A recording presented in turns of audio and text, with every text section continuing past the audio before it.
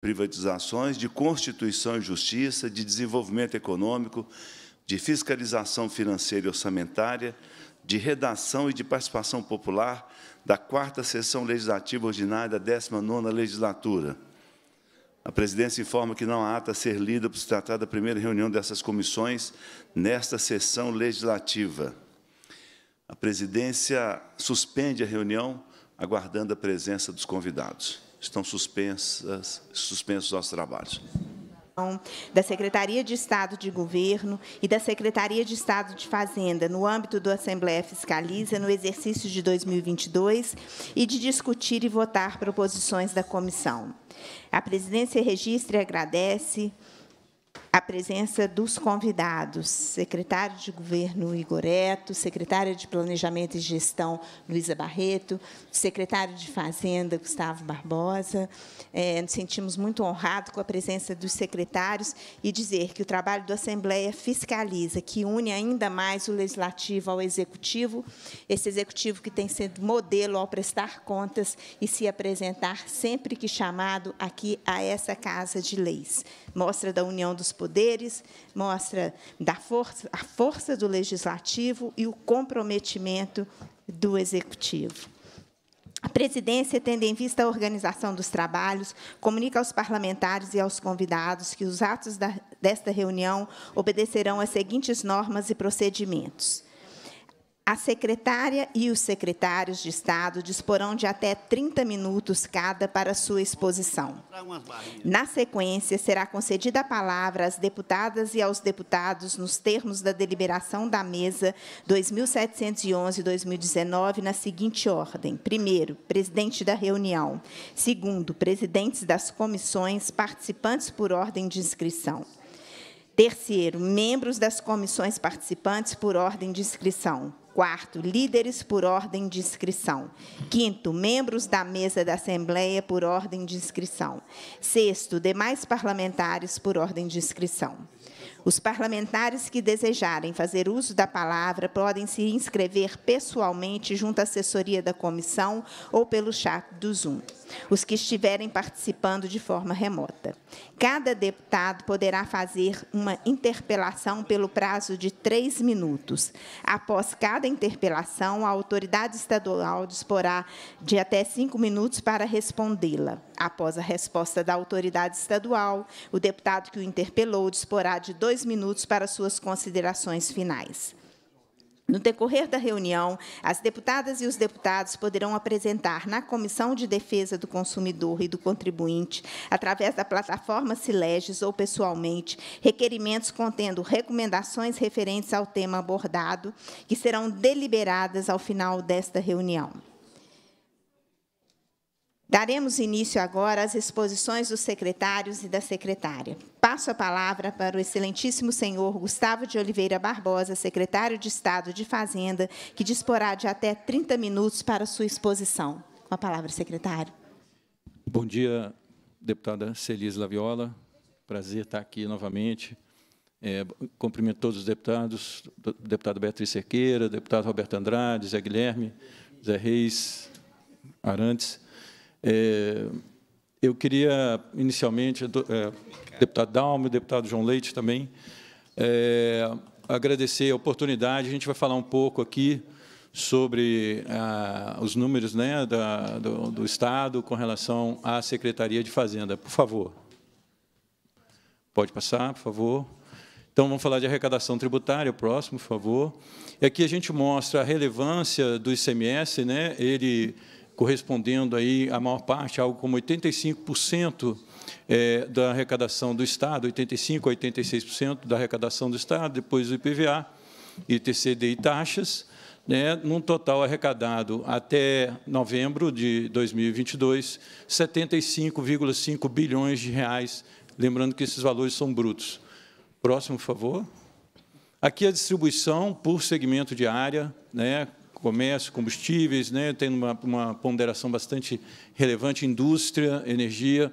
Lembrando que este ano foi aprovado pelo Congresso Nacional as leis complementares 192 e 194, que impôs aos estados, não só ao Estado de Minas Gerais, mas aos estados, é, uma redução do ICMS aqui no Estado de Minas Gerais este ano na casa de 5,8 bilhões, e o ano que vem na casa de 11,7 bilhões de reais, em função das perdas determinadas é, pelas, por essas leis, é, no sentido dos, na, do segmento de combustível, energia e telecomunicações. Próximo, por favor. O que, que a gente tem feito, né, é, adoções, é, ações adotadas para facilitar a vida do contribuinte? Né? Então, já, a gente já tem feito é, temos hoje 133 tipos de serviços virtuais remotos. É, isso, a ideia é facilitar a vida do contribuinte, ele acessar remotamente, fazer as operações. Hoje, mais de 95% dos serviços é, da Fazenda estão disponíveis no site, então é, a ideia é que o contribuinte tenha o maior conforto possível para fazer seus serviços junto com a Fazenda.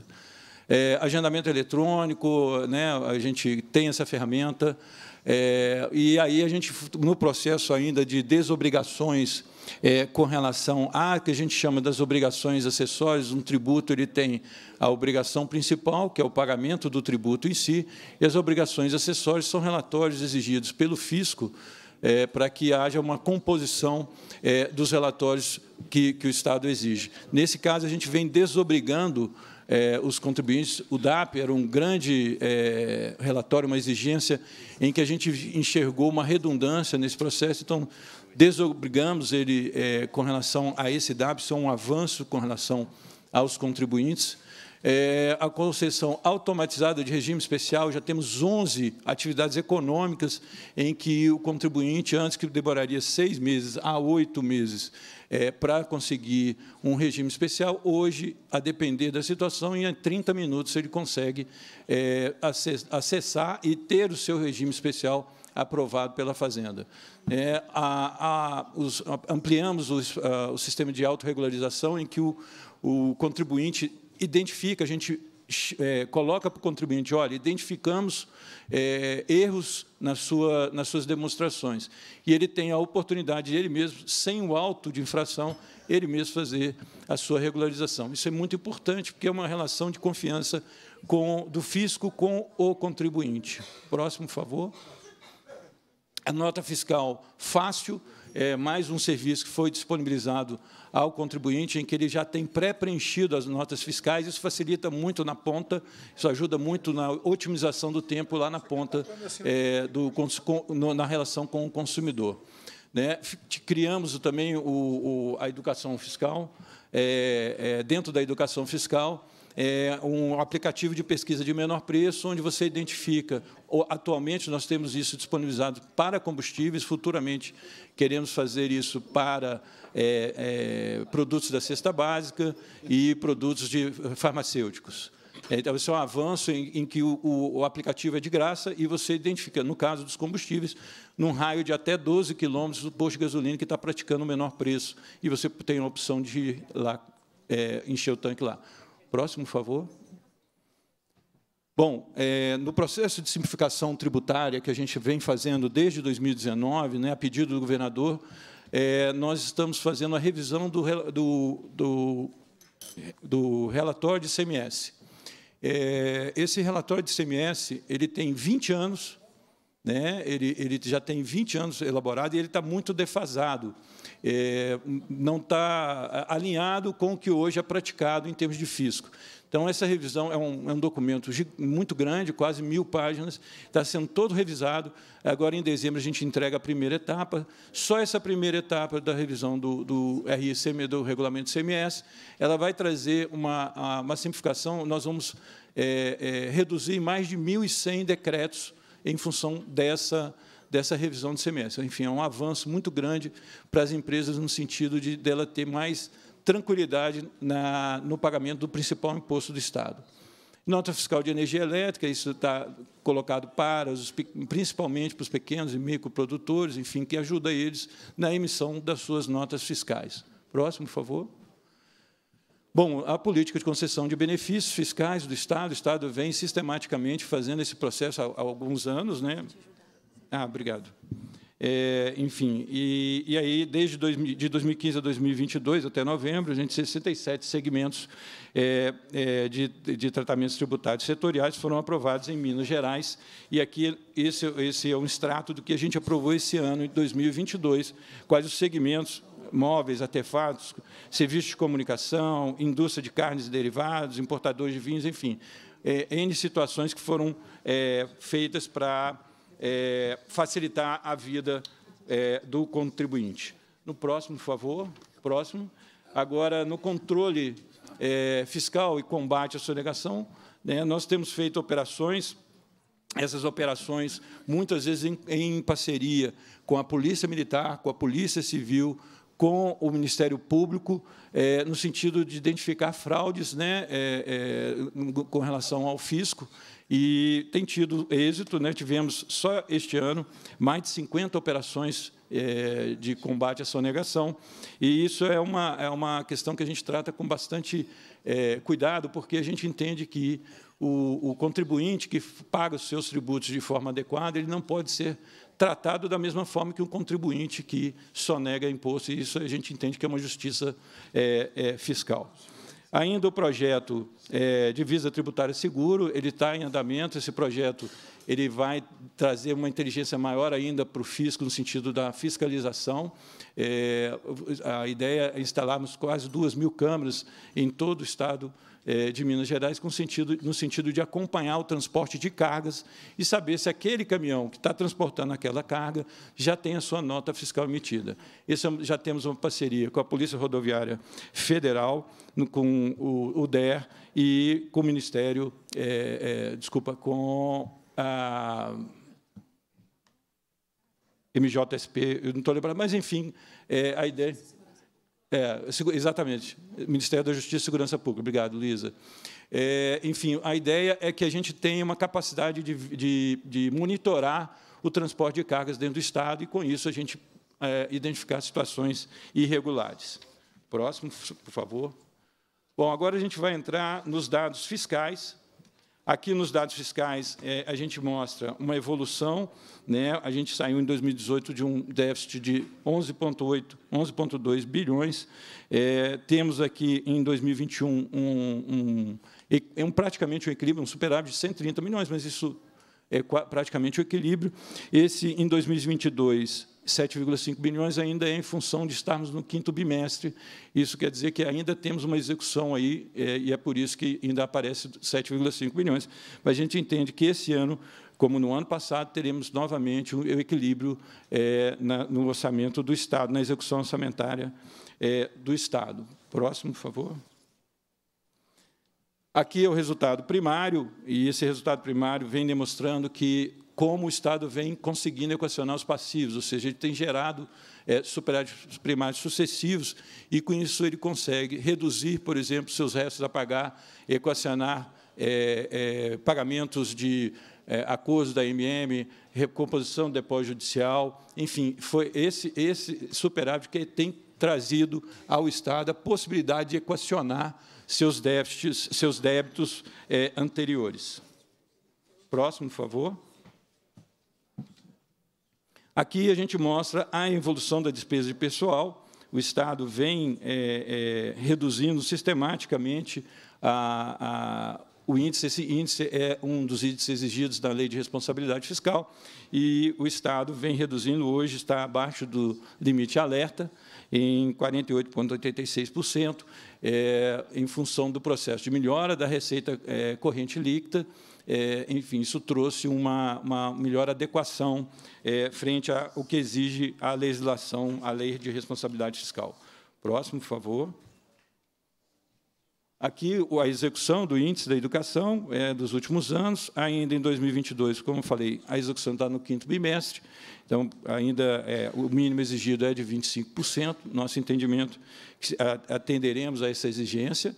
E, enfim, e a, a, questão de ainda não estar nos 25% é porque a gente ainda tem uma execução a acontecer até o final deste ano. Próximo, por favor. A saúde também, é, esse ano a gente ainda está com 9,27, mas a gente entende que, lembrando que esse é um parâmetro de, do quinto bimestre, ou seja, ainda temos dois meses é, de execução orçamentária e financeira do, da área de saúde, então a gente entende também que iremos atingir o mínimo constitucional exigido. Próximo, por favor. Aqui é a evolução de resto a pagar, é, aqui nós temos uma, uma, informação importante. As, a, as dívidas não pagas em função das liminares, elas eram acumuladas dos restos a pagar. A partir de, do, de junho de 2022, o Estado assinou o artigo 23 da Lei Complementar 178 e, com isso, houve o equacionamento dessa dívida não paga sob a ótica de liminar. Então, por isso, houve essa redução bastante é, relevante nos restos a pagar.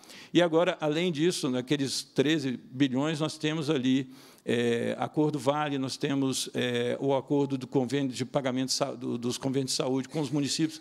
Enfim, há uma redução muito significativa é, de restos a pagar.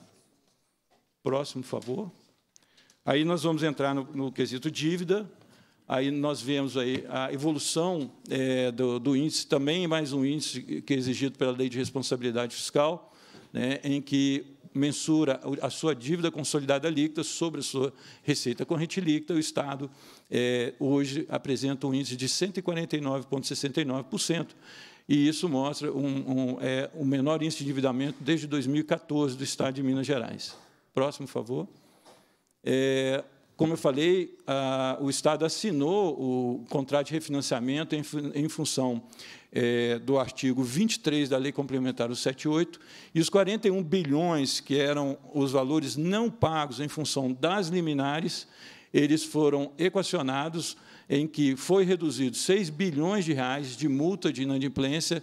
Eh, o artigo 23 permitia que o Estado eh, não pagasse isso e refinanciou os 35,6 bilhões de reais em 30, em eh, 360 meses, dentro de uma previsibilidade do Estado com relação ao pagamento de dívida. Próximo, por favor.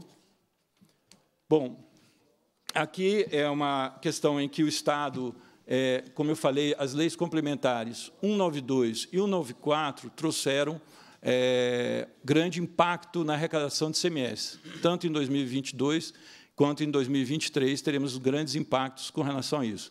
E foi nessa, nessa lei, a Lei Complementar 194, ela permite que parte dessa, é, dessa perda possa ser compensada com não pagamento de dívida. Então, nós começamos então a abater o pagamento da dívida, né? O, já temos o valor, a nossa avaliação teremos o valor de 2 bilhões 365 milhões compensados este ano e ainda teremos 1 bilhão e 100 milhões compensados no ano que vem, de acordo com o que prevê a, a Lei Complementar 194. Próximo, por favor, os acordos que a gente firmou, acordo da MM quitado, né? a gente liquidou esse ano, é, os 7 bilhões de reais, o acordo MM dos convênios de saúde, 6,7 bilhões, o Estado é, vem pagando, isso é dado de setembro, desculpa, de outubro, 863 milhões já pagos, enfim, a gente vem pagando é, de acordo com foi determinado esse acordo. É, ainda a recomposição de depósitos judiciais, né, a, uma lei, a lei aprovada, é, se eu não me engano, em 2015, foi declarada inconstitucional, então o Estado tem como obrigação fazer a recomposição é, dos depósitos judiciais. Então, foi feito um acordo com o Tribunal de Justiça e o Estado vem sistematicamente recompondo isso e já fez o, valor, o pagamento de 609 milhões é, de reais. Próximo, por favor.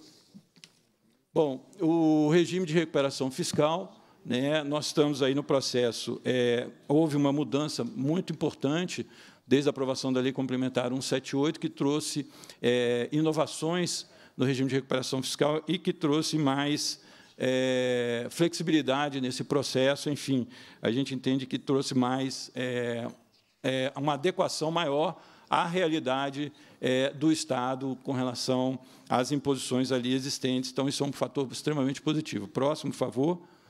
Ah, aqui a gente mostra que o Estado continua apto a, na habilitação ao regime de recuperação fiscal. Né? Existem três pré-condições, o Estado atende Infelizmente, ele atende todas as três pré-condições, mas, enfim, então o Estado permanece apto a se habilitar no regime de, é, permanece é, com condições de se habilitar ao regime de, de recuperação fiscal. Próximo, por favor. Aqui ainda, como eu falei, a gente tem é, ainda questões a serem debatidas aqui na Assembleia, né, que é a própria autorização do, do ao regime, é, questão de autorização leilão reverso de, de resto a pagar, é, questão de gastos limitados à variação do IPCA, redução dos incentivos fiscais, medidas de pessoal e desestatização. Como eu falei, a Lei Complementar 178 ela trouxe flexibilidade, principalmente nas questões de medidas de pessoal em que hoje estão superadas com relação ao regime de reparação fiscal. Próximo. É, aqui é só o, o, PL 1202, aqui nessa, que está aqui nessa casa, que autoriza é, a adesão ao regime, a realização de, de leilões de restos a pagar, a questão dos incentivos fiscais. Aqui é, não é o Estado de Minas não tem essa obrigatoriedade, dado que todos os incentivos estão, que a gente chama confasados, ou seja, registrados no Confaz, então não tem essa, esse quesito, não, não tem necessidade. É a questão do, limite do crescimento das, é, das despesas primárias de, do, do gasto do Estado, ressalvando saúde e educação. E autoriza a celebração de instrumentos formalizar a renegociação de dívida. Próximo, por favor. Aqui já está já tá colocado, pode passar, por favor. Enfim, é, o que a gente queria falar aqui é isso. É, mais uma vez, agradecer, deputada, a oportunidade de estar falando. Eu acho que é, os números são é, bastante positivos, a nosso ver, são números bastante positivos, é, e que, mas que ainda, o Estado ainda precisa evoluir mais ainda é, com relação ao seu ajuste é, nas contas públicas, com objetivo, é, não com objetivo final, só o ajuste, mas sim com o objetivo de conseguir, com esse ajuste, prestar um melhor serviço à sociedade. É isso que eu tinha a falar. Muito obrigado. Nós agradecemos ao secretário Gustavo de Oliveira Barbosa pela explanação e prestação de contas e passamos a palavra para a excelentíssima senhora Luísa Cardoso Barreto, secretária de Estado de Planejamento e Gestão, que disporá de até 30 minutos para a sua exposição. Muito obrigada, deputada Celise. Gostaria de te cumprimentar e cumprimentar também os deputados aqui presentes, deputado João Leite, deputado Dalmo, deputada Beatriz Cerqueira, deputado José Guilherme, deputado Virgílio Guimarães, deputado Zé Reis, deputado Antônio Carlos Arantes. É um prazer estar de volta aqui nessa casa e trazer um pouco das ações que realizamos, é, não só nesse ano de 2022, mas um consolidado dos resultados obtidos pela Secretaria de Planejamento e Gestão ao longo desses quatro anos de gestão. Pode passar, por favor. Aqui a gente traz é, o resultado orçamentário. Eu, eu, vou focar menos na pauta orçamentária e fiscal, porque o secretário Gustavo trouxe bastante, bastante dados, mas a gente, eu gostaria de rememorar. Chegamos em 2018, né, o ano anterior ao início do governo, o déficit apurado foi da ordem de 11,2 bilhões. No último ano, fechamos com equilíbrio, algo que não acontecia já há mais de 10 anos não, desculpa, há alguns anos, mas com o equilíbrio de 103 milhões. E eu queria ressaltar esse equilíbrio nas contas públicas, que é algo que estamos perseguindo também para esse ano de 2022, é, porque o equilíbrio nas contas públicas foi o que permitiu que o governo fizesse medidas de valorização dos servidores, que melhora, melhorasse a aplicação e prestação dos serviços públicos e que permite ainda que o governo traga mais investimentos para o Estado. Então, o ciclo de responsabilidade fiscal e equilíbrio nas contas públicas é um ciclo virtuoso que tem como fundamento básico valorizar os serviços públicos mais importantes à sociedade e trazer melhorias para os cidadãos mineiros. Pode passar, por favor. Então, aqui a gente traz o, o, quadro resumo dos resultados fiscais apurados nos últimos anos. Então, a gente percebe essa situação de desequilíbrio nos anos de 2013, 14, 15 e até atingimos novamente o equilíbrio no ano de 2021. Então, eu tinha falado em 10 anos, era desde 2012, nove anos em que o Estado estava em situação deficitária, situação essa que revertemos no ano passado e que temos nos empenhado bastante para manter essa situação de equilíbrio nesse ano de 2022. Pode passar, por favor? Em relação aos mínimos constitucionais, eu gostaria de ressaltar que, neste ano de 2022, nós temos a perspectiva de encerrar o ano com a aplicação de 12,2% é, dos, das, nas ações e serviços públicos em saúde, o mínimo constitucional da saúde, e esse percentual nós temos a intenção não só de empenhar, mas também de pagar. Efetivamente, todo o recurso está reservado para isso e todo o empenho para que todos os pagamentos sejam feitos ainda nesse ano tem ocorrido. Então, nós vamos ter, assim como tivemos no ano passado, um índice de despesas efetivamente pagas é, de 12%. Da mesma forma, pode passar, por favor, na aplicação e manutenção e desenvolvimento de ensino, o mínimo constitucional da educação, a perspectiva nossa é de encerramento do ano de 2022 com 25,9% de execução, então superando um pouco os 25% mínimos é, previstos na Constituição, e também, mais uma vez, assim como no último ano, todos os recursos para pagamento das despesas em educação estão reservados e sendo processados, e a nossa perspectiva perspectiva é que este volume de mínimo constitucional seja também efetivamente pago, como foi no ano anterior. Pode passar, por favor. Ah, este, essa, esses resultados fiscais que nós obtivemos ao longo dessa gestão são fruto de um planejamento orçamentário e de uma gestão orçamentária é, bastante séria e, mais do que isso, que se utiliza de uma metodologia inovadora. Minas Gerais foi o primeiro estado a adotar a a metodologia de orçamento base zero. O orçamento base zero ele nos permite compreender as prioridades de cada órgão, focar naquilo que é mais importante para a prestação de serviços à sociedade e garantir que os principais serviços sejam preservados, priorizados, e, com isso, a gente consegue, ao mesmo tempo, ter equilíbrio orçamentário, mas preservar e mais e avançar na prestação de serviços públicos. Então, no último ano nós conseguimos aplicar essa metodologia de orçamento base zero em todos os órgãos e entidades é, da administração pública mineira. Pode passar, por favor.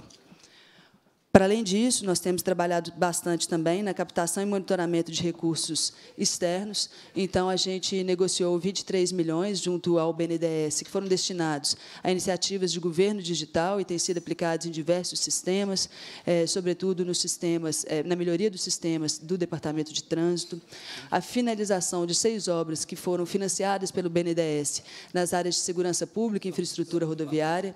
Elaboramos o portfólio de projetos para captação de recursos recursos. Então, a gente tem trabalhado intensamente na captação de recursos de emendas federais, recursos junto ao Ministério Público, outras fontes, e esse portfólio nosso hoje soma 4,6 bilhões, e desenvolvemos o painel de monitoramento das emendas, eh, de emendas parlamentares federais e dos de deputado e de... Isso, desculpa, pode passar. Ainda na parte de planejamento e orçamento, nós temos trabalhado as parcerias com o terceiro setor, ao todo, nós realizamos 108 milhões é, em parceria. São sete instrumentos que nós temos assinados, que tem uma média de avaliação de 9,2 16, ou seja, a gente tem uma avaliação muito boa dos instrumentos da execução de políticas públicas por meio dessas parcerias. O maior volume de parcerias hoje do Estado corresponde à segurança pública, no modelo de cogestão do sistema socioeducativo, mas temos ainda parcerias nas áreas de cultura e patrimônio, esportes e meio ambiente. Pode passar, por favor. Passando agora às nossas compras governamentais e aos serviços compartilhados, a gente teve, é, ao longo de 2019 e 2022, é, 17,65 bilhões de reais homologados em compras centralizadas, sendo 8 bilhões e meio referentes à compra de medicamentos, 50% do valor homologado do Estado é de compras centralizadas pela CEPLAG. Então, hoje, a equipe da CEPLAG é responsável por 50% do volume de compras estaduais, o que é feito com uma equipe relativamente pequena e, que, e com bastante êxito. A gente tem conseguido muitas economias nesse modelo de centralização de compras. E a gente tem 727,6 milhões de reais homologados para compras referentes ao enfrentamento da Covid e ao programa Protege Mais. Pode passar, por favor. A gente tem trabalhado bastante também as ações de desenvolvimento de compras públicas. Minas Gerais liderou a Rede Nacional de Capacitação em Compras em parceria com o Tribunal de Contas da União. E, a partir da nossa parceria com o Tribunal de Contas da União, outros estados têm aderido. Então, hoje, Minas Gerais é, fornece capacitação em compras e ajuda outros estados a construírem trilhas e, e formatos de capacitação em compras que ficam abertos a gestores públicos, não só estaduais, mas também municipais, federais, todos os servidores públicos ou outros interessados em se capacitar em compras têm acesso às nossas trilhas de aprendizagem. Hoje já temos mais de 3 mil inscritos e 15 instituições de diferentes poderes e esferas de governo é, aderentes a essa nossa rede de capacitação de compras, que começou com o Governo de Minas e Tribunal de Contas da União. Pode passar, por favor. Nós temos, ainda nas compras públicas, nos, de, nos, dedicado bastante à nova lei de licitações e contratos administrativos. Essa lei ela entra em vigor efetivamente em 1 de abril de 2023 e tem representado um desafio enorme aos, a todo o poder público, aos estados, aos municípios, mas eu fico tranquila em falar que, embora esteja sendo um caminho árduo, Minas Gerais é, sem sombra de dúvidas, um dos estados que está mais à frente na sua adaptação seja de regulamentos, seja de sistemas, para a efetiva implantação da nova lei de licitações e contratos. Então, nós já capacitamos os órgãos e entidades quanto às novas regras de estudo técnico preliminar, implementamos no portal de compras as funcionalidades de dispensa de licitação, pregão e concorrência adequados à nova lei de licitações e contratos, já realizamos sete consultas públicas e consolidamos seis minutas normativas relativas à nova lei de licitações e contratos e temos temos hoje um grupo de trabalho com 124 integrantes de todos os poderes estaduais, trabalhando em torno desse tema, que é fundamental. Os estados mais preparados, com certeza, aproveitarão melhor as oportunidades trazidas pela nova lei de licitações e contratos para fazerem compras públicas melhores e, com isso, terem mais economia, maior efetividade nas compras públicas e prestarem melhores serviços aos cidadãos. No que tange à gestão logística e patrimonial, nós tivemos 15,1 milhão de redução pela otimização de gestão da frota oficial. Então, nós revisamos o nosso modelo de gestão de frota, reduzimos a frota oficial do governo de Minas e já obtivemos essa economia de 15 milhões. Arrecadamos 74,3 milhões com com leilões de veículos e de materiais diversos. Trabalhamos a logística reversa de 15 mil materiais permanentes e 999 mil materiais de consumo entre órgãos e entidades e fizemos 46 aquisições por desapropriação, dentre elas a gente destaca a fazenda Marzagão, necessária para se solucionar a questão do Isidoro, com 130 empréstimos e fizemos ainda 130 empréstimos gratuitos e 141 alienações de imóveis. Em relação à gestão da cidade administrativa, a gente trouxe algumas novidades que trazem mais qualidade no trabalho diário dos servidores é, que trabalham no complexo. Então, nós tivemos a inauguração da loja de conveniência, centro, eh, centro automotivo no estacionamento da cidade administrativa, instalação de lixeiras e banheiros públicos que ainda não haviam no estacionamento, inauguração de uma sala de, de amamentação no nono andar do prédio Gerais, inauguração do novo restaurante no primeiro, eh, no primeiro piso do centro de convivência, que é o restaurante que traz o melhor custo-benefício para os servidores, reduzindo, então, os seus custos com a alimentação na cidade administrativa. Além disso, conseguimos é, ampliar a ocupação da cidade administrativa. Então, nós fizemos recentemente, ainda nesse ano de 2022, a mudança do DETRAN e da CODENGE para a cidade administrativa, totalizando, então, 48 órgãos no complexo. É, estamos com as obras para construção dos abrigos dos pontos de ônibus e caminhos dos prédios Minas e Gerais, trazendo mais conforto no trânsito diário dos servidores. Elaboramos os projetos executivos para melhoria e adequação da acessibilidade dos prédios, estacionamentos e áreas externas. Além disso, fizemos a instalação das câmeras é, do circuito fechado de TV, são 1.600 câmeras, 120 gravadores digitais, e iniciamos o serviço de manejo e castração de capivaras. Pode passar, por favor. No que diz respeito à nossa área de inovação e gestão estratégica, a gente simplificou desde 2019 194 serviços por meio de, da eliminação de exigências desnecessárias aos cidadãos. Um dos exemplos disso é a certificação do Instituto Mineiro de Agropecuária, que hoje é muito mais facilitada do que era antes. Nós realizamos 48 ações de disseminação de inovação e simplificação para servidores e alunos.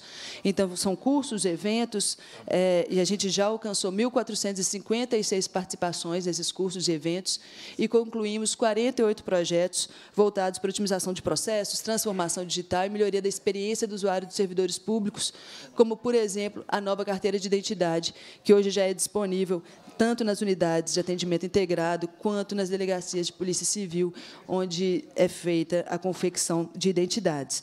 E o foco muito grande, tanto do nosso laboratório de inovação quanto da nossa equipe de inovação, é sempre melhorar a experiência do usuário no que tange os serviços públicos, para que o cidadão mineiro seja cada vez melhor atendido.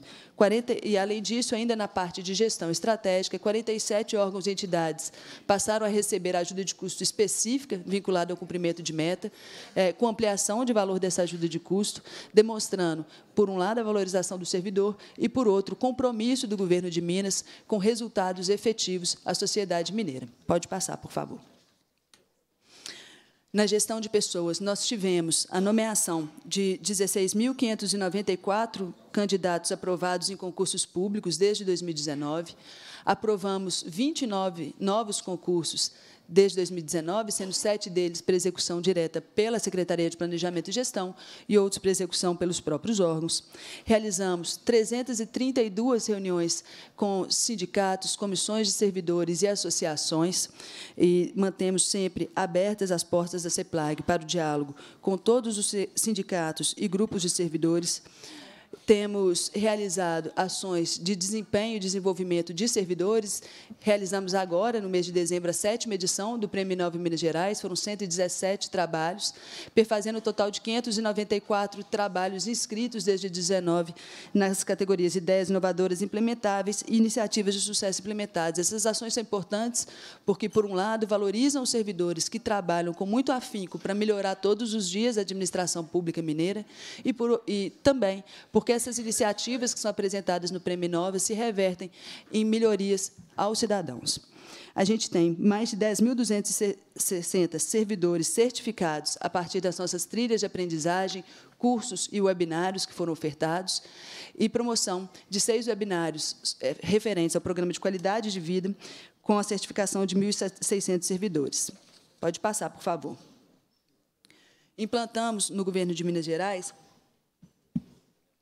uma política permanente de teletrabalho, que já teve adesão de 48 órgãos e entidades estaduais, e hoje nós temos 14.417 servidores que atuam em regime parcial ou integral de teletrabalho. E o nosso primeiro ciclo de avaliação do, teletrabalho, que se concluiu no mês de setembro, é, demonstra que, as pessoas, que os servidores estão satisfeitos e que os resultados também têm sido bastante satisfatórios com este modelo, é, destacando melhorias no ambiente de trabalho, incremento aumento na produtividade e na qualidade de vida. O, a implementação do teletrabalho permitiu ainda uma economia de cerca de 14% das nossas despesas de água, energia elétrica e impressão. Pode passar, por favor. Ainda dentro da gestão de pessoas, é, eu gosto de destacar o programa Transforma Minas. O programa Transforma Minas hoje é reconhecido como o principal programa de formação e desenvolvimento de lideranças em âmbito nacional. Por meio do Transforma Minas, nós realizamos é, processos, 20 processos seletivos em 2022, totalizando 244 processos seletivos desde 2019. Não há nenhum estado no Brasil que tenha contratado tantas pessoas para cargos estratégicos por meio de processo seletivo, demonstrando que o governo de Minas tem o compromisso de colocar nas funções é, estratégicas as pessoas mais aptas a ocuparem aquelas funções. E na última semana, inclusive, no encerramento do Transforma Minas, tivemos vários relatos de pessoas que falam que nunca chegariam a determinados cargos se não fosse por meio desses processos seletivos. Além disso, nós estamos agora realizando o diagnóstico de engajamento das lideranças e do governo para buscar compreender, já realizamos o diagnóstico, estamos realizando as ações ações para compreender o que gera engajamento nos servidores e quais ações podem é, incentivar, po podem ampliar esse engajamento para que tenhamos servidores cada vez mais engajados com a administração pública, gerando mais resultados às pessoas. É também uma ação bastante inovadora do governo de Minas, vez que apenas quatro estados no Brasil realizam hoje ações de engajamento com seus servidores. Nós temos, além disso, 54 servidores centrais e 104 servidores regionais atingidos pelos nossos programas de desenvolvimento Desenvolvimento de Lideranças, é, o PDL, e o PDLR, que é o Programa de Desenvolvimento de Lideranças Regionais. E trabalhamos também, desde 2020, o projeto Valores e Práticas, que busca consolidar a, uma, o clima organizacional, a cultura do servidor público mineiro. Foram realizados 142 eventos entre equipes, com participação de mais de mil servidores. Desenvolvemos 839 gestores e desenvolvemos as, as equipes de comunicação e os recursos humanos é, do governo de Minas. Pode passar, por favor. É, em relação ao pagamento dos servidores públicos, esse era, sem sombra de dúvidas, um dos nossos principais desafios no início do governo. Quando chegamos ao governo em 2019, os salários ainda estavam parcelados, e desde agosto de 2021, os salários estão regularizados, uma pendência que já vinha de mais de cinco anos. O 13º salário também foi pago em dia no ano de 2021 e em 2022. Né, nessa semana, todos os servidores públicos receberam o seu 13º salário salário de maneira integral. Concedemos o pagamento é, da recomposição de perdas inflacionárias no montante de 10,06% e regularizamos o pagamento de férias-prêmio para 33.956 servidores, com um montante de pagamento da ordem de 908 milhões, mais um débito muito grande que nós quitamos é, e que vi, veio herdado de gestões anteriores. Pode passar, por favor? Trazendo agora é, os resultados referentes às nossas áreas de governança eletrônica e serviços, Minas Gerais alcançou, nesse ano de 2022, um índice de 78,9% de transformação digital dos seus serviços. A gente teve é, é, iniciou no ano de 2019 com um índice de transformação digital de 52%. É uma evolução muito grande. Estamos, mais uma vez, é, na vanguarda entre os estados no que tange a transformação digital. E lembrando que a transformação digital dos serviços torna os serviços mais fáceis a todos os cidadãos mineiros, permitem que eles tenham mais conforto no acesso aos serviços públicos é, em Minas Gerais. E a gente teve ainda o reconhecimento é, dos nossos, do nosso MGAPP, que foi reconhecido com o Prêmio Best, segundo lugar no Prêmio Best entre os melhores aplicativos, foi a melhor avaliação entre os aplicativos na pesquisa do Grupo de Transformação Digital dos Estados e do Distrito Federal, e fomos reconhecidos também como melhores, é, melhores iniciativas digitais do governo nos anos de 2021 e top 3 em 2022. Pode passar, por favor. A gente tem o programa Alô Minas. O programa Alô Minas tem levado telefonia celular e internet a distritos de diversos municípios mineiros. Ontem mesmo estive em um município que teve ativação de, é, de sinal de celular na data de ontem, Senhora dos Remédios. A gente tem, então, até o momento, eh, serão 157 localidades e distritos atendidos até fevereiro de 2024. Nós já temos 30 localidades e distritos ativados e mais de 25 mil mineiros atendidos. Esse programa, que é uma transformação do Minas Comunica 2, foi premiado nesse ano de 2022 na categoria de Boas Práticas do Prêmio de Excelência e Competitividade realizado pelo Centro de Lideranças Públicas e alcançou, em 2021, o primeiro lugar pelo Prêmio Internacional de Gestão de resultados para o desenvolvimento pelo Banco Interamericano de Desenvolvimento. Pode passar, por favor. A gente tem trabalhado fortemente pela ampliação das unidades de atendimento integrado no Estado, e criamos o programa Uai Compartilha, no qual o governo de Minas, em parceria com os municípios, seja com prefeituras municipais ou com câmaras municipais, leva é, as unidades de atendimento integrado a municípios que não tinham esses serviços. Já são quatro unidades do Uai Compartilha, então nós temos Leopoldina, Itajubá, Três Corações e Senhora dos Remédios.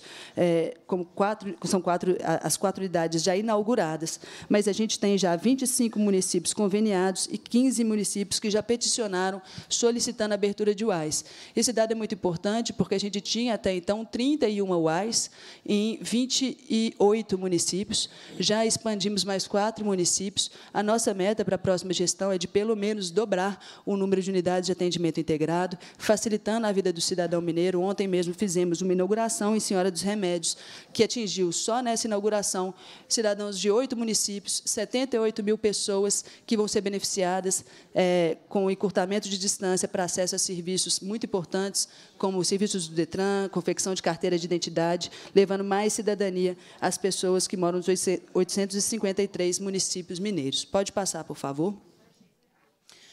É, em relação à resposta a acidentes minerários, eu vou tratar primeiro no, do desastre de Brumadinho. É, a Secretaria de Planejamento e Gestão é responsável pela coordenação dos comitês gestores de Brumadinho e do Rio Doce, e nós temos feito as articulações para ter uma resposta rápida e efetiva para estes dois desastres. Do, no que tange as obras e projetos a serem executadas pelo governo de Minas, dos recursos que já ingressaram no Estado, 81% desses recursos já foram empenhados, então nós temos tido a preocupação de sermos muito céleres e efetivos nessas respostas. No que tange as obrigações de fazer da empresa Vale, nós já tivemos ordem de início em 30 projetos de reparação para os 26 municípios que foram atingidos, e, além disso, além das ordens de início, já entregamos, ao longo desse ano de 2022, 63 máquinas e 15 salas de urgência é, nestes municípios a gente tem ainda mais de 109 mil beneficiários atendidos pelo Programa de Transferência de Renda, com cerca de um bilhão de repasses entre 2021 e 2022.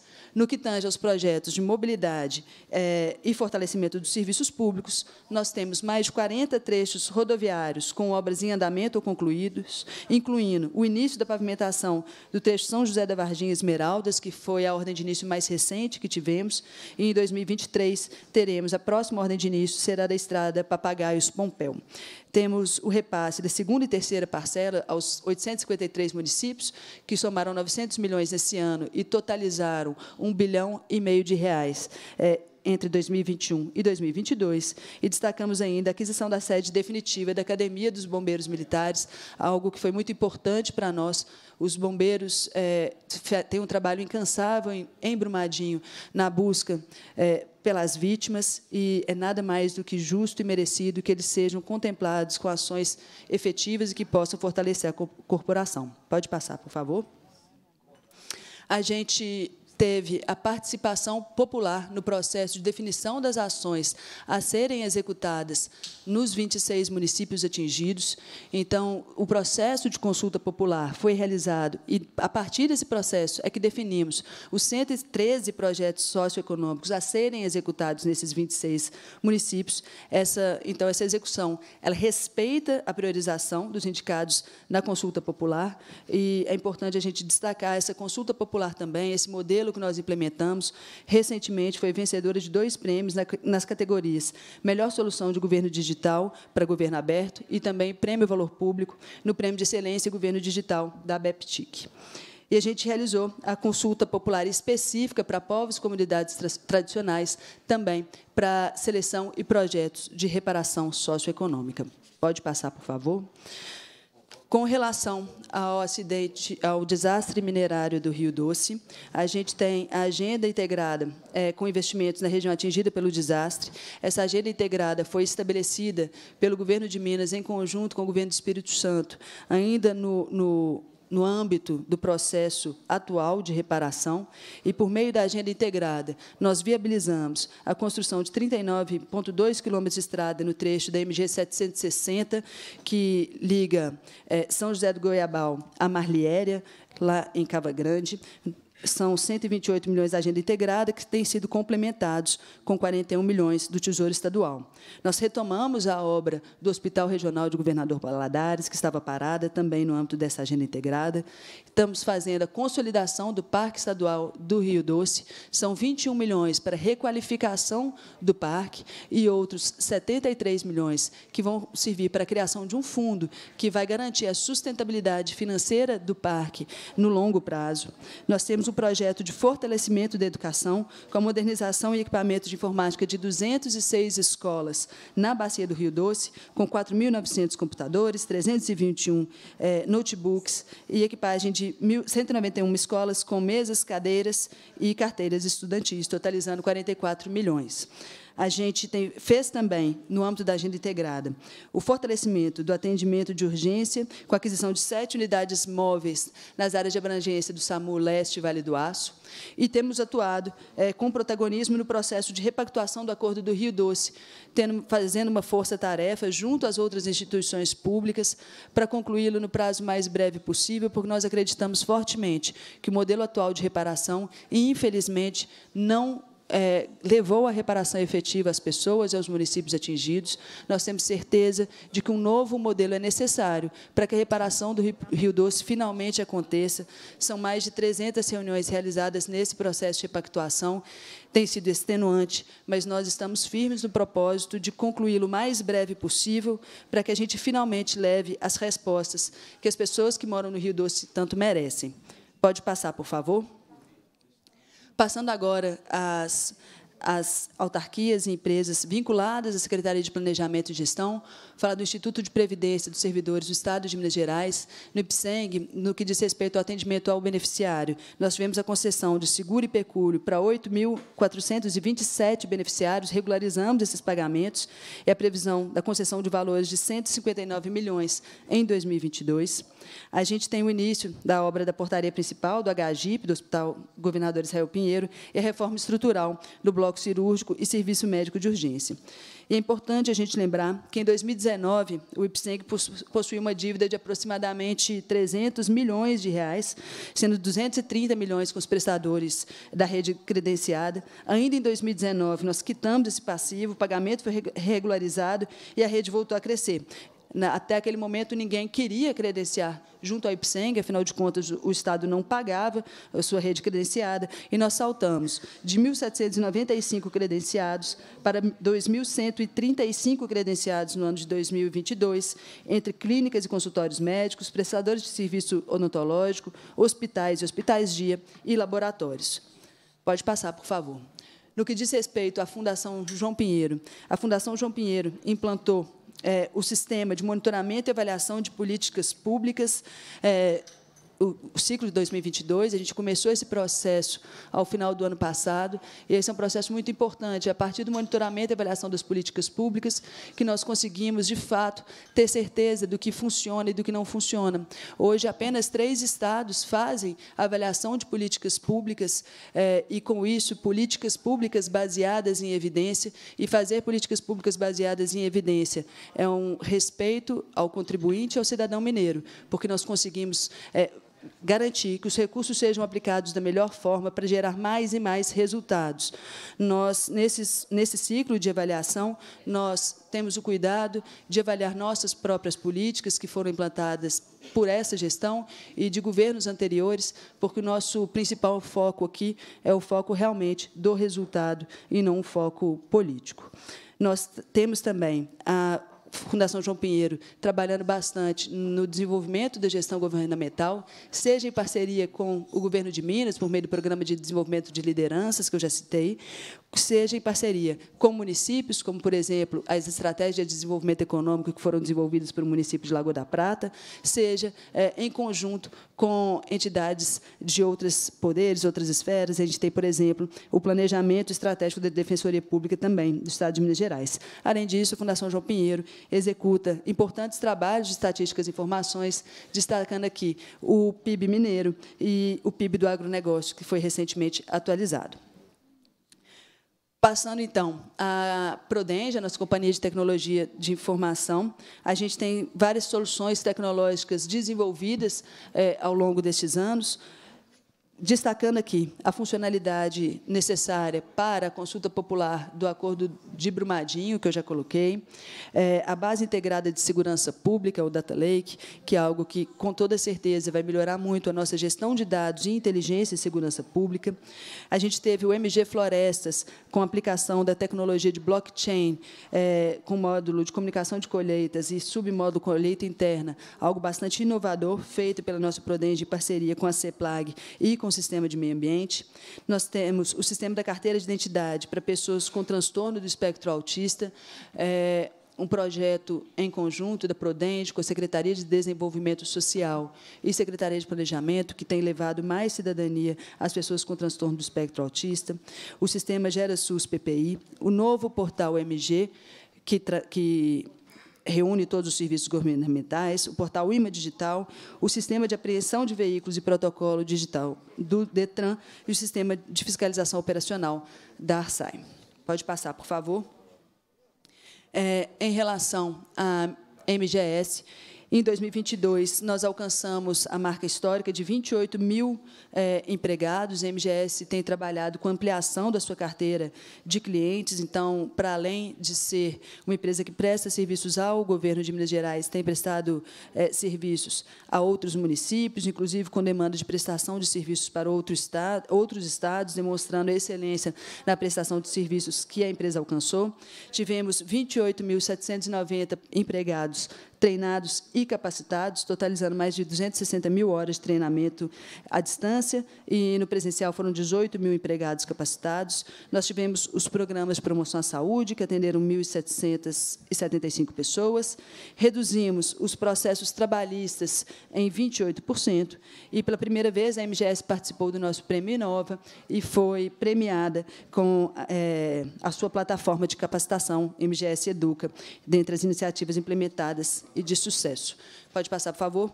Então, fazendo mais uma vez, só um breve resumo, nós tivemos é, grandes evoluções, tanto no que tange é, a gestão de pessoal, com é, a, o reajuste aos servidores públicos, a ampliação da ajuda de custo, pagamento de férias-prêmio e o 13º salário em dia. Conseguimos melhorar a prestação dos serviços públicos diretamente aos cidadãos, com a abertura de UAI Compartilha, simplificação de serviços, é, melhoria na gestão de imóveis e com o nosso Aluminas, que tem levado telefonia celular e desenvolvimento a vários municípios mineiros. E tudo isso só foi possível porque nós retomamos nosso equilíbrio fiscal, quitamos os débitos, cumprimos os nossos índices constitucionais, Fizemos o trabalho de arrecadação de recursos por meio de leilões, tivemos ainda repasse aos municípios dos recursos da Vale e quitamos 300 milhões de dívida com o IPSENG ao longo desses anos. Muito obrigada e fico à disposição de todos. Agradeço a exposição da secretária Luísa e, quebrando um pouquinho o protocolo, eu deixo aqui uma manifestação de satisfação de tê-la, Luísa. Você que já esteve aqui conosco nessa casa tanto tempo, assessorando, acompanhando os nossos trabalhos. Eu sou muito feliz de ter uma mulher servidora de carreira e que tanto nos orientou, foi tão útil para a gente aqui na casa, como minha colega e como é, minha na assessoria, viu? Muito obrigada por tudo. Você continua brilhando também no executivo. Obrigada. Obrigada.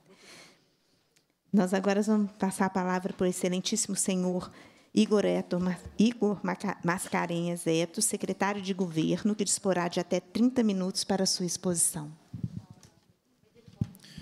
Muito obrigado, deputada Celise. Um prazer, deputada, estar aqui, quase que simbólico, né?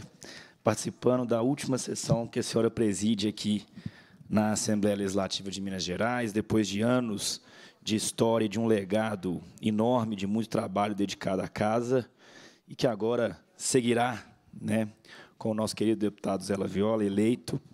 Mas um prazer, depois de tanto tempo, de tantas batalhas disputadas juntos, estar aqui, é, quase que em tom de homenagem, juntos, presidindo, com a senhora presidindo essa sessão.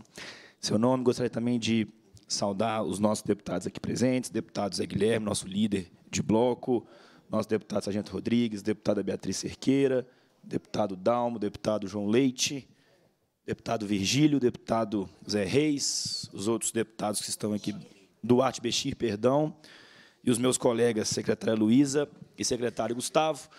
É, estamos aqui hoje, né, mais uma vez, para poder finalizar esse ciclo do Assembleia Fiscaliza, né, uma medida que nós todos do governo de Minas não nos cansamos de é, louvar na, na, atitude da Assembleia Legislativa de cumprir o seu papel, né, de estar sempre próximo do Poder Executivo para que a gente possa aqui prestar esclarecimentos à população de Minas Gerais, ao povo de Minas Gerais, como é né, no nosso querido Estado.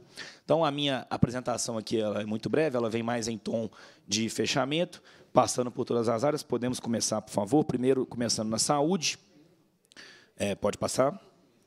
Né, então, aqui um breve contexto sobre o, Covid do nosso Estado, desde janeiro de 2020 até é, é, agosto perdão, de 2022.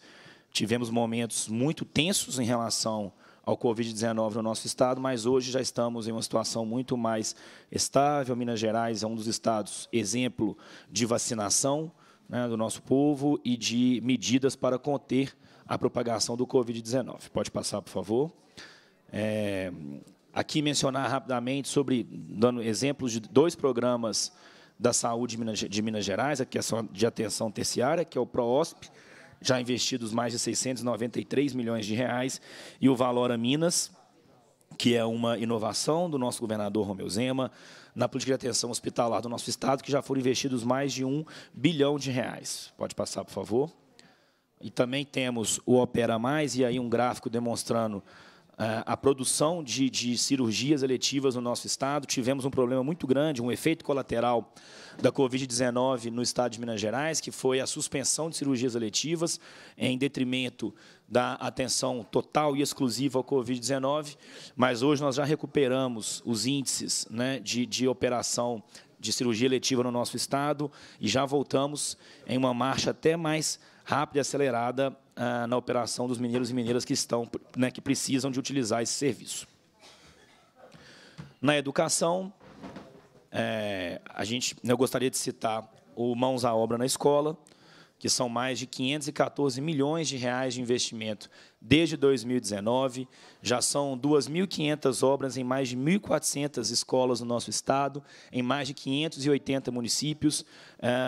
Provavelmente o maior programa da história de Minas Gerais de fortalecimento das estruturas das nossas escolas, que nós sempre temos que preservar.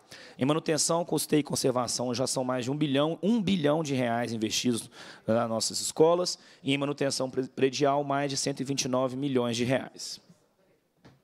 Na educação profissional, né, nós temos o, o Trilhas de Futuro, são 148 mil alunos na educação profissional, é, em cursos técnicos, cursos de formação, e acho que isso demonstra de forma muito clara a prioridade que este governo dá para a educação, obviamente para todos os servidores da educação, mas sempre focando no aluno, em cada um dos mineiros e mineiras que confiam na rede de ensino de Minas Gerais para poder desenvolver o seu conhecimento ao longo do tempo. Pode passar, por favor. Né, aqui eu falei do Trilhos de Futuro, que é um programa que se tornou é, um, um, sucesso consolidado hoje no estado de Minas Gerais. São mais de 78 opções de cursos técnicos em instituições credenciadas que são parceiras do governo de Minas, que os estudantes recebem ajuda de custo para transporte e alimentação. Né? E esse número está errado, já são mais de 100 mil estudantes formados até dezembro de 2022. Pode passar. No desenvolvimento econômico, que é um eixo muito importante para o nosso governo de Minas, para o nosso governador Romeu Zema. De 2019 até agora, já são mais de 271 bilhões de reais em atração de investimentos, atingindo mais de 147 municípios do nosso estado e gerando mais de 130 mil empregos diretos e 187 mil empregos indiretos, que é a principal é, é, a atenção, a principal é, a diretriz que o nosso governador Zema nos dá, que é o desenvolvimento econômico, a dignidade e autonomia do povo de Minas Gerais, tendo seu emprego, tendo a sua renda, a sua condição de cuidar da sua família a partir da geração de emprego e renda no nosso Estado. Pode, pode passar? Bom, na infraestrutura, é, esse ano, nosso no nosso governo, nós já colocamos mais de 2 bilhões de reais de investimentos no Recupera Minas e no Provias.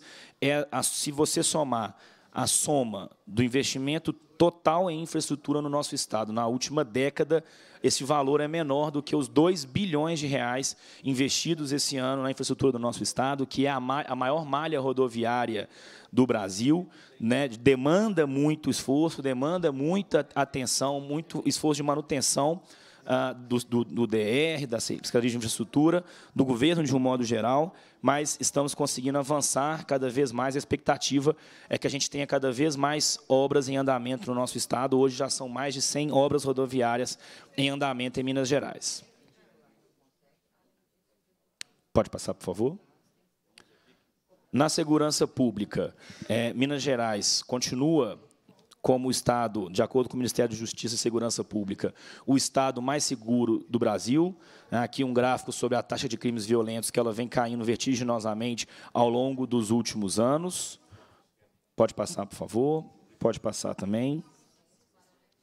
Aqui um número interessante, que são os ataques às instituições financeiras de Minas Gerais. A quantidade de ataques às instituições financeiras, é, muitas vezes conhecido também como né, do grupo do Novo Cangaço, é, Perceba a medida, né, como é que esse número vem caindo vertiginosamente, a ponto de chegarmos em 2022 com apenas dois ataques a instituições financeiras, o que demonstra o trabalho integrado das nossas forças de segurança pública, Polícia Militar, Polícia Civil de Minas Gerais, sempre atuando para proteger né, aqueles que estão no nosso Estado, os cidadãos de bens que estão, de bem que estão no nosso Estado. De modo geral, uh, na Secretaria de Governo em si, falando até um pouquinho da nossa relação com a Assembleia Legislativa, é, trouxemos um número aqui de 196 presenças de titulares de órgãos da administração direta, serão secretários, chefes de forças de segurança, titulares de órgãos, né, na Assembleia Legislativa desde 2019. Fazendo uma comparação, né, em, em, em, miúdos, imaginem vocês que um ano tem 52 semanas. Em quatro, em, em quatro anos, daria um pouco mais de 200 semanas. Com 196 presenças de titulares de órgãos aqui na Assembleia Legislativa para audiências públicas, é como se praticamente toda semana tivéssemos algum chefe de órgão, algum secretário de Estado aqui na Assembleia Legislativa discutindo, debatendo, dialogando com os nossos deputados estaduais, com o Parlamento Mineiro, com a sociedade civil, de um modo geral, o que comprova, né, de forma irrefutável, a disposição e a disponibilidade deste governo de estar sempre dialogando com o povo de Minas Gerais e com a Assembleia Legislativa. É, são mais de 1.024 requerimentos respondidos para a Assembleia Legislativa somente no ano de 2022. É um número recorde a nossa atenção sempre né, às demandas dos parlamentares, obviamente, natural. É, não conseguimos atender a todos, mas sempre damos, né, sempre que é dentro, né, de forma tempestiva, damos a resposta, a atenção que é devida ao Parlamento Mineiro. Pode passar, por favor. E do ponto de vista de execução de emendas impositivas. Ao longo dos últimos quatro anos, já são mais de 2 bilhões 640 milhões de reais em emendas impositivas é, destinadas né, às indicações dos deputados estaduais de Minas Gerais. Pegando aqui a porcentagem de execução, 2019, 20, 21, nós estamos ali muito próximo de 100%, porque sempre tem né, um, um probleminha, alguma questão de projeto, tudo mais acontecendo mas é, 2022 nós estamos com um número de 89%, chegando na casa de 90%. Obviamente, aqui é importante fazer uma ponderação em relação ao período eleitoral, em que o Estado tinha vedação de poder fazer o pagamento das emendas impositivas, mas agora, neste fim de ano, seguimos aí a todo vapor para que a gente possa fazer né, a execução das emendas impositivas dos nossos deputados, chegando a 100% de execução o mais breve possível, mas demonstra que ah, o, o, volume de trabalho é muito grande. Né? Somando esses últimos quatro anos, são mais de 24 mil indica número, é, de indicações, de instrumentos celebrados, de planos de trabalhos analisados. Então, é um trabalho muito é, que demanda muito esforço, que demanda muita é, atenção né, da Secretaria de Governo, de todos os órgãos envolvidos, e é importante dar este esclarecimento é, aos nossos deputados estaduais de que, apesar do grande volume de indicação, estamos lá sempre trabalhando para tentar chegar ao máximo da execução de emendas impositivas, como demanda a nossa Constituição estadual. Bom, presidente, é, inicialmente eram essas as minhas palavras. Eu queria, né, aqui de forma muito rápida, é, agradecer a todos os deputados da Assembleia Legislativa por mais um ano trabalhando juntos. É, agora, né, reno, renovados os votos do povo de Minas Gerais com cada um dos deputados e com o nosso governador Romeu Zema, teremos aí mais quatro anos de muito trabalho pela frente, de muita construção para o nosso povo de Minas Gerais. É, cansamos de dizer ao longo da campanha que foram quatro anos de arrumação da casa, de colocar a casa em ordem, de, de trazer a organização para o nosso estado de Minas Gerais, como os meus colegas aqui, secretária Luiz e secretário Gustavo, puderam apresentar a evolução da qualidade da gestão fiscal do nosso estado, da gestão é, gerencial do Estado de Minas Gerais, e agora, passados esses quatro anos, e entrando no ano de 2023 para o próximo mandato do nosso governador Romeu Zema, o compromisso do nosso governador e o compromisso de todos nós do governo de Minas é muito claro. Agora a gente quer cada vez mais investir na qualificação da prestação de serviços ao povo de Minas Gerais. O nosso objetivo agora é fortalecer as nossas instituições, fortalecer os nossos órgãos de segurança, de educação, de saúde, a infraestrutura do Estado de Minas Gerais, para a gente poder caminhar cada vez mais firme, cada vez né, com mais solidez para o desenvolvimento do nosso Estado, sem nunca se esquecer do equilíbrio fiscal. Né? O Minas Gerais passou por momentos muito complicados nos últimos, né, nos últimos, aí vamos colocar na nossa última década, é, muitas vezes por ter colocado o curto prazo, a demanda de curto prazo, na, à frente da responsabilidade fiscal e da sustentabilidade fiscal do nosso Estado. Nós precisamos, sim, de desenvolver o Estado de Minas Gerais. Nós precisamos, sim, de investir no Estado de Minas Gerais. Mas nós precisamos também de manter esse Estado viável e estável e sustentável por décadas. Não podemos trocar a nossa estabilidade e a nossa ânsia, urgência por demandas em Minas Gerais para colher lá na frente momentos que nós, como nós colhemos nos últimos anos, de dívidas impagáveis, de salários atrasados, de 13 terceiro salários atrasados, é até um ponto é, interessante, não sei se meus colegas perceberam, essa semana o nosso governador né, fez a, a, o pagamento do 13 terceiro salário. É, é, interessante que nos últimos três anos isso sempre era assunto no final do ano. A nossa pauta de final de ano sempre era né, o pagamento de 13 terceiro, como iríamos fazer, como iríamos ter os recursos, e esse ano aconteceu de forma natural. Como é a obrigação, muito obrigado pela palavra, como é a obrigação de todos os governos, mas que infelizmente não era cumprido no Estado de Minas Gerais e graças a Deus hoje é cumprido a gente hoje está cumprindo e vamos seguir cumprindo daqui para frente com o nosso compromisso com os 21 milhões de mineiros e mineiras que confia no trabalho do governo do Estado, do nosso governador Romeu Zema. A presidência... Encerro. Licença, secretária. A presidência esclarece que na dinâmica dessa reunião, dessa reunião de comissão, é, não tem a previsão da participação popular, não é uma audiência pública. Vocês são muito bem-vindos aqui, mas a fala dos secretários e principalmente dos deputados deve ser, em primeiro lugar, respeitada, assim como nós respeitamos todos vocês e muito agradecida com a participação de vocês aqui. Pode prosseguir, secretário. Muito obrigado, presidente, mas, como eu diria, já ia encerrando, é, agradecer mais uma vez à Assembleia Legislativa pela oportunidade e, obviamente, nos colocar aqui à disposição para as ponderações dos deputados. Muito obrigado a todos. Nós agradecemos, secretário, a sua fala, a sua exposição e eu quero deixar registrado aqui o meu agradecimento ao deputado Virgílio por me deixar permanecer na presidência e dizer a importância que tem essa data para mim de encerrar de forma tão honrosa com três secretários tão brilhantes e que fizeram parte do meu mandato. Caminhamos lado a lado durante esse último mandato juntos. Então, como é importante e significativo para mim estar aqui hoje junto de vocês, viu? Agradeço muito, agradeço as palavras de carinho e agradeço também por fazerem com que o, o mandato, que foi tão tão às vezes difícil e pesado para mim, tenha sido aliviado no ombro e no carinho de vocês. Muito obrigada, obrigada Virgílio por essa oportunidade. Eu gostaria de agradecer a presença dos deputados que estão aqui conosco, Virgílio Guimarães, que é presidente da comissão de redação, o nosso querido João Leite, presidente da Proferrovias, nosso querido Dalmo, amigo muito muito querido mesmo, Beatriz Cerqueira, nossa respeitada e admirada presidente da Comissão de Educação, trabalho que ela realiza com muito afinco.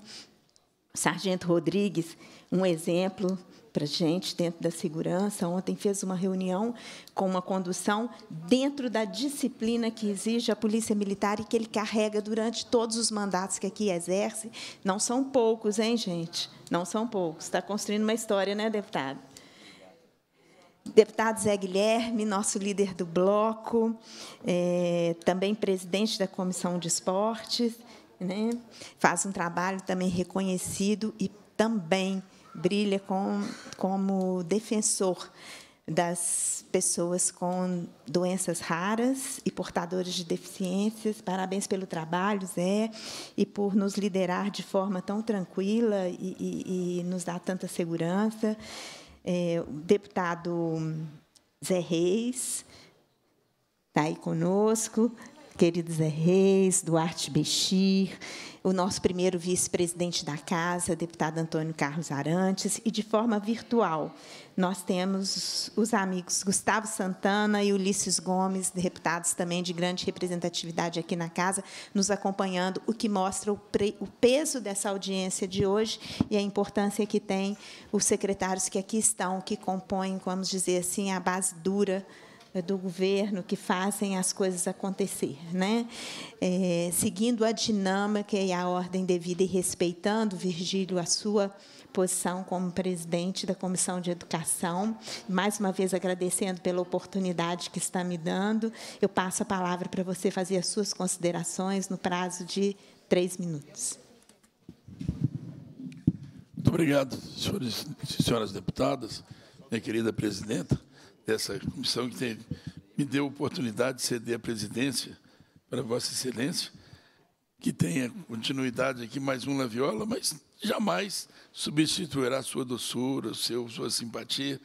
Espero que, que no, na atividade legiferante substitua, mas na pessoal nós seremos eternos saudosos da sua presença, senhores secretários e secretária. É, procurando cumprir os três minutos, é, o, o, assunto da, do, do, da recuperação fiscal sempre foi um, um, assunto que me tocou muito. É, eu, eu não sei, secretário, se foi no primeiro mês, no segundo mês do meu mandato aqui, lá se vão quase quatro anos. Primeiro requerimento que eu apresentei aqui foi para a formação de uma comissão extraordinária da Assembleia para discutir a Assembleia para discutir uma comissão extraordinária para discutir a questão fiscal do Estado. Eu acho que essa Assembleia devia ter feito, ela própria, ela própria, ter tido a ousadia de construir um, uma proposta. Não é só autorizar ou deixar de autorizar. E aí eu, eu, eu venho a pergunta ao senhor é, secretário Gustavo. É, não deu. O governo depois mandou um projeto de lei, a Assembleia não votou. Né? Se a Assembleia não quisesse, deveria ter rejeitado. A Assembleia ela seria soberana e falaria, não autorizo, ponto. Não teria.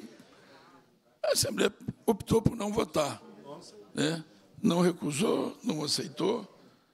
E, portanto, ficou em aberto. O governo recorreu ao judiciário, ganhou, e parece óbvio que ganharia é óbvio. A Assembleia não recusou, então não houve falta, houve falta de manifestação da Assembleia. E uma parte da minha pergunta, o secretário já me respondeu aqui, porque com a adesão que foi autorizada, não me, eu quero, até aproveitando em vários servidores públicos aqui, tem um item que eu não entendi como que o judiciário autorizou, que foi a parte relativa aos servidores públicos. É, e o secretário me disse aqui que houve um decreto que eu não conhecia, então transmito a todos vocês, que autorizou o governo a fazer sem alterar o regime dos servidores públicos. Então, fico até extremamente feliz. Não sabia disso, não sei se os servidores sabiam, mas talvez até o, o, ter que ter recorrido ao judiciário tenha sido bom nesse ponto, porque o judiciário, ao autorizar, autorizou logo passar o regime sem precisar de mexer na, na questão dos servidores. Mas eu pergunto, secretário, a adesão é só o começo do equilíbrio fiscal. Na verdade, o equilíbrio fiscal é muito mais do que isso. É a repactuação da dívida, é, é evitar o naufrágio. O que precisa mesmo é o, o equilíbrio fiscal a, a, médio e longo prazos. Como que, que, que, será? Quais são as metas de desenvolvimento, as métricas fiscais, tributárias? E isso tem que ser construído. Eu acho que esse ano é decisivo, já que ficou-se o tempo todo perseguindo se vai ou não é, fazer o, a adesão à, à, lei federal. Agora chegou a hora de, de mostrar que veio. E aí? Como é, provocar o desenvolvimento, a parte saudável da busca do equilíbrio fiscal? Essa aqui é a questão que eu mais coloco para, para o senhor, secretário, porque nós teremos que discutir com o novo governo federal a, a reforma tributária, a reforma fiscal, o, tudo isso. A adesão está autorizada. Tudo bem. Não, não sei se o novo governo vai, vai entrar com algum tipo de retaliação contra Minas, contra o governo de Minas. Espero que não. Mas, de qualquer maneira, há um campo enorme, o principal, que é discutir os fundamentos efetivos da superação da crise fiscal. Para os demais secretários, serei mais telegráfico. Secretária, a Questão da. Eu vi os seus comentários, ganhou até prêmio, fiquei surpreso, sobre a questão de Brumadinho. Sinceramente, dois anos do acordo e nada feito. Zero. É, pode ter sido um prêmio importante. Creio que o Estado não é responsável por isso, mas, sinceramente, não tem nenhum programa iniciado, zero. Zero. Não tem nada do acordo. O que foi feito foi o repasse feito para os municípios. Eu faço questão aqui, secretário, não estou responsabilizando a secretaria, mas eu fiquei surpreso de merecer um prêmio, o, o, um prêmio internacional, para um programa que não fez nada em dois anos, sinceramente.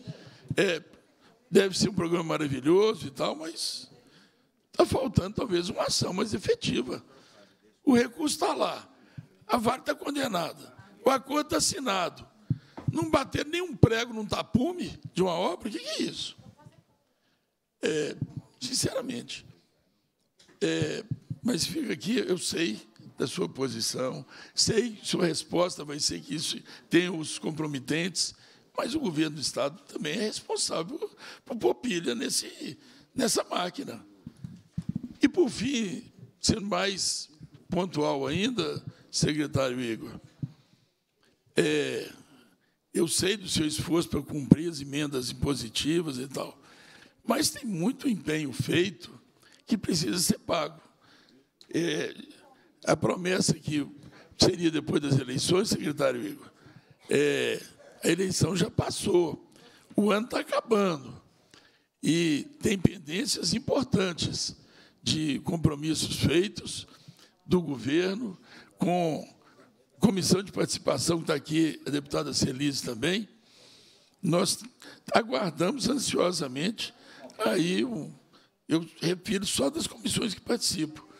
Mas é um, uma questão pequena se nós olharmos para o montante que o Estado tem para investir.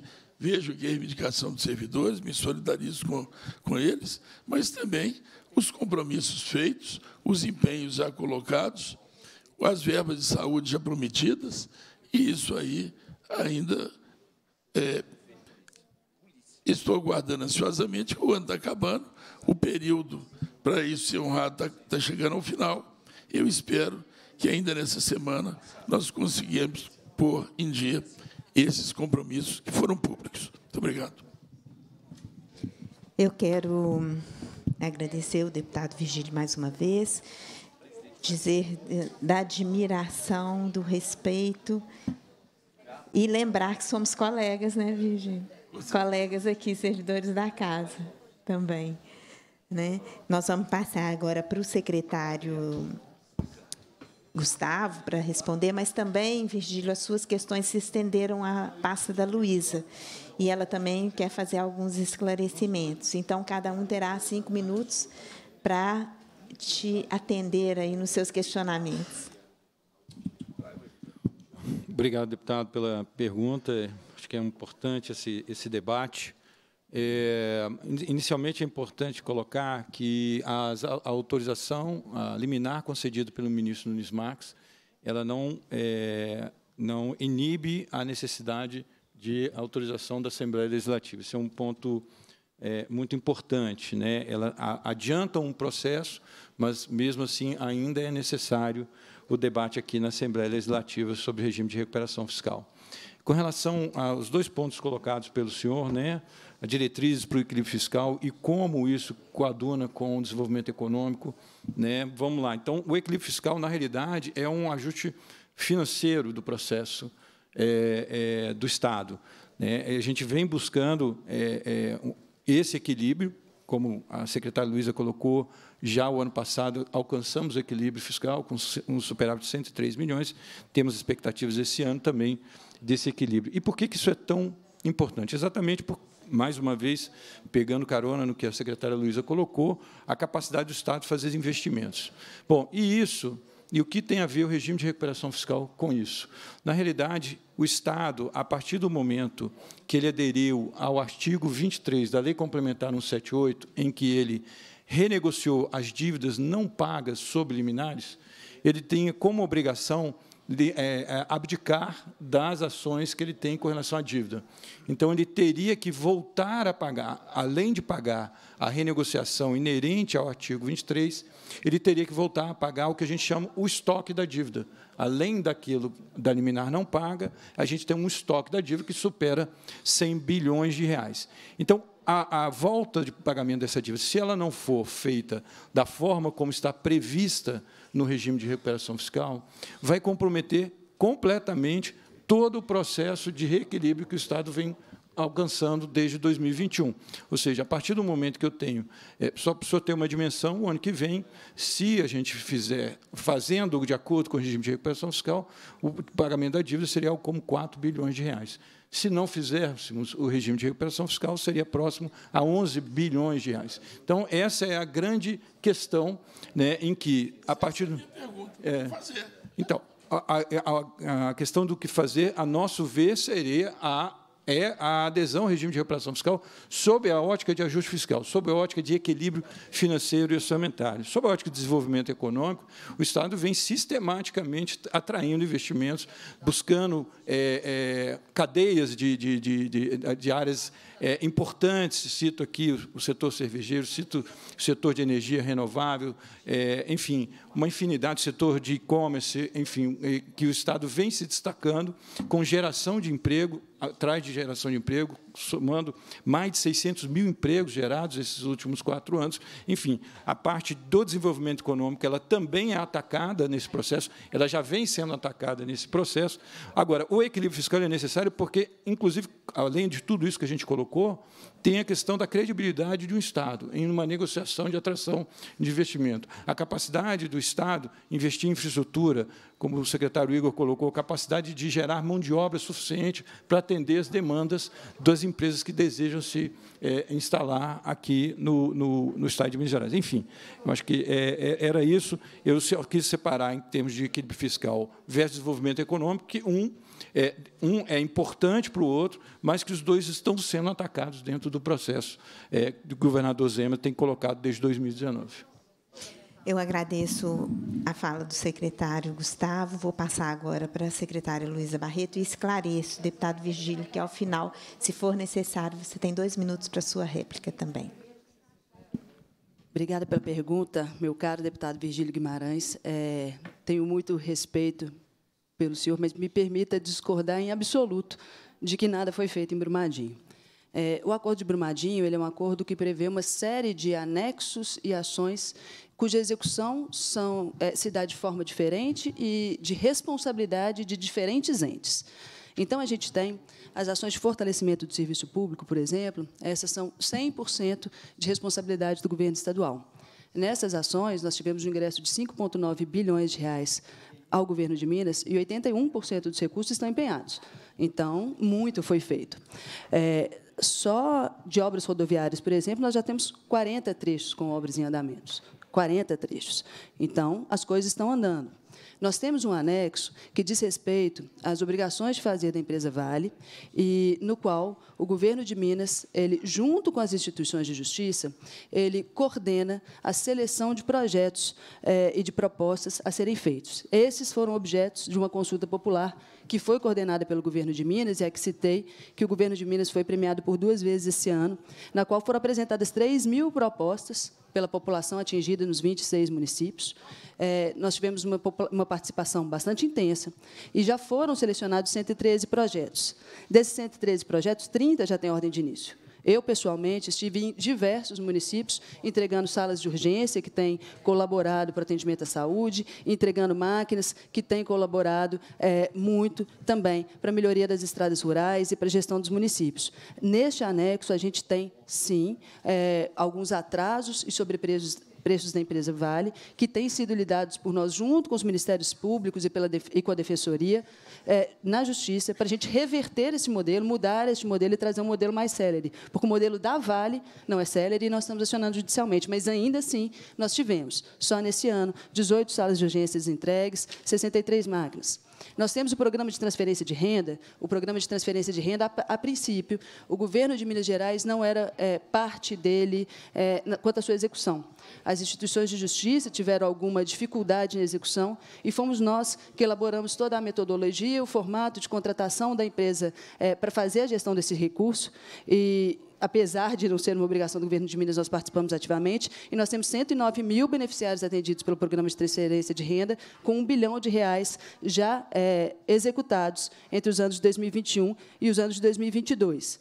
A gente tem, deputado, um anexo específico, que é um anexo que fala de participação popular, mas que não é esta participação popular que eu falei a gente tem um anexo de participação popular que prevê 3 bilhões de, de, de reais em projetos a serem selecionados pelas comunidades atingidas, é, sendo que e mais um bilhão de reais, de reais em microcrédito. Este anexo, especificamente, ele tem, de maneira muito expressa, que o governo de Minas não participa da gestão desse anexo. Esse anexo ele é de gestão exclusiva do Ministério Público Estadual, Ministério Público Federal e da Defensoria Pública do Estado. Nós não participamos da gestão dele. E, de fato, fato, infelizmente, a despeito de todo o esforço, porque, apesar de não participarmos da gestão, acompanho o esforço, os ministérios públicos, a Defensoria têm feito o seu trabalho, têm se esforçado, mas ainda não conseguiram, efetivamente, é, ter execução deste anexo. Então, o anexo que hoje tem o menor grau de execução, a despeito do esforço dessas instituições de justiça, que são sérias, que trabalham fortemente, é, ele realmente não tem execução mas este é um anexo que o governo de Minas não participa, então me permita realmente discordar.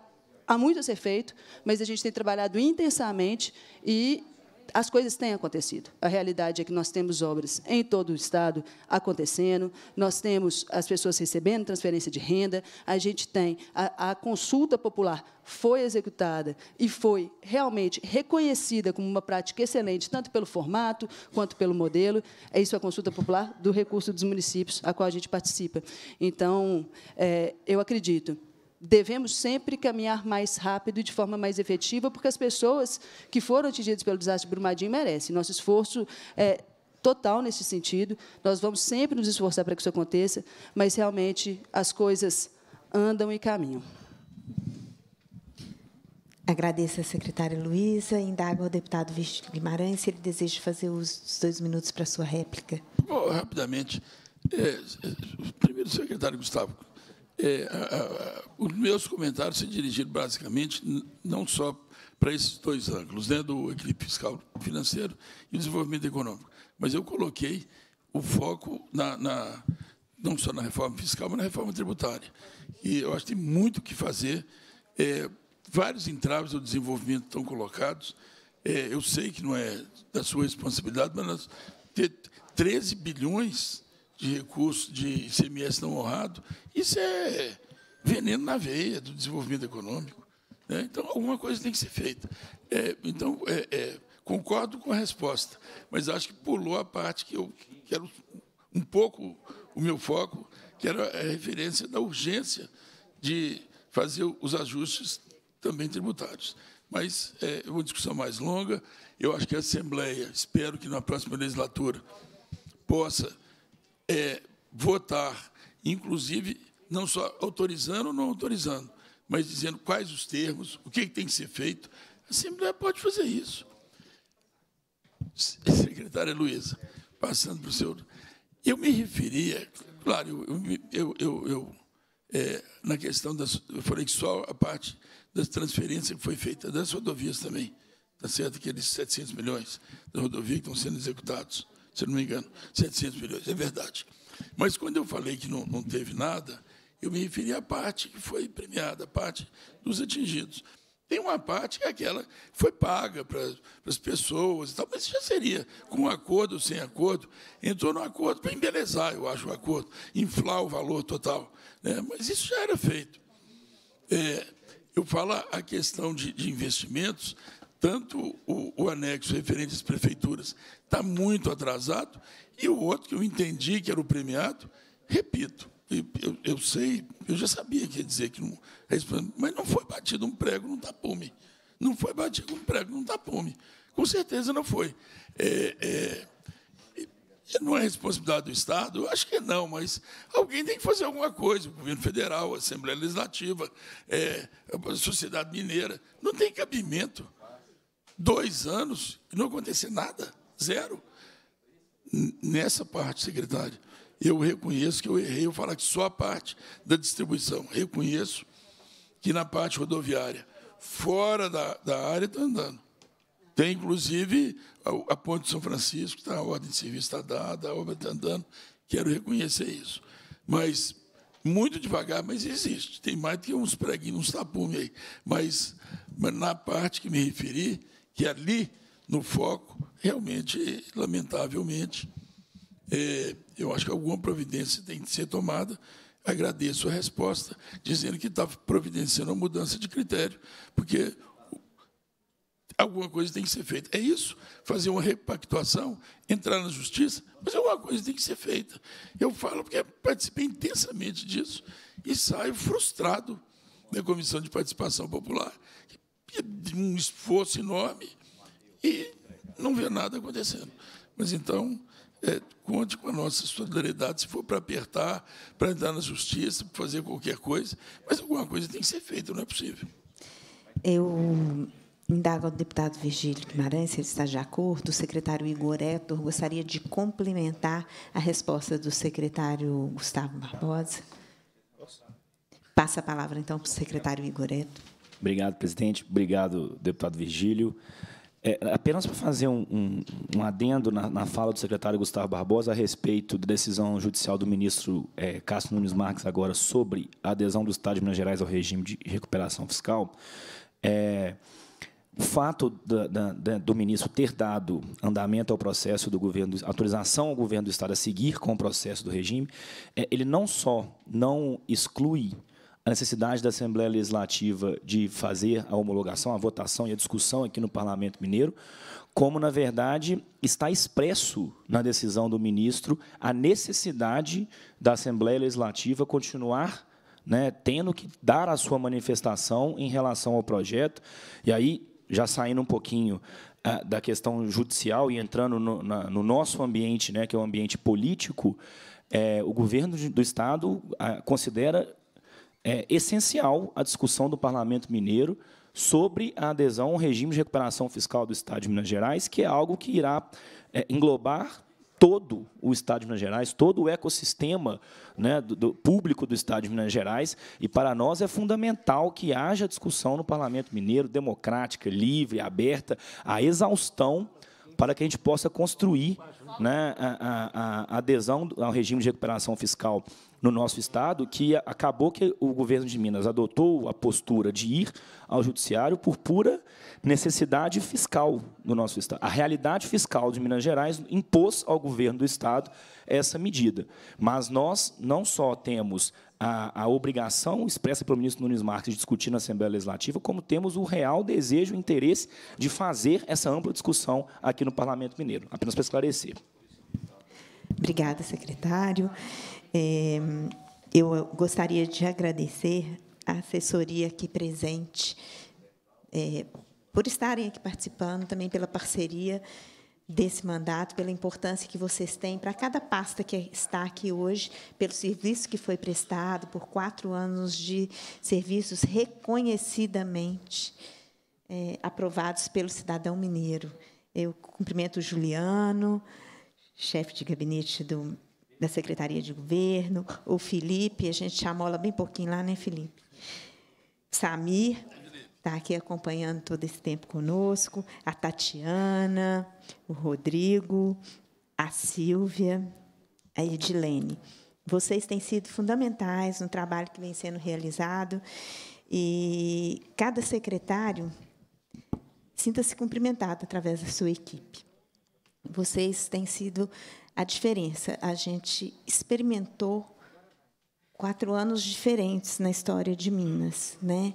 E eu tenho dito sempre aqui, agora é a hora da minha fala, eu tenho sempre dito isso que já em clima de despedida, né, Bia, mas sempre agradecendo a parceria que foi, a diferença que foi para mim é, participar desde o primeiro dia do envolvimento com o comprometimento, a eficiência e a vontade de fazer Minas acontecer, de voltar Minas para o cenário nacional. Eu sou muito grata e me sinto parte dessa equipe. Eu tenho brincado com o Samir que, às vezes, aqui na hora da minha fala, as pessoas olham meio assim, é, porque eu me sinto meio parte da Segov, sabe? Mas é, é, é devido à caminhada da forma como ela foi.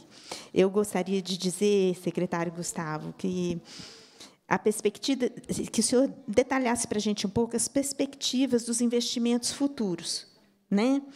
considerando o cenário posterior à quitação dos passivos com os municípios e com o Poder Judiciário, que foi um ponto fundamental nessa caminhada do primeiro exercício do governo atual, é, a adesão ao regime de recuperação fiscal e como pretendemos caminhar com relação a isso, e eu gostaria de ver também, destacado pelo senhor, os investimentos na educação. Com a, a CEPLAG, eu gostaria de que você, Luísa, né, falasse um pouco mais sobre o orçamento base zero que você apresentou aqui, o esforço em buscar o equilíbrio fiscal. Seria legal você mostrar para a gente mais diretamente a correlação desse esforço com a valorização dos servidores, seja como causa e eu te cito como exemplo, como mulher, como servidora de carreira, né, com a escolha através do processo seletivo e o acerto do nosso governador em te colocar frente a CEPLAG, valorizando nós servidores de carreira, não é, Virgílio? Nós servidores de carreira e nós mulheres, viu, Luísa? Viu, Bia, a importância que isso tem e como isso foi feito, que a gente sentiu ser feito no decorrer do governo, e né? Então, e também como efeito, né? Pagamento em dia, 13 terceiro em dia, recomposição inflacionária, nomeação de concursados com destaque para segurança e educação. E ainda, querida Luísa, eu queria te agradecer pelo seu esforço na, na repactuação do nosso desastre do Doce. Eu tenho falado aqui sempre que eu moro na beirada do Rio Doce, eu moro a 100 metros do Rio Doce. Então, é, a diferença que tem feito você ser firme, fincar a pé e ter acompanhado o nosso problema desde o início. Né? Está por dentro dos problemas da bacia, está por dentro de tudo que está acontecido e se comprometer, se comprometer com as causas coletivas sabe? Que era um esforço que a gente até então não percebia estar acontecendo. Então, eu quero te agradecer por isso e te pedir Eu estou despedindo, estou deixando um representante do Doce aqui, mas eu estou me despedindo. Não se esqueça de me deixar sempre a par de tudo que está acontecendo, como você tem feito. Né? Receber lá nossos advogados, as nossas, os nossos atingidos, da forma como você tem feito, do carinho como você tem feito. Eu sou muito grata, porque isso foi o maior sofrimento que nós tivemos na nossa região. Você abraçou como se da região fosse, viu? Muito obrigada mesmo. Secretário Igor, é muito difícil para mim, né? Falar da Segov, porque é, parece que eu estive lá dentro, acho que de tanto trabalho que eu dei para essa turma que está aqui, e para o senhor também, secretário. Mas, assim, eu vi a diferença de relacionamento. E eu, eu falo com muita tranquilidade, gente, porque muito antes desse jovem menino, que poderia ser até meu filho, que eu tenho tanto carinho quanto se fosse por ele, foi envolvido com o meu mandato e eu com ele aonde estivesse no governo desde o início, antes dele ir para Segov, como ele já me atendia, como a gente já trocava ideias, como a gente já buscava participar via Igor de tudo que pudesse vir a acontecer. Então, gratidão, é, muito feliz de estar aqui nessa última, que deve ser a minha última reunião de de presidência de comissão e estar aqui, ao seu lado, viu? Eu, eu fico muito, muito honrada, muito orgulhosa e não vou delongar nessa fala, não, porque eu já tenho ficado muito emocionada durante toda essa semana. É, a presença do governo, secretário, nas audiências da Assembleia, mostrou a nossa, eu digo nossa porque eu me sinto muito governo, a nossa vontade de diálogo. A vontade de diálogo do executivo com o legislativo. É fácil? Não é fácil. Mas a tentativa ficou clara, a abertura do executivo ficou clara. E isso, é, é, é com a Casa Legislativa, é, é, é incontestável. Por quê? Nós apuramos mais de 200 presenças de titulares dos órgãos da administração direta, sem contar presença dos titulares da administração indireta também e de representantes do segundo e do terceiro escalão aqui nessa casa. Durante as reuniões de comissão, toda vez que foram convidados e algumas convocados, e confesso que acho, continuo achando sem nenhuma necessidade de que houvesse alguma convocação, porque vocês nunca se furtaram de estar aqui presente, de prestar para a gente as informações. Era o que a gente queria ouvir? Às vezes sim, e às vezes não.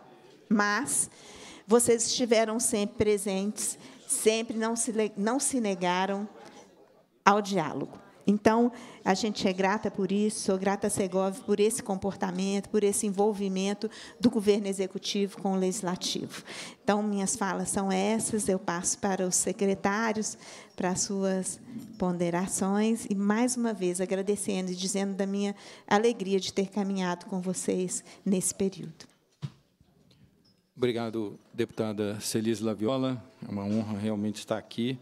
Eu queria só, só pegando a fala do deputado Vigílio Guimarães, eu concordo totalmente com ele no sentido da reforma tributária. Eu acho que isso é extremamente necessário e, pelo que eu entendi, vai ser uma pauta muito é, debatida no Congresso Nacional agora no próximo ano. Com relação, a senhora pediu uns cenários, né, em função é, do desenvolvimento econômico versus o regime de recuperação fiscal. Nós temos uma questão importante é, eu vou falar novamente sobre a aprovação das leis complementares 192 e 194, em que ela afetou este ano o Estado em uma redução, uma expectativa reduzida de 5,8 bilhões de reais é, de arrecadação de CMS, e o ano que vem 11,8 bilhões de reais de perda de arrecadação. Isso, isso sim faz com que o Estado tenha uma necessidade de se readequar à sua ótica de gestão financeira, e isso mostra a necessidade, reforça a necessidade de adesão ao regime de recuperação fiscal, porque com ele, é, como eu expliquei anteriormente, se não houver a adesão ao regime de recuperação fiscal, o Estado, ano que vem, teria que pagar uma dívida de mais de 11 bilhões de reais e que não tem capacidade de fazer isso.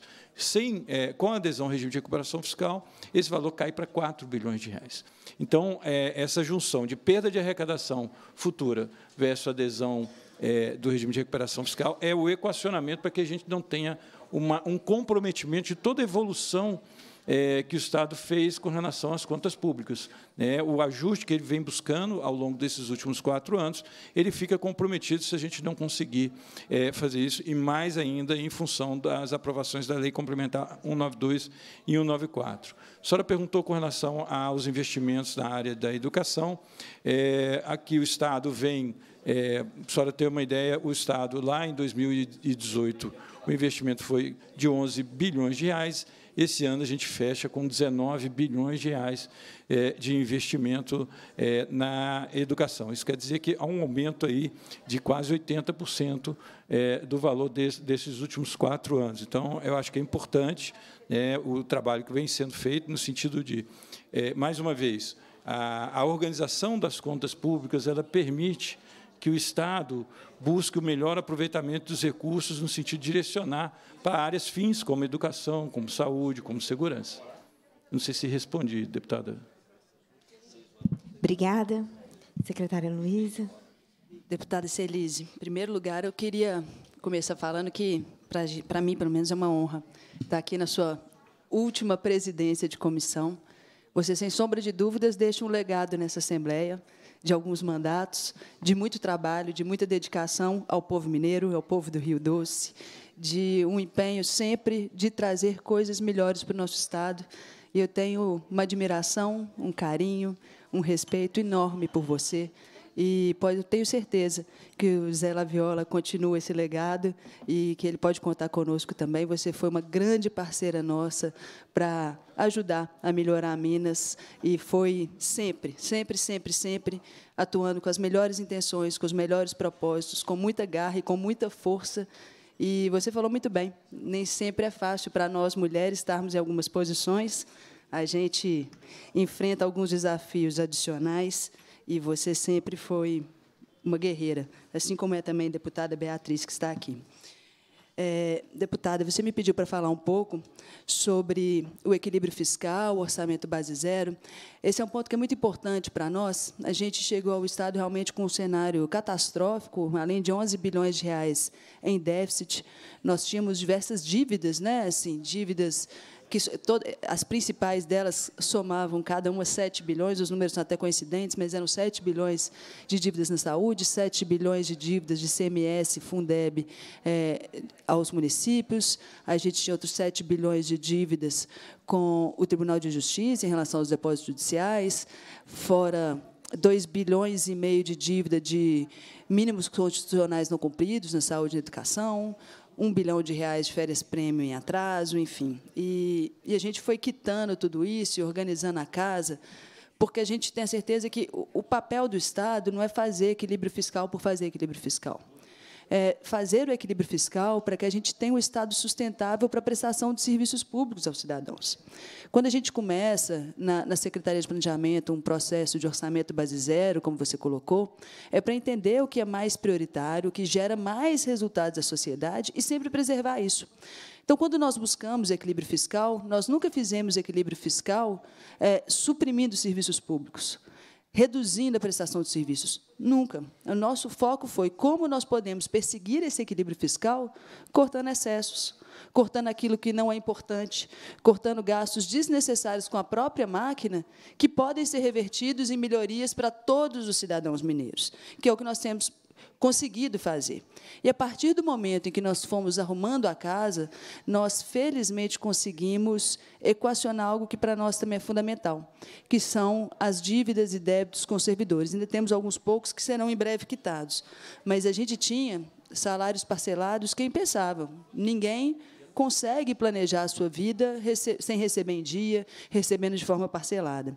O 13º, que era devido do ano de 2018, foi integralmente quitado por nós em 2019. Então, em 2019, nós tínhamos dois 13º a pagar. Em quatro anos de governo, nós pagamos cinco 13º, e agora pagamos dois de 2021 e 2022 pagos em dia.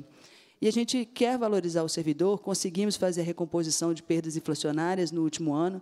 Não havia recomposição de perdas inflacionárias no governo, é, o reajuste geral da base desde 2012. Então, fizemos esse ano, dez anos depois. É, a gente sabe que os servidores merecem cada vez mais, e merecem cada vez mais porque os servidores são a base da prestação de serviços públicos.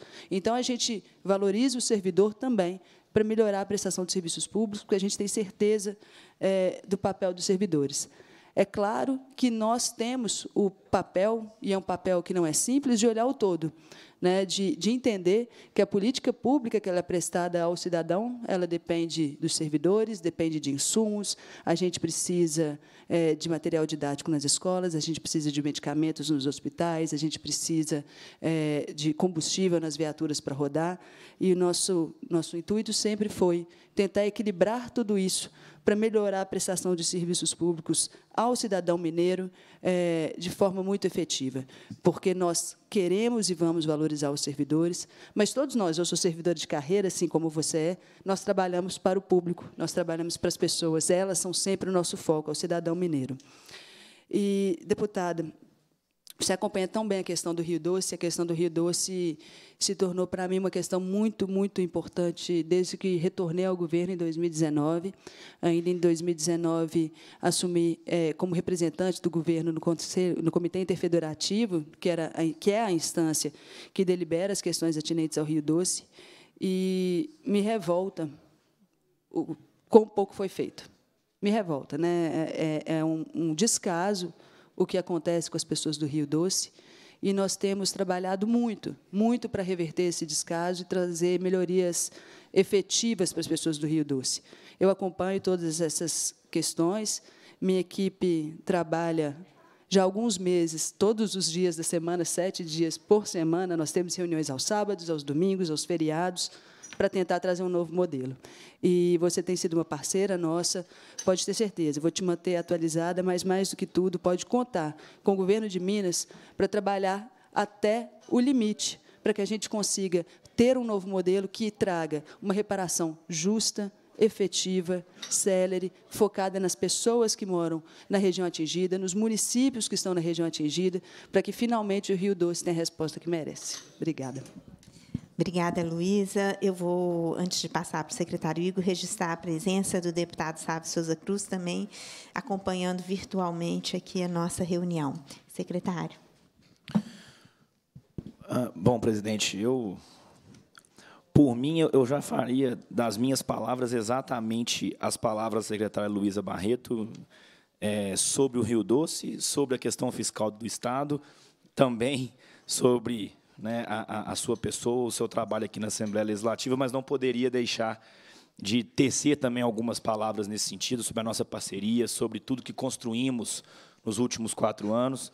A senhora deputada que foi eleita é, de forma completamente independente do, do, trabalho do nosso governador Romeu Zema, né, na eleição de 2018. Nos conhecemos aqui na Assembleia Legislativa e por conta de é, puro encontro de ideias, encontro de propósitos, de compromisso com o povo de Minas Gerais, os nossos laços foram ficando cada vez mais próximos, cada vez mais firmes e mais apertados, de fato, em nome do povo de Minas Gerais. Então, impossível a gente simplesmente passar por esse momento sem deixar uma palavra de agradecimento, uma palavra de parabenização pelo seu trabalho, que, graças a Deus, foi reconhecida mais uma vez nas urnas agora em nome do nosso Zé Viola, que com certeza seguirá né, o seu caminho, mas que não, de forma nenhuma, substituirá o legado de Celis Laviola. Ao contrário, irá criar seu próprio legado da família Laviola, de tanta tradição na política de Minas Gerais. Sobre o ponto que a senhora me perguntou a respeito do diálogo do governo de Minas, eu tive a oportunidade de, na minha apresentação, né, demonstrar os números, de, são mais de 196 participação de chefes, de secretários e órgãos do Estado em audiências aqui na Assembleia Legislativa, o que daria aproximadamente, é, em média, um secretário por semana na Assembleia Legislativa nos últimos quatro anos, discutindo com o poder legislativo do nosso Estado e com a sociedade civil a, a, todas as demandas do nosso Estado. E fazemos isso, deputada, é, porque essa é a nossa forma de governar. É assim que o governador Zema nos orienta, porque nós estamos lá no governo do Estado para fazer o que nós acreditamos ser o melhor para Minas Gerais.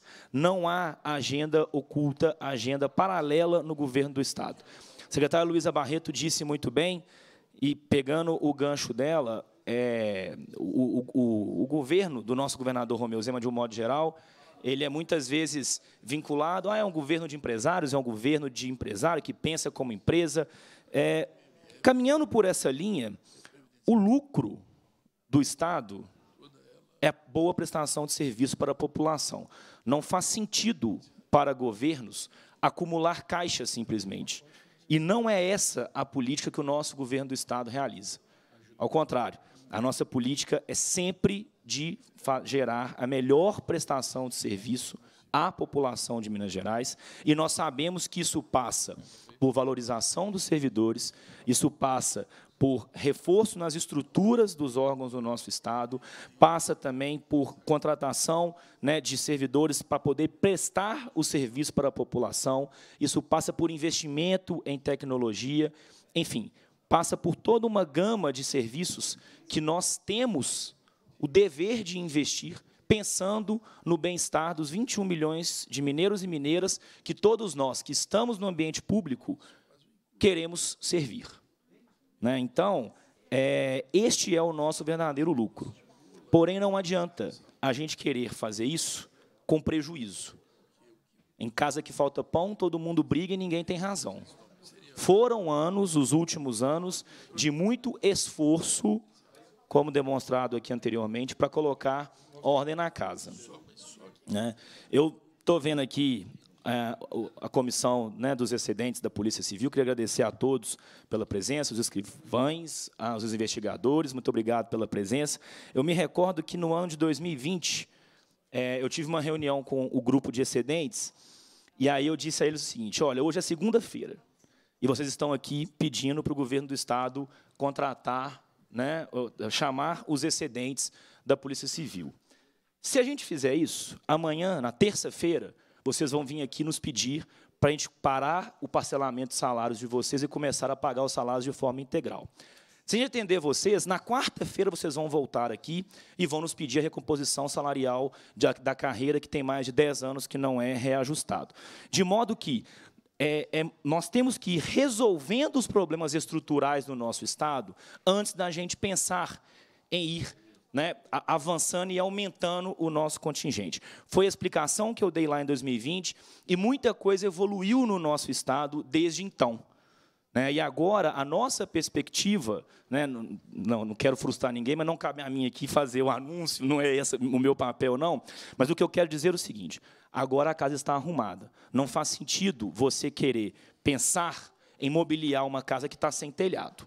Né? O que eu quero dizer é que nós viemos fazendo um trabalho estrutural muito grande e as perspectivas para o futuro de Minas Gerais, não só para a segurança pública, mas para todo o Estado, é sim de pensar na melhoria da prestação de serviço, de forma sempre responsável, de forma sempre estável e de forma sempre sustentável. É assim que nós vamos fazer a gente entende, compreende completamente as demandas, acima de tudo, do povo de Minas Gerais, que é para quem todos nós aqui desejamos trabalhar e já trabalhamos hoje. E é assim que nós queremos seguir. Mas este governo nunca irá abrir mão da responsabilidade fiscal da estabilidade e sustentabilidade fiscal, assim como também nunca abriremos mão da nossa prioridade número zero, do nosso foco total no cidadão de Minas Gerais. Equilibrando essa balança, nós vamos transformar e desenvolver cada vez mais o Estado de Minas Gerais. Muito obrigado.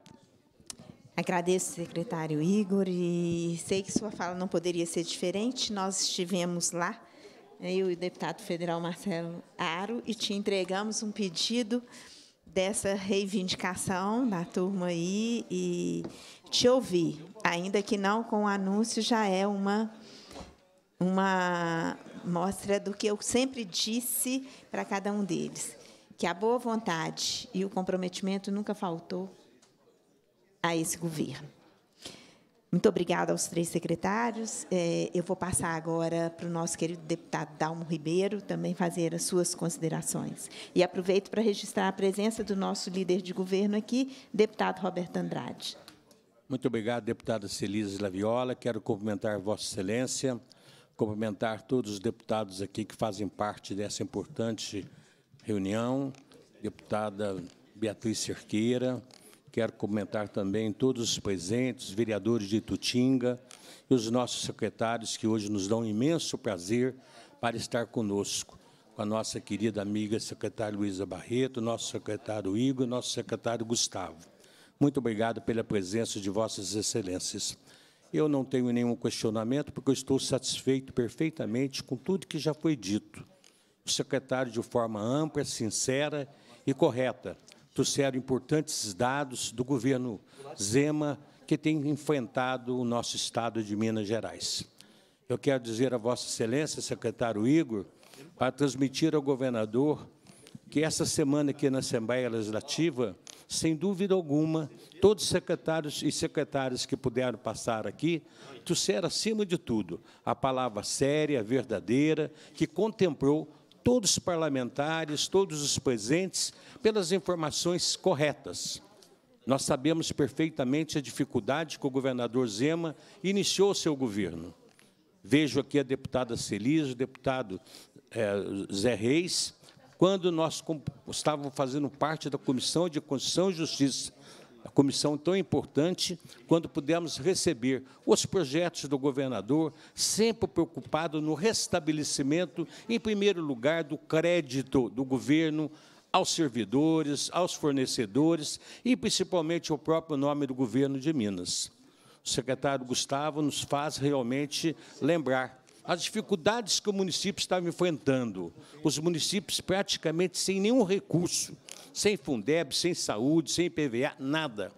E realmente, secretário Gustavo, Vossa Excelência foi muito importante para o restabelecimento desta página de crédito, de pagamento junto aos municípios, o que ensejou, sem dúvida alguma, o pagamento de um acordo importante celebrado no Poder Judiciário com a participação de todo o governo. Da mesma forma, a nossa secretária Luísa Barreto, tão competente que é, tem conhecimento perfeito do planejamento, planejamento e principalmente das ações estruturantes do governo. Trouxe, sem dúvida alguma, posições importantes na valorização do servidor.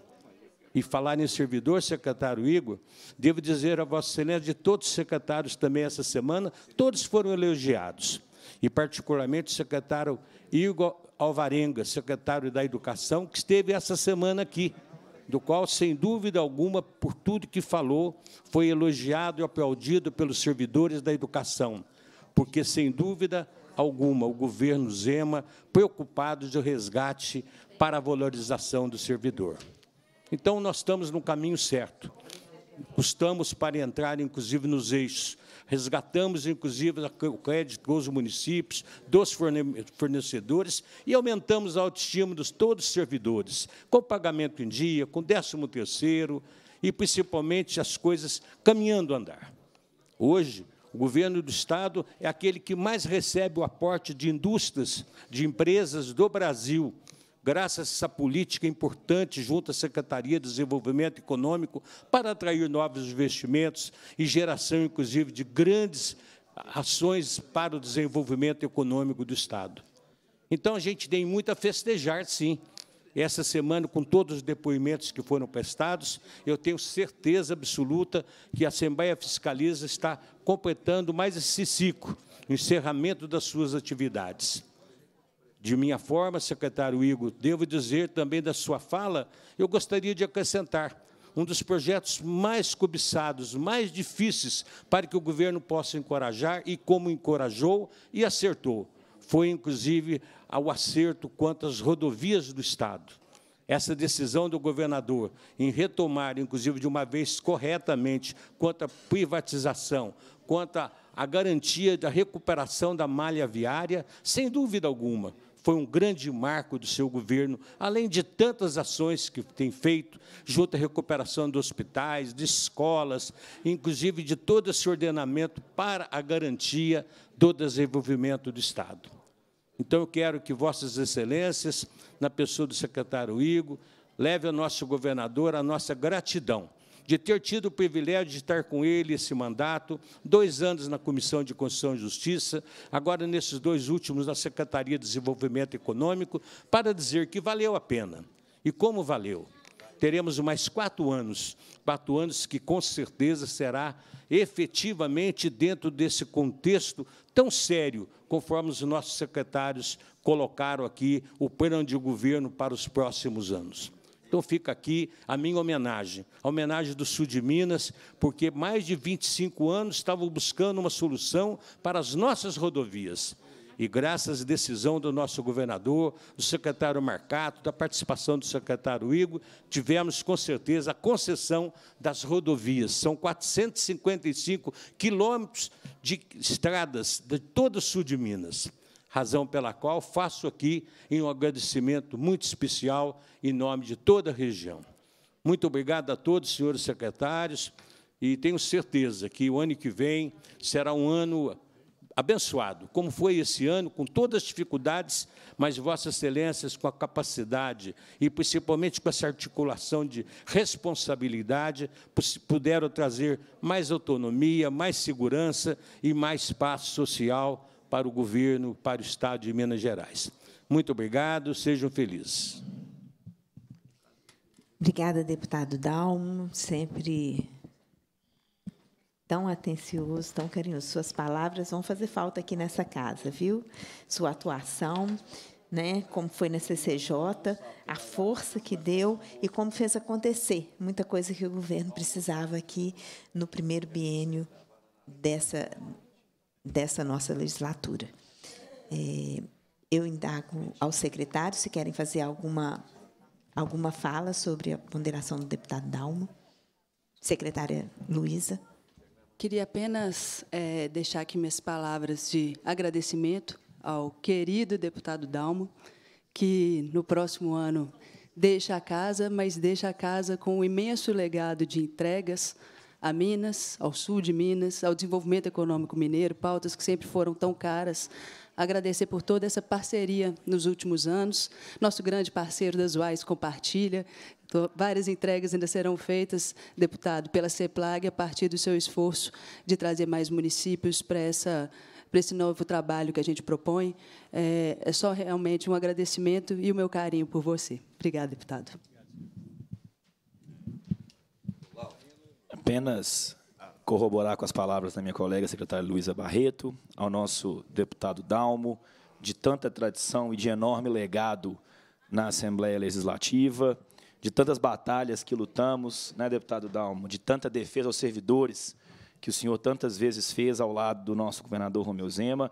Me recordo até de uma batalha em que o senhor foi um dos grandes protagonistas, que era a retomada do pagamento das férias prêmios dos professores, né, que era uma dívida, se não me engano, de mais de 500 milhões de reais que o governo do Estado tinha com os servidores e que hoje, graças né, ao trabalho de muita gestão, mas de muita articulação do trabalho do senhor, já estamos prestes a quitar essa dívida, né? já estamos até quase que em dia já com os nossos servidores, mais uma dívida que o governo do Estado né, assumiu para poder pagar e parabenizá-lo por todo o seu trabalho, por todo o esforço e dizer que as nossas, é, os nossos laços eles não se encerram né, ao final desse ano. É, na política é sempre muito importante a gente estar ao lado de quem está do nosso lado, independente do campo de batalha. Né? É importante sempre estarmos juntos. O futuro aí será, com certeza, muito promissor para todos nós e é, pode contar conosco no governo do Estado, pode contar comigo pessoalmente à frente da Secretaria de Governo, com o nosso governador Romeu Zema, de estarmos sempre trabalhando juntos e construindo caminhos para que o nosso grupo, para que o seu trabalho continue sendo desenvolvido aí por muitos anos e gerações no nosso Estado de Minas Gerais. Muito obrigado, viu, deputado? Muito obrigado, senhor. Só endossar aqui as palavras da secretária Luísa, do secretário Ido, e é uma palavra de agradecimento, deputadão. Agradecer todo o apoio que o senhor nos deu aqui sempre. É só isso. Endossando todas as palavras aqui. Muito obrigado por tudo. Obrigada aos secretários. Indago o deputado Dalmo, se quer fazer uso da réplica. Então, vamos passar a palavra agora para a presidente da Comissão de Educação, nossa querida deputada Beatriz Cerqueira. Beatriz, registrando aqui o que já foi dito essa semana, já dissemos várias vezes, estivemos em várias reuniões juntas e no plenário, que o diálogo que formamos, né, e a amizade que construímos estando de lados diferentes, mas sempre lutando pelo que é melhor para Minas, cada uma no seu ângulo, na sua ideologia e da sua forma, mas o respeito que sempre houve, que sempre aconteceu, e a admiração que vou levar, né? Além do carinho que você já sabe, já te contei que é muito especial. Com a palavra para suas considerações. Obrigada, presidenta. Nós já tivemos a oportunidade de celebrarmos essa jornada dessa legislatura que se encerra.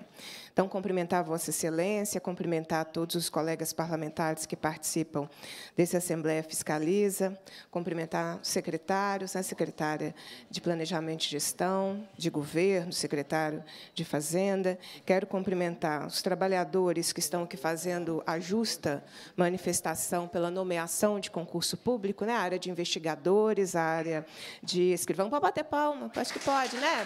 Pode, né, presidente? Pode. Então, e reafirmar meu compromisso com a valorização do serviço público e com a cobrança de realização de concurso, perito também, perito também, realização de concurso público e nomeação de concurso, porque é assim que a gente fortalece o serviço público. Da mesma forma, deixar o meu abraço aos profissionais da educação, que historicamente acompanham né, todas as edições do Assembleia Fiscaliza, presentes, cumprindo aí essa tarefa de sindicato cidadão, é, sabem da importância né, estratégica do Legislativo. Eu os cumprimento através da coordenadora geral do Sindiute, professora Denise Romano, que acompanha os trabalhos aqui nessa sexta-feira cumprimento feitos, a população que está aí nos acompanhando também, é, nesse importante Assembleia Fiscaliza. Presidente, eu vou fazer pergunta para os três, tá bem? Vou separar didaticamente, como boa professora primária que sou. É, a primeira questão, eu queria dirigir, então, à secretária de Planejamento e Gestão, a Luísa Seplac. Secretária, a minha pergunta é muito, muito objetiva, eu nunca trago novidades na Assembleia Fiscaliza, eu sou muito previsível. Né? É, eu estou aqui com o relatório de resumido de execução orçamentária, demonstrativo das receitas e despesas com manutenção e desenvolvimento do ensino, MDE, orçamento fiscal, aqui está janeiro, outubro de 2022. Aqui, secretária, a senhora sabe que o saldo financeiro conciliado está em, do Fundeb, Saldo quer dizer que tem dinheiro na conta. Esse saldo que eu estou lendo. 2 bilhões 540 milhões 247 mil 128 reais. Fundeb. 2 bilhões 540 milhões 247 mil 128 reais. Do salário educação também tem um saldo considerável. 3 bilhões 129 milhões 871 mil 734 reais e 78 centavos. O governo tem sistematicamente se recusado a fazer o rateio dos recursos do Fundeb aos profissionais da educação. Minha pergunta é: o que vocês vão fazer com o dinheiro? 2 bi de Fundeb, o dinheiro está na conta. É, eu ouvi atentamente né, toda a explanação. Todo mundo fala de educação, o que eu acho fantástico, porque significa que a gente está pautando, né, e aí a gente ouve respostas no sentido da disputa da narrativa. É, ouvi do secretário de Educação que vocês vão comprar mais uns tablets que dessa vez vão funcionar, que vocês estão fazendo aí trilhas do futuro com convênio né, de mestrado para o professor, que não vai receber pelo mestrado, né, porque a carreira, como está, não recebe pelo mestrado, mas vai poder fazer mestrado, provavelmente numa escola particular paga pelo Estado. O que vocês vão fazer com o dinheiro? É? Essa é a minha pergunta objetiva, porque o, o dinheiro tem. O fato de vocês investirem 70% dos recursos do Fundeb não anula a obrigação de fazer o rateio, porque o Fundeb não é para fazer caixa. Né? Então, essa é a minha pergunta. Quero lembrar: o governo contesta né, o direito do pagamento do piso salarial integral, está contestando judicialmente o direito dos profissionais da educação de receber o adveb, está contestando judicialmente o direito à opção remuneratória das diretoras apostiladas. Qual é a política de valorização? Eu falaria essa segunda pergunta, né? mas é isso. O que vocês vão fazer com 2,5 bilhões de recursos do Fundeb? Secretário de Governo, eu acompanhei atentamente a apresentação do senhor e fui lembrando aqui, fazendo. É, é um, na verdade, presidente, é meio que um balanço, né? Essa Assembleia Fiscaliza, né? É o último, está acabando, então a gente consegue ter uma memória. Eu me lembro que a Assembleia Legislativa votou a reforma administrativa que o governo Zema quis em 2019. No final de 2019, se eu não me engano, vocês também solicitaram a autorização para antecipação das questões Unióbio, inclusive vinculando ao 13º salário na oportunidade. Nós votamos.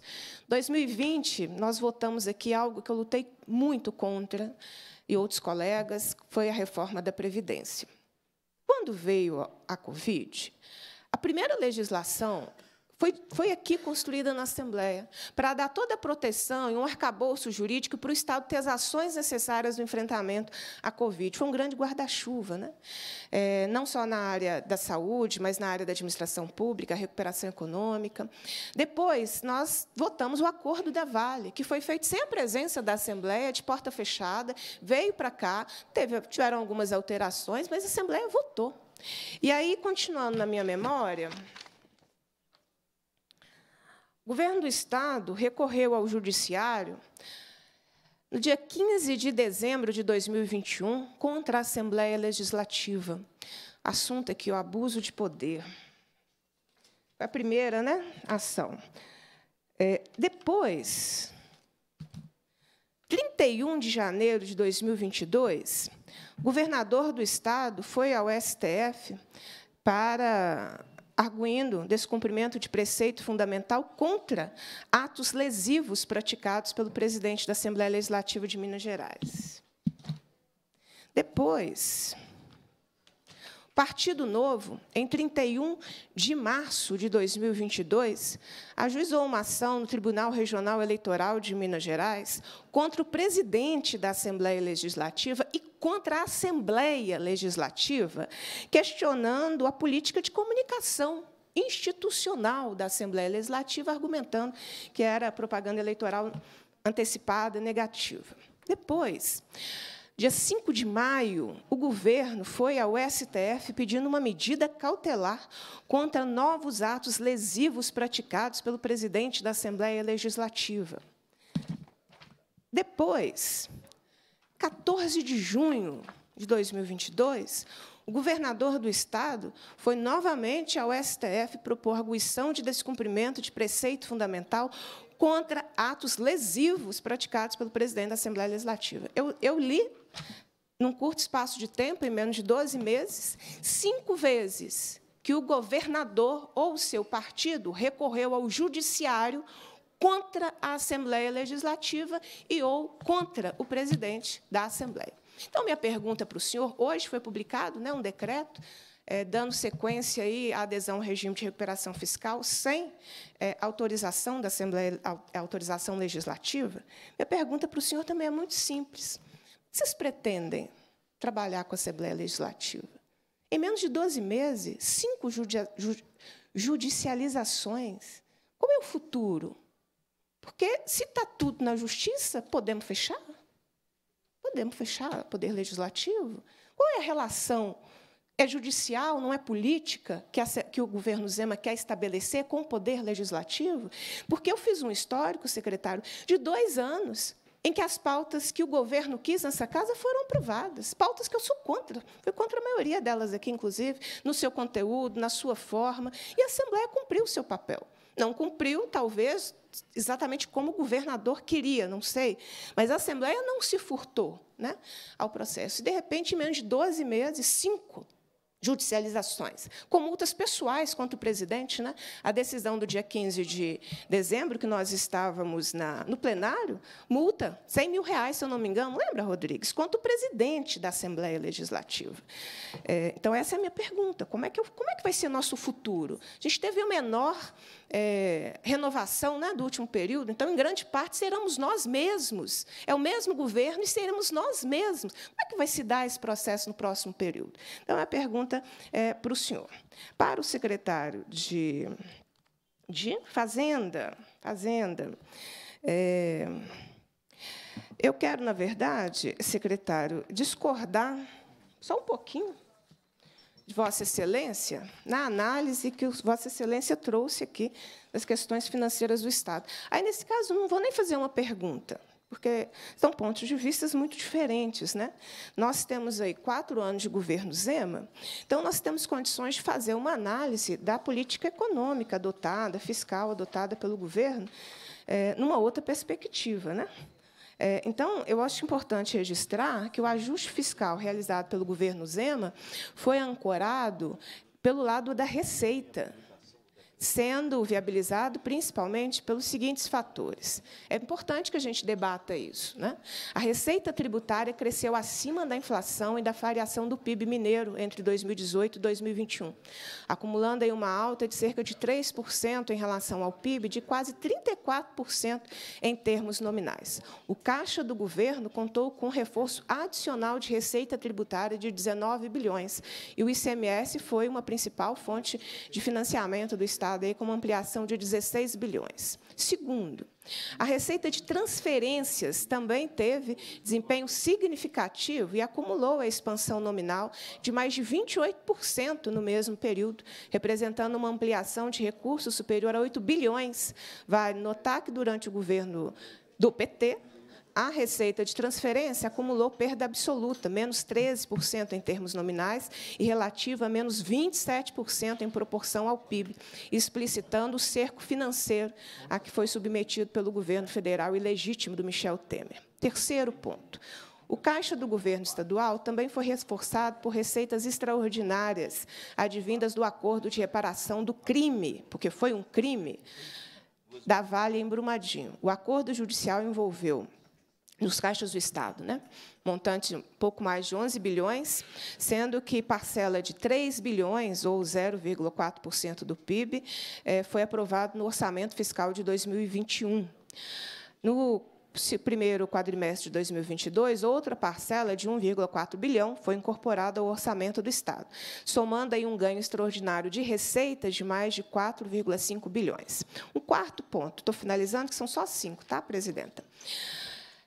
O não pagamento integral do serviço da dívida, viabilizado por meio de oito liminares obtidas junto ao STF em ações civis ordinárias. Com isso, o governo estadual deixou de desembolsar em juros, encargos e amortizações de dívida mais de 10 bilhões em média nos anos de 2019 a 2021, abrindo espaço no orçamento para a sustentação de outros gastos. E o quinto e último ponto, ampliação de despesas inscritas em restos a pagar processadas. Ampliou. Né? Que abrangem aí os pagamentos que encontram pendentes. É, Trata-se, portanto, de um mecanismo precário de autofinanciamento do governo. Na gestão do Zema, os restos a pagar processados foram ampliados em quase 26 bilhões, passando de 3,3% do PIB para 5,7% do PIB. Então, essas questões proporcionaram uma melhora do fluxo de caixa mas também evidenciaram, e agora nós estamos fechando mandato, os nossos mandatos né, na Assembleia e o governo Zema, então a gente consegue fazer uma leitura mais, mais estrutural, que foi uma política calcada em fatores não recorrentes e precários. O Zema não caminhou, encaminhou nenhuma medida visando reorganização das finanças estaduais.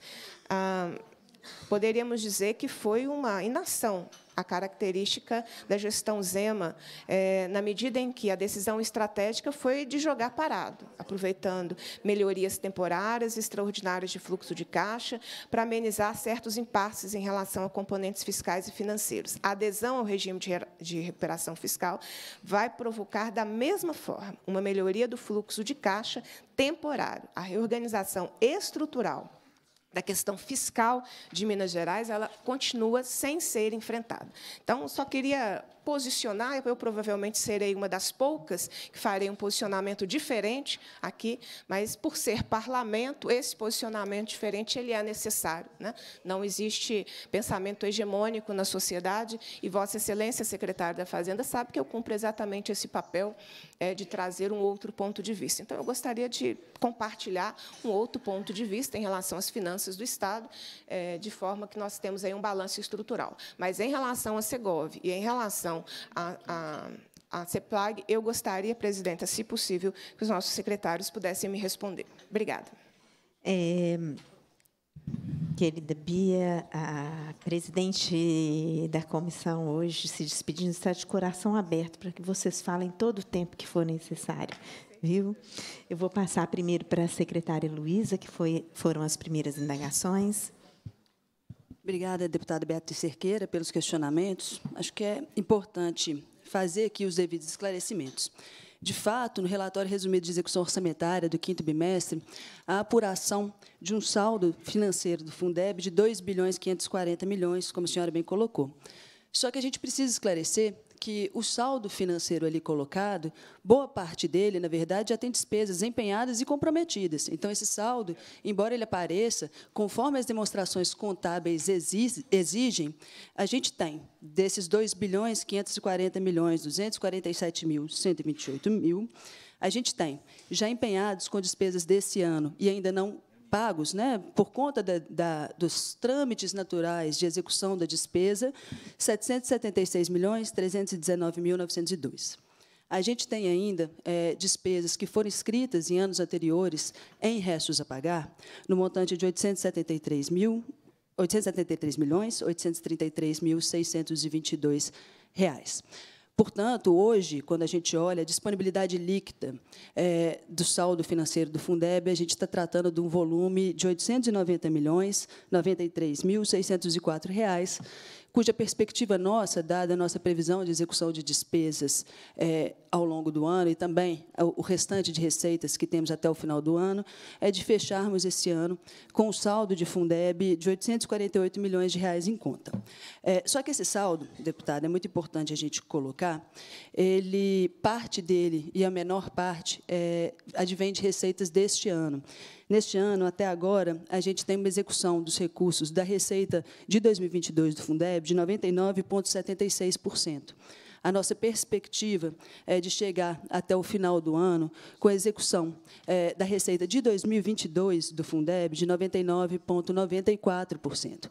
Esse saldo, então, ele decorre é, de saldos de anos anteriores acumulados, é, uma parte mais substancial dele, inclusive, de uma correção contábil feita pela Secretaria de Fazenda, não me lembro se no ano de 2020 ou 2021, de despesas de Fundeb que tinham sido executadas em despesa de pessoal e que não tinham sido efetivamente pagas por questões de execução e isso do somatório de vários anos que criam este saldo contábil.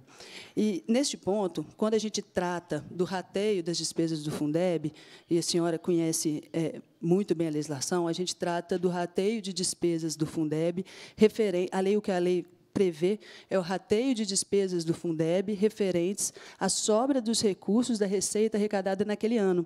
A lei não prevê o rateio de despesas de saldo de exercícios anteriores. O governo não pode é, fazer nenhuma despesa, seja ela de custeio, de investimento ou principalmente de pessoal, que não tenha previsão legal é, da sua execução. Então, a gente não existe a previsão legal de rateio de despesas de Fundeb de saldos financeiros de exercícios anteriores.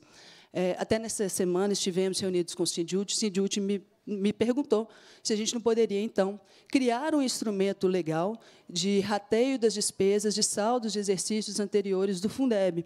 No que eu respondi que o Estado, por estar acima lei, dos limites da Lei de Responsabilidade Fiscal, desde setembro de 2015, ele não pode criar nenhuma despesa nova de pessoal, é, sob pena de o governador e a secretária de Planejamento é, incorrerem em crime de responsabilidade fiscal. Não há possibilidade de criação de novas despesas de pessoal que não haja previstas. Ano passado, quando fizemos o rateio do Fundeb, do que faltava para complementar os 70%, a lei federal já previa a possibilidade de, de rateio, por isso pudemos fazer pela primeira vez. Nós não poderíamos, hoje, mandar um projeto de lei de criação de uma nova despesa de pessoal por estarmos acima dos limites da lei de responsabilidade fiscal. Mas eu reconheço aqui que, ao final do ano, teremos aproximadamente, é claro, isso são perspectivas, cerca de 848 milhões de reais, mas que advém, em especial, de anos anteriores.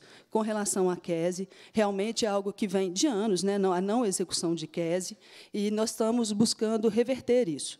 Nesse ano, a nossa receita de QESE foi de 640 milhões de reais.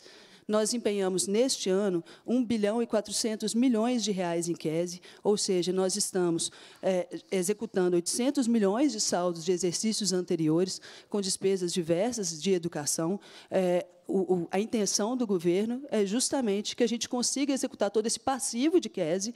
A gente já vem fazendo isso e continuará a fazer. Então, toda a QESE desse ano foi integralmente empenhada e empenhamos ainda 800 milhões de saldo de exercícios anteriores. Obrigada. Agora, agradeço a secretária Luiz, agora o secretário Igoreto.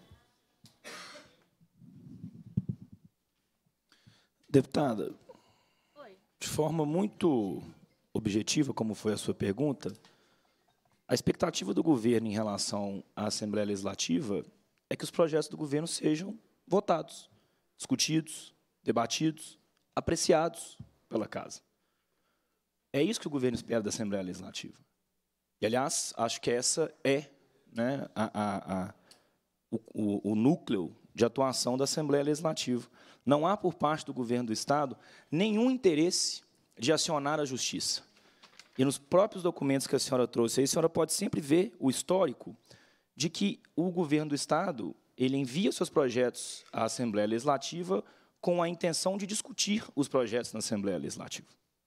Mas uma vez que os projetos eles não são pautados, não são discutidos, não são debatidos e não são votados, a realidade do Estado, do Poder Executivo, ela vai se impondo de modo que o governo do Estado passa a ter que buscar outros caminhos, alternativas, para poder exercer a sua função de poder executivo. Então, o que nós esperamos da Assembleia Legislativa, né, como a senhora mesmo disse, já estamos aqui quase que em clima de balanço, em clima de encerramento de ano, e nesse caso específico, encerramento até de legislatura, é, é que na próxima legislatura a gente consiga construir na Assembleia Legislativa, e de forma nenhuma aqui, deputado, eu estou eximindo o governo dos seus erros de articulação política, os seus erros de diálogo com a casa, mas o que eu espero de forma bastante sincera e esperançosa da Assembleia Legislativa é que nos próximos quatro anos sejam quatro anos de intensas discussões e debates de projetos de autoria de deputados, mas também de autorias do governo do Estado, que a gente possa discutir, que a gente possa debater e que a gente possa votar algumas vezes dando a vitória ao governo do Estado, outras vezes derrotando projetos do governo do Estado, como é, né, é previsto da Assembleia Legislativa a sua total independência para analisar os projetos do governo do Estado. Então, em suma, o nosso desejo sincero e a nossa expectativa em relação à Assembleia Legislativa é que a gente possa votar os projetos do governo nos próximos quatro anos, sempre de forma democrática, republicana, a exaustão, com muita transparência. Esse é o nosso objetivo e desejo em relação à Assembleia Legislativa. Obrigado. É, agradeço ao secretário Igor. Antes de passar para o secretário Gustavo, eu gostaria só de destacar também a presença do deputado Gustavo Mitre aqui conosco e agora o deputado Noraldino, nosso presidente da Comissão de Meio Ambiente.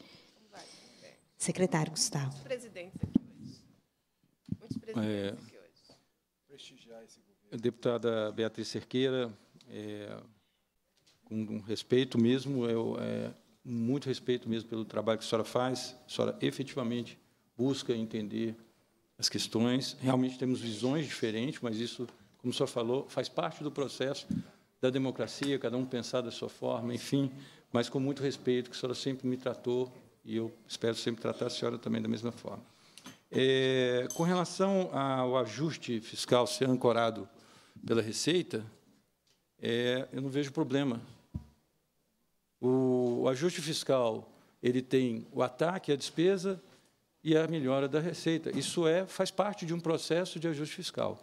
Então, isso mostrou que o Estado, mesmo não tratando de aumento de impostos, ele tem sido efetivo na sua arrecadação. Ele foi mais efetivo no processo de arrecadação nesse, nesse, nesses anos.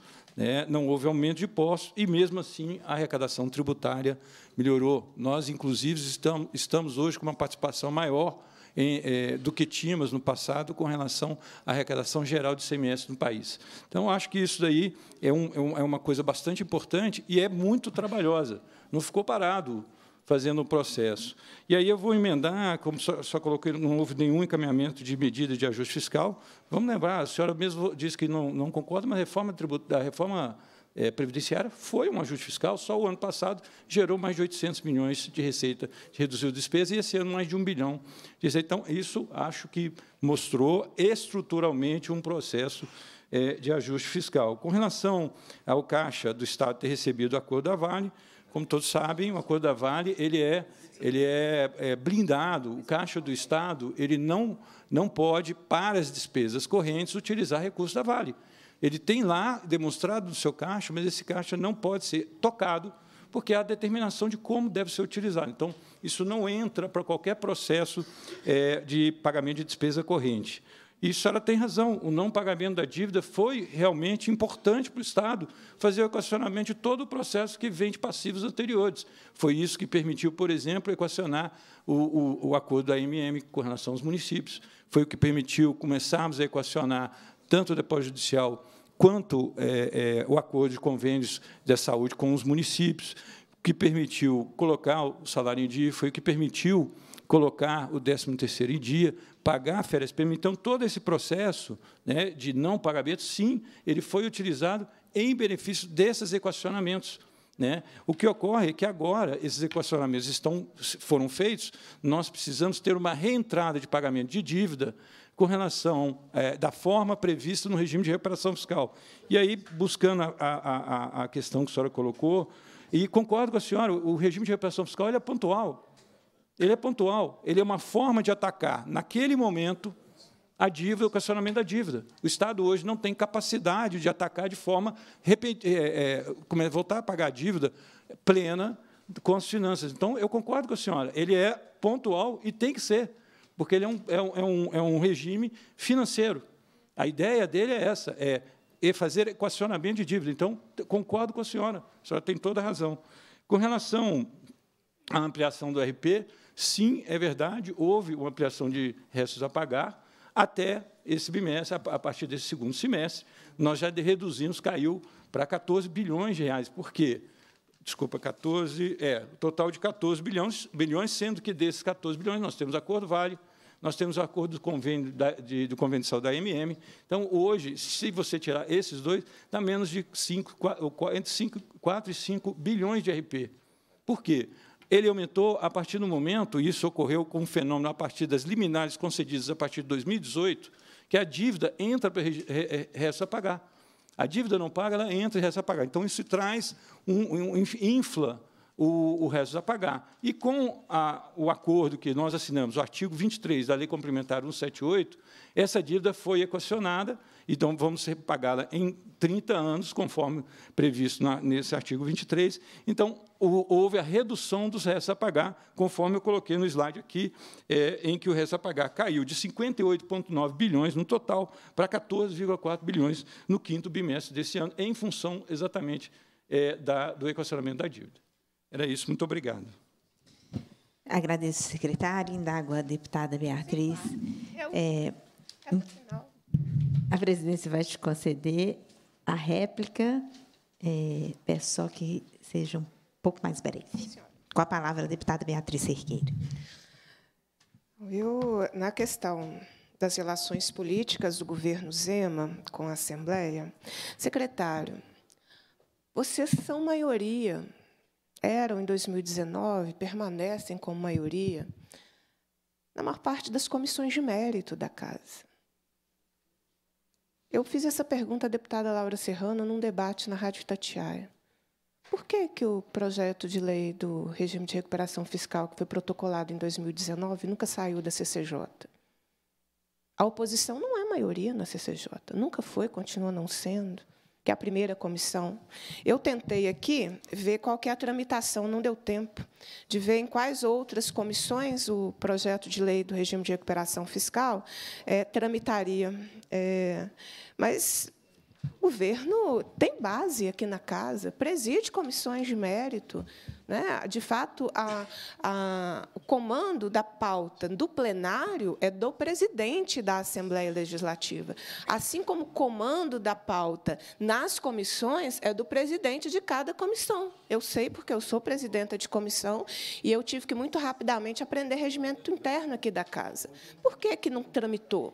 Nas comissões onde o governo tinha uma base é, que pudesse dar condições a essa tramitação. Não é?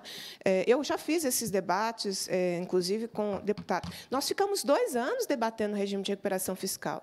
Não teve ausência de debate, só eu, só eu, deputada de oposição, promovi duas audiências públicas em comissões aqui na casa. Só eu promovi, fora é, outros debates que, com certeza, aconteceram por parte de outros colegas parlamentares. Eu fico, é, secretário, com a mesma pergunta. E quando a tramitação não atender aos interesses do governo? Vai judicializar de novo? Em menos de 12 meses, cinco ações? O presidente da casa diretamente atacado com multas, é, ações judiciais do Estado contra a Assembleia e contra o presidente da Assembleia Legislativa. Porque, de fato, pode ser que o interesse do governo, vocês queriam que fizesse, acabasse com a escola de saúde pública num projeto de lei que vocês enviaram para cá, é, em 2021. Nós tivemos um entendimento diferente. E, no processo, não conseguimos caminhar. O governo tinha um posicionamento, outros parlamentares tinham outro posicionamento. Então, o fato de nós não chegarmos a um, a um denominador comum vai ser tratado como que no próximo período? A judicialização, como é que a, o governo se sentiu tão à vontade de questionar a política de comunicação institucional da Assembleia? É, a, a, a, petição inicial, eu trouxe toda, vocês sabem que eu sempre trago a fonte né, das informações, está aqui é, os prints de, do, do Instagram da Assembleia, do site, do portal da Assembleia Legislativa. Eu quero entender como é que isso questionar a política institucional de comunicação da Assembleia se enquadra em não ter tido eh, os interesses, né, os projetos do governo tramitando na, na dinâmica que o governo acha que, que era a necessária. Minha última observação. Luísa, eu acho que vocês perderam uma grande oportunidade de ter feito da educação uma pauta estratégica. Muitos servidores votaram no Zema em 2018 na expectativa de uma nova política. E o, os servidores se confrontaram com uma velha política do choque de gestão. Vocês trazem nos PowerPoints o antes e o depois, que, que com certeza aquela escola aconteceu isso mesmo, mas a gente vive profundas desigualdades no Estado. Eu visito escola em cada canto desse Estado. As desigualdades são reais, são concretas. Você tem menino que come muito bem sentado no, refeitório, e você tem menino que está comendo pelos cantos numa escola que não oferece refeitório. Em 2014, eu visitei essa escola tem um mês. Acho que vocês perderam uma oportunidade de construir uma política de valorização dos profissionais da educação. Porque você falou de que todo esse recurso não é exclusivo de 2000 e, e 2022, mas vocês fecharam 2021 com mais de 3 bilhões na conta do Fundeb. O recurso existe. O recurso existe. E aí há uma série de justificativas, inclusive resta pagar. Você não pode fazer o rateio, porque a justificativa é que parte dessa receita não é desse ano, mas o resto a pagar, que não é desse ano, vocês vão fazer com recurso do Fundeb. Acho que o governo perdeu uma grande chance de tratar com dignidade os profissionais da educação. Não é verdade que o secretário de Educação foi aplaudido pela educação aqui na segunda-feira, como o colega parlamentar disse. O, o secretário foi aplaudido pelos cargos comissionados que vieram acompanhar o secretário de Educação. Os cargos comissionados, muitos, inclusive, estavam com, corretamente identificados com crachazinho. Superintendentes, assessores, cargos comissionados, o que está plenamente legítimo. Mas a educação não está aplaudindo esse governo. Nós estamos disputando versões e deveríamos, num próximo mandato do governo Zema, parar de disputar versão. Vamos discutir a realidade da escola. Ela está cruel. E a categoria se dedicou tanto, tanto a manter a escola de pé e não teve nenhum retorno de valorização. A categoria finaliza, presidente. A categoria da educação olha para o governo Zema e enxerga o quê de futuro? Todos os seus direitos judicializados. Piso, adverb, direito das, das, das diretoras aposentadas, está tudo judicializado. Carreira, vocês pagam mestrado para a professora, que não vai receber pelo mestrado enquanto estiver trabalhando, enquanto estiver viva, porque a política de carreira você conhece melhor do que o plano de carreira. Qual é a perspectiva tem dinheiro do Fundeb, vocês poderiam ter construído uma política de rateio desses recursos, considerando a realidade, a necessidade e ter dinheiro em caixa. Eu lamento que nós tenhamos este balanço é, na educação. E tenho esperança de que nós conseguimos alterar essa realidade, porque a realidade dentro da escola está muito difícil. Não está essa realidade de plena satisfação e de emojis de carinho e de corações, não. A realidade está difícil e a gente tem o dever de alterá-la. Agradeço, presidente, a sua gentileza na condução dos trabalhos. É, as minhas falas, em geral, são falas que. É, são falas de minoria nessa casa, mas elas são necessárias, no sentido de trazer um olhar que também precisa ser trazido. E eu estou dentro da escola cotidianamente. Eu sei que a realidade está difícil e precisava de ter respostas melhores do governo. Sigo cobrando que o governo deveria fazer o rateio dos recursos do Fundeb. Obrigada. Tá bem. Obrigada, deputada Beatriz. Nós vamos agora passar a palavra para o deputado Duarte Bexir.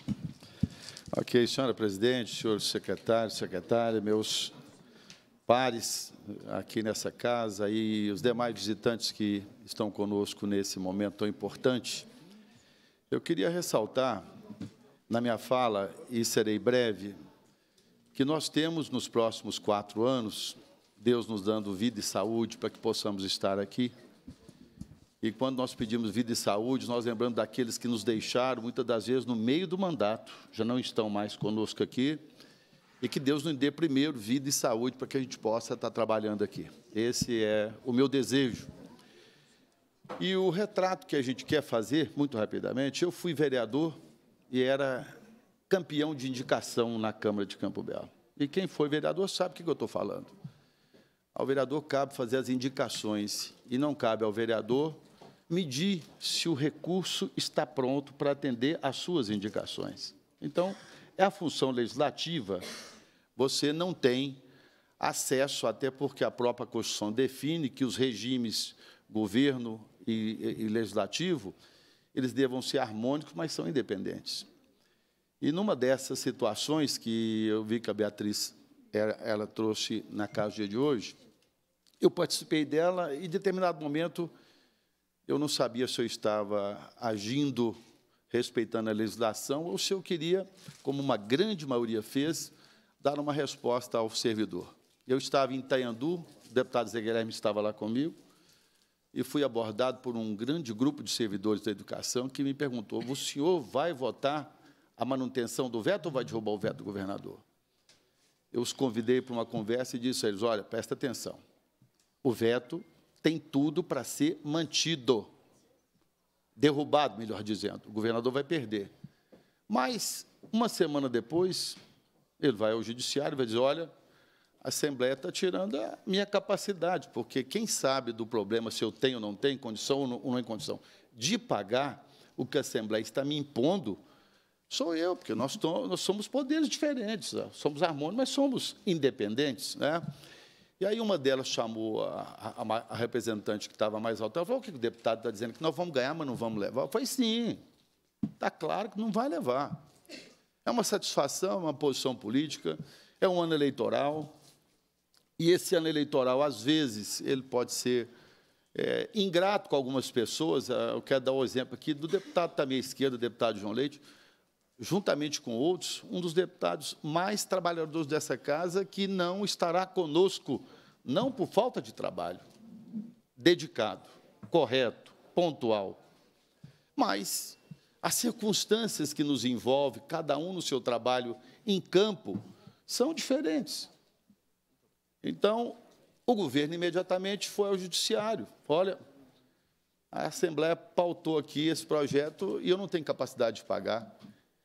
Não teria que ter ido? Teria, porque nós rompemos a barreira da independência que afasta os dois poderes e que cada um tem que saber a sua.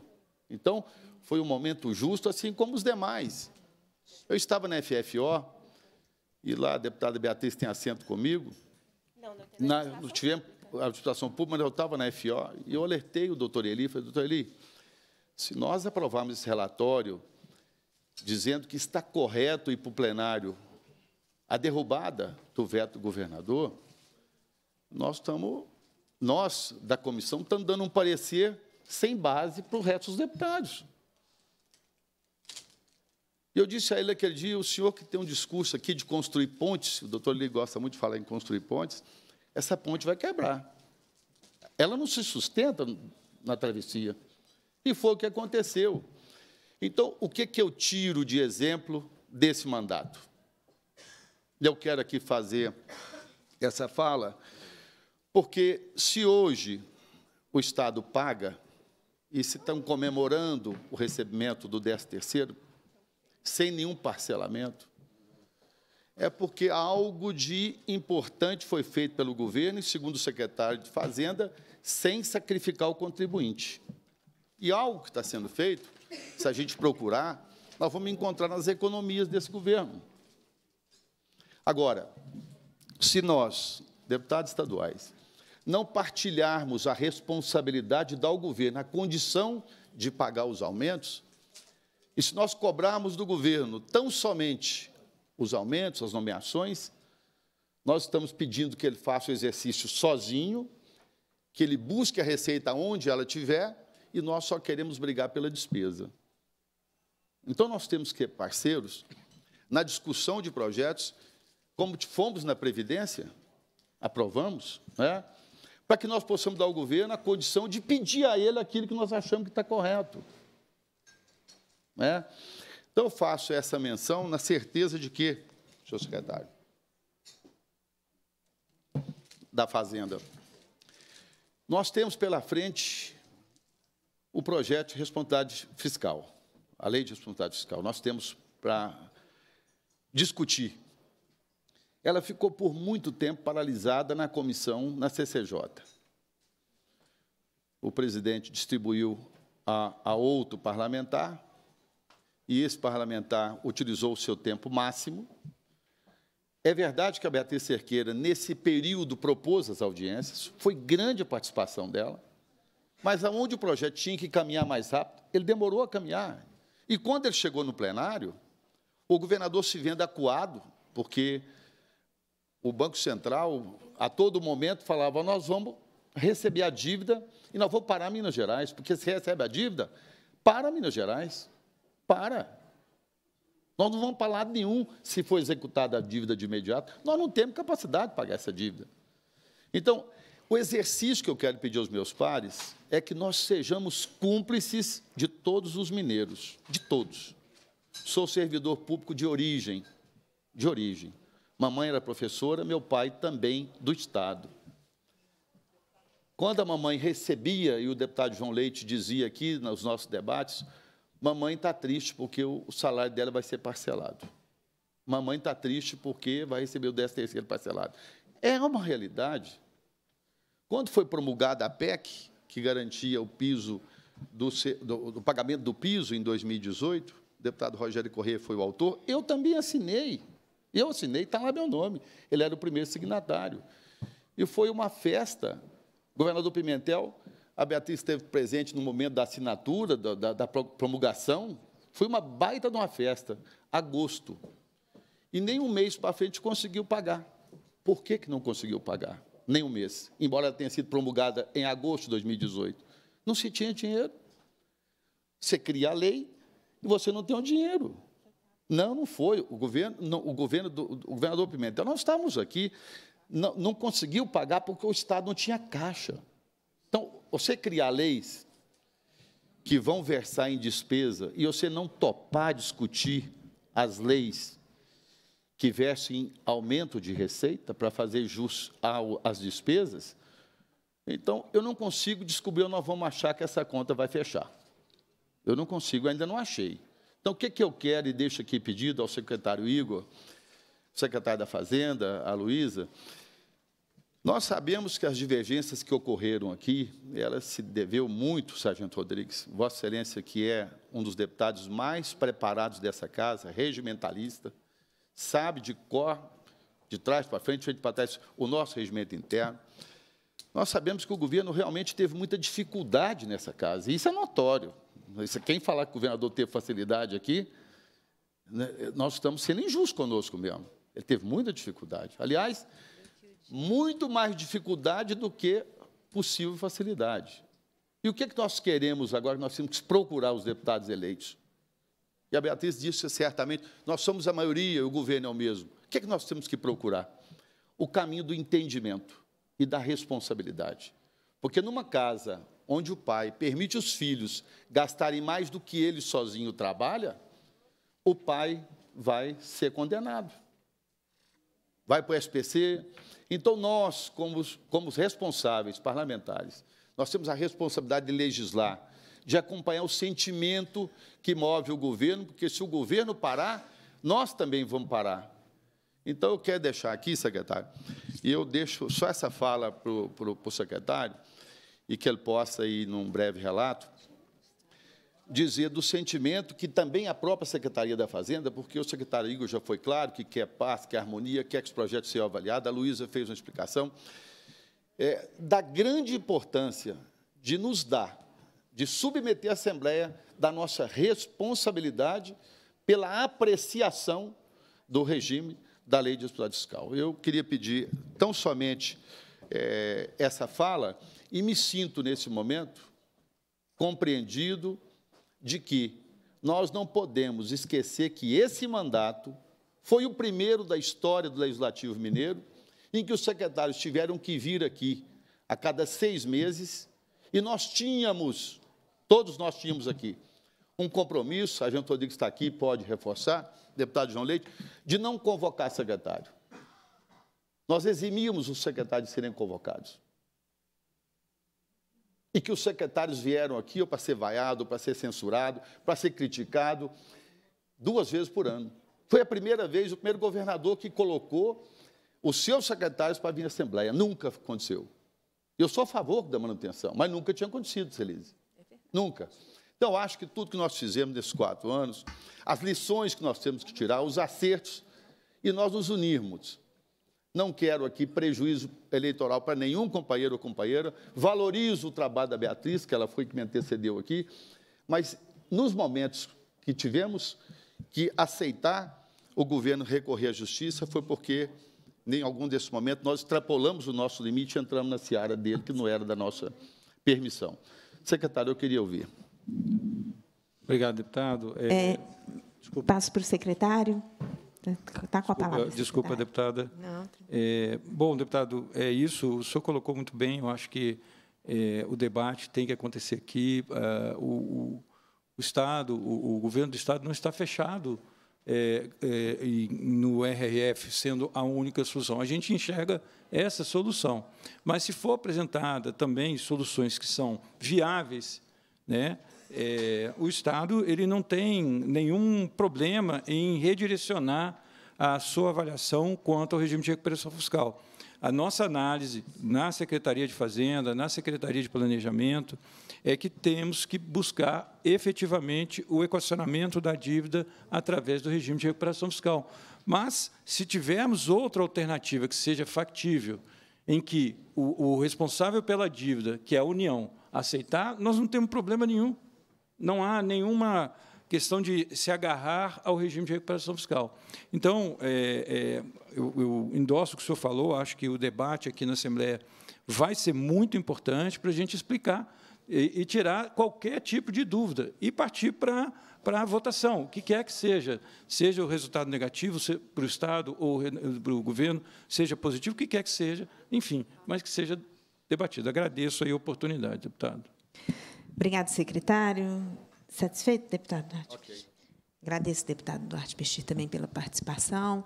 É, lembrando aqui, como você saltou aqui o deputado Sargento Rodrigues, nós aprovamos para que a Assembleia Fiscaliza acontecesse.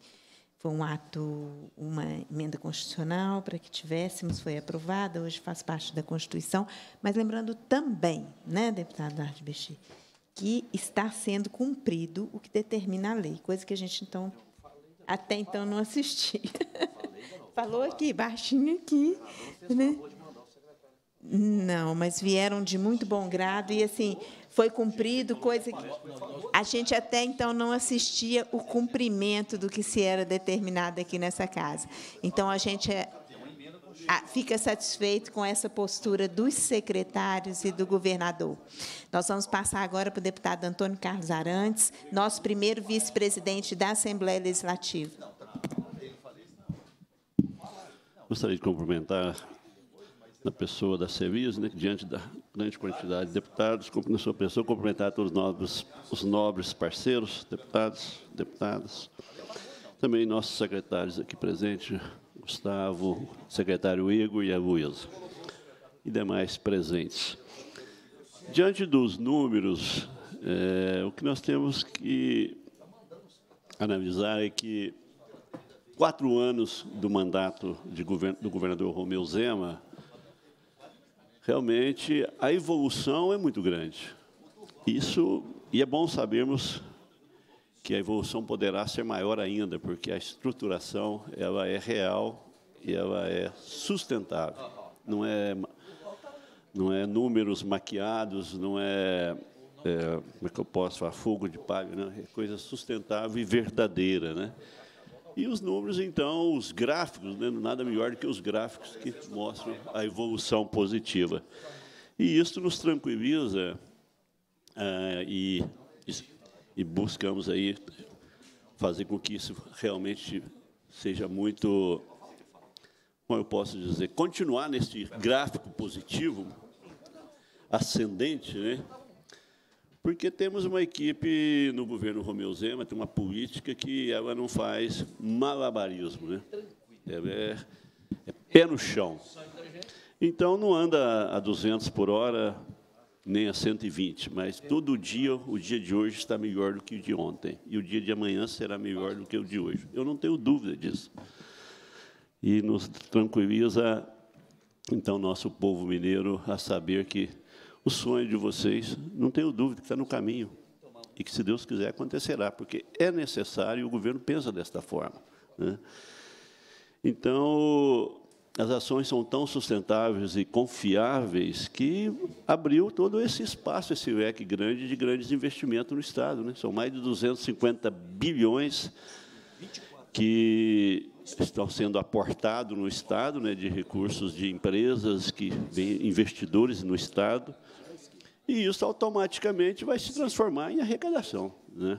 em novos recursos que possibilitará não só a, a, recomposição dos quadros, como de salários, como é, também de empregos para o povo mineiro, que Minas tem sido, até não sei se foi no momento que eu saí, mas talvez não tenha sido abordado, abordado né, que os números mineiros são bem melhores do que a nível nacional, em todos os sentidos, né, inclusive na geração de emprego. Então, é mais é para complementar e dizer da nossa expectativa assim, de mais um grande mandato. Luiz? Cumprimentava pelo trabalho sério no planejamento, Gustavo, secretário Igor lá na, na parte política também, na parte de governo, do lado do governador Romeu Zema. E nós sabemos as divergências, a, a oposição está nos fazendo bem o seu papel, não tenha dúvida, mas quando tem números para mostrar de forma transparente, quando tem gráficos que mostram com muita clareza que o Estado está no caminho certo, eu não tenho dúvida que isso nos possibilitará, sim, buscar novos, novos sonhos e novas ações. Inclusive, secretária, o nosso sonho é da estrada Pimenta-Guapé, porque ela é uma estrada fantástica, assim, não só para Pimenta e Guapé, mas para toda a região.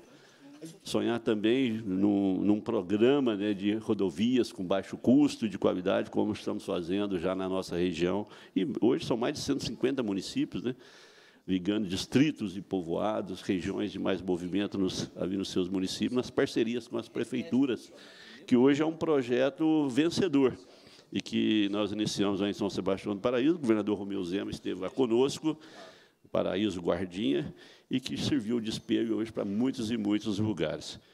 Então, enfim, são muitas ações aí, é, os hospitais que estão, os hospitais regionais, né, que estão já em fase de, acabar, de avanços também para que consigamos terminar neste mandato e ter esses hospitais. É as escolas, que hoje vê escola para todo lado sendo reformada, sendo ampliada, as quadras, né?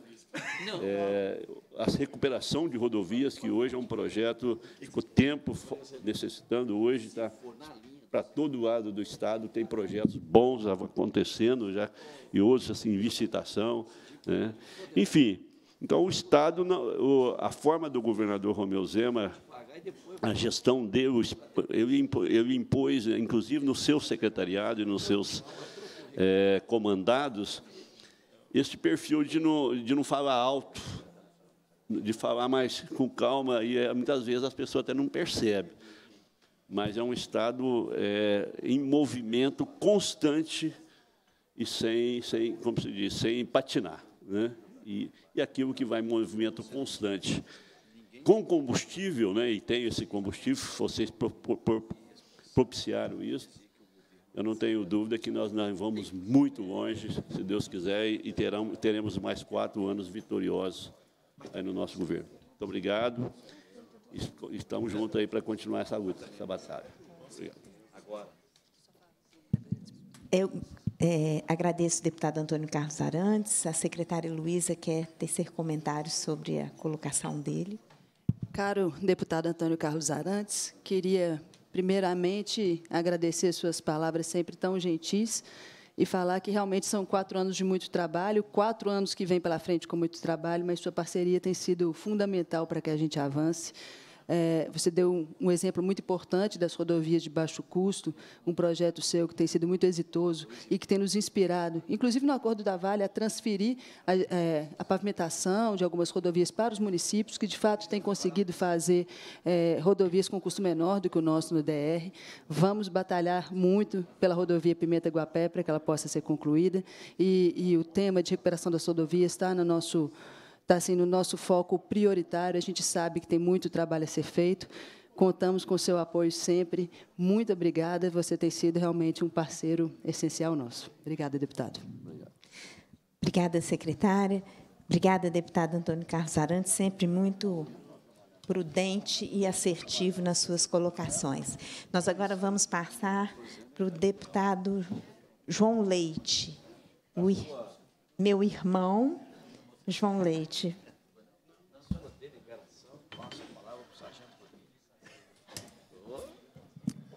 Muito obrigado, querida irmã, deputada Celis Viola. Queria saudar as deputadas, por favor. Os deputados, também minha querida, como uma filha, essa, tão, tão querida que.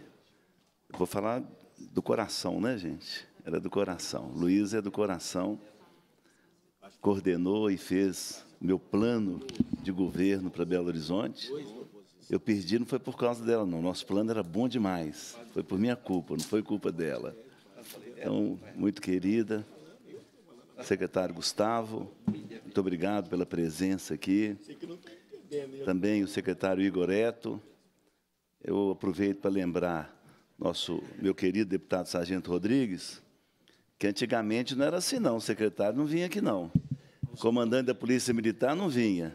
Na comissão de segurança, a gente fazia convite, eles não vinham. Aí Rodrigues convocava. Não vinham também com convocação, não. O governo do PT, eles não vinham aqui na Assembleia Legislativa. Era um negócio impressionante, diferente dos secretários atuais e do governo, que o tempo todo vem à Assembleia, ontem mesmo nós, nós tivemos a presença do comandante da. Foi antes de ontem, comandante da PM, né? Antes do comandante da PM, tivemos o comandante dos bombeiros, o chefe da Polícia Civil, o secretário de Segurança Pública. Queria saudar aqui os investigadores. Sonhando que eles estejam lá, viu, Luísa? Que eles estejam lá, Igor, que eles estejam lá. Por que, que eu trato os investigadores assim. Meu pai foi investigador. Eu lembro quando meu pai morreu e mandaram para mim o atestado de óbito dele. Estava escrito no atestado de óbito do meu pai: não deixe herança.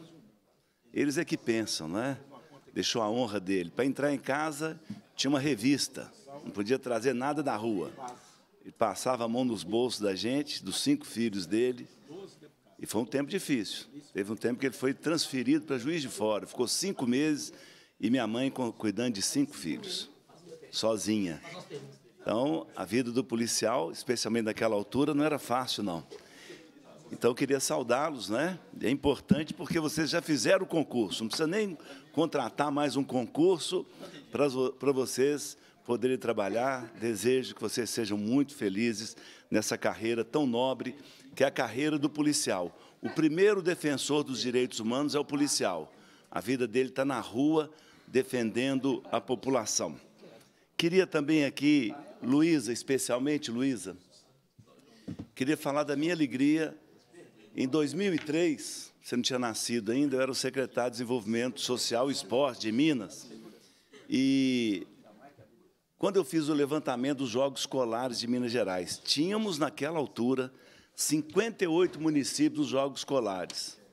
E o governo dava dinheiro para clubes profissionais, clubes de lazer, e eu peguei todo o recurso e coloquei nos Jogos Escolares de Minas Gerais. Esse ano, o governo fecha, eram 58 municípios em 2003, secretário Igor, o governo fechou esse ano com 839 municípios nos Jogos Escolares. Sabe o que é uma final dos Jogos Escolares? 20 mil pessoas numa cidade, secretário Gustavo. Então, eu queria parabenizar o governo por isso. Outra coisa importante desse governo é o investimento no xadrez na escola, que ajuda a inteligência das crianças, dos nossos estudantes. Recentemente veio uma professora para agradecer de governador Valadares porque, lá de sua Valadares, Celise, porque os, as crianças estavam com problema com a matemática. Entrou com xadrez, resolveu. Xadrez é algo assim fundamental. Por fim, eu queria parabenizar esse governo também pelo pagamento de algumas coisas que doeram demais. Eu adoeci e Luísa me ajudou demais, me dando dados que me fizeram adoecer mais. Os depósitos judiciais, o dinheiro da mulher que foi abandonada pelo marido, esses maridos, fujões. Deixa a mulher com os filhos, o dinheiro do alimento das mulheres. O governo passado, junto com o Tribunal de Justiça, tirou 7 bilhões do depósito judicial. Gerente de bancos presos, porque chegava lá não estava o dinheiro. Foi um negócio impressionante. Agora, o que mais me doeu eu orientava minha mãe com 90 anos, mãe, não pega empréstimo, mãe. Não pega empréstimo consignado, porque o governo não vai pagar. Nós vimos aí policiais, policiais com o nome no Serasa, policial com a dignidade dele, com o nome no Serasa, porque o governo pegava o dinheiro na fonte, na fonte, no dinheiro que o servidor recebia, pegava o dinheiro para o governo, mas não pagava a dívida. Essas coisas doeram demais. E, como eu já falei aqui, os convites que fazíamos para ouvir chefe de polícia, ouvir o comandante da Polícia Militar, dos bombeiros, eles não vinham, eles, eles ignoraram a Assembleia Legislativa nos quatro anos de governo deles, fora o parcelamento do salário. A gente fazendo vaquinha para ajudar minha mãe, para comprar os remédios dela doente. Então, eu queria agradecer muito por isso a esse governo e queria agora, rapidamente, uma pauta, que é a pauta das ferrovias, caríssimo secretário Igoreto. Nós estamos aqui com o relatório final, o senhor vai receber o relatório final da Comissão de Ferrovias. Entreguei a locomotiva, não é? E o nosso, o nosso relatório demonstra algumas coisas de duas empresas já receberam autorização de renovação da concessão das ferrovias em Minas Gerais para mais 30 anos, a Vale e a MRS. Secretário, queria chamar a atenção, e o, o deputado Noraldino, eu fiquei eu vendo o relatório, acompanhando, ficava lembrando dele, que ele lutou muito para para ter mais estruturas em Juiz de Fora e ganhou só um viaduto em Juiz de Fora. Mas ele não, não precisa ficar triste, não, porque uma cidade que a gente gosta muito, Santos, recebeu muito mais. Da Vale, tem um quadro, secretário, depois eu queria que o senhor visse.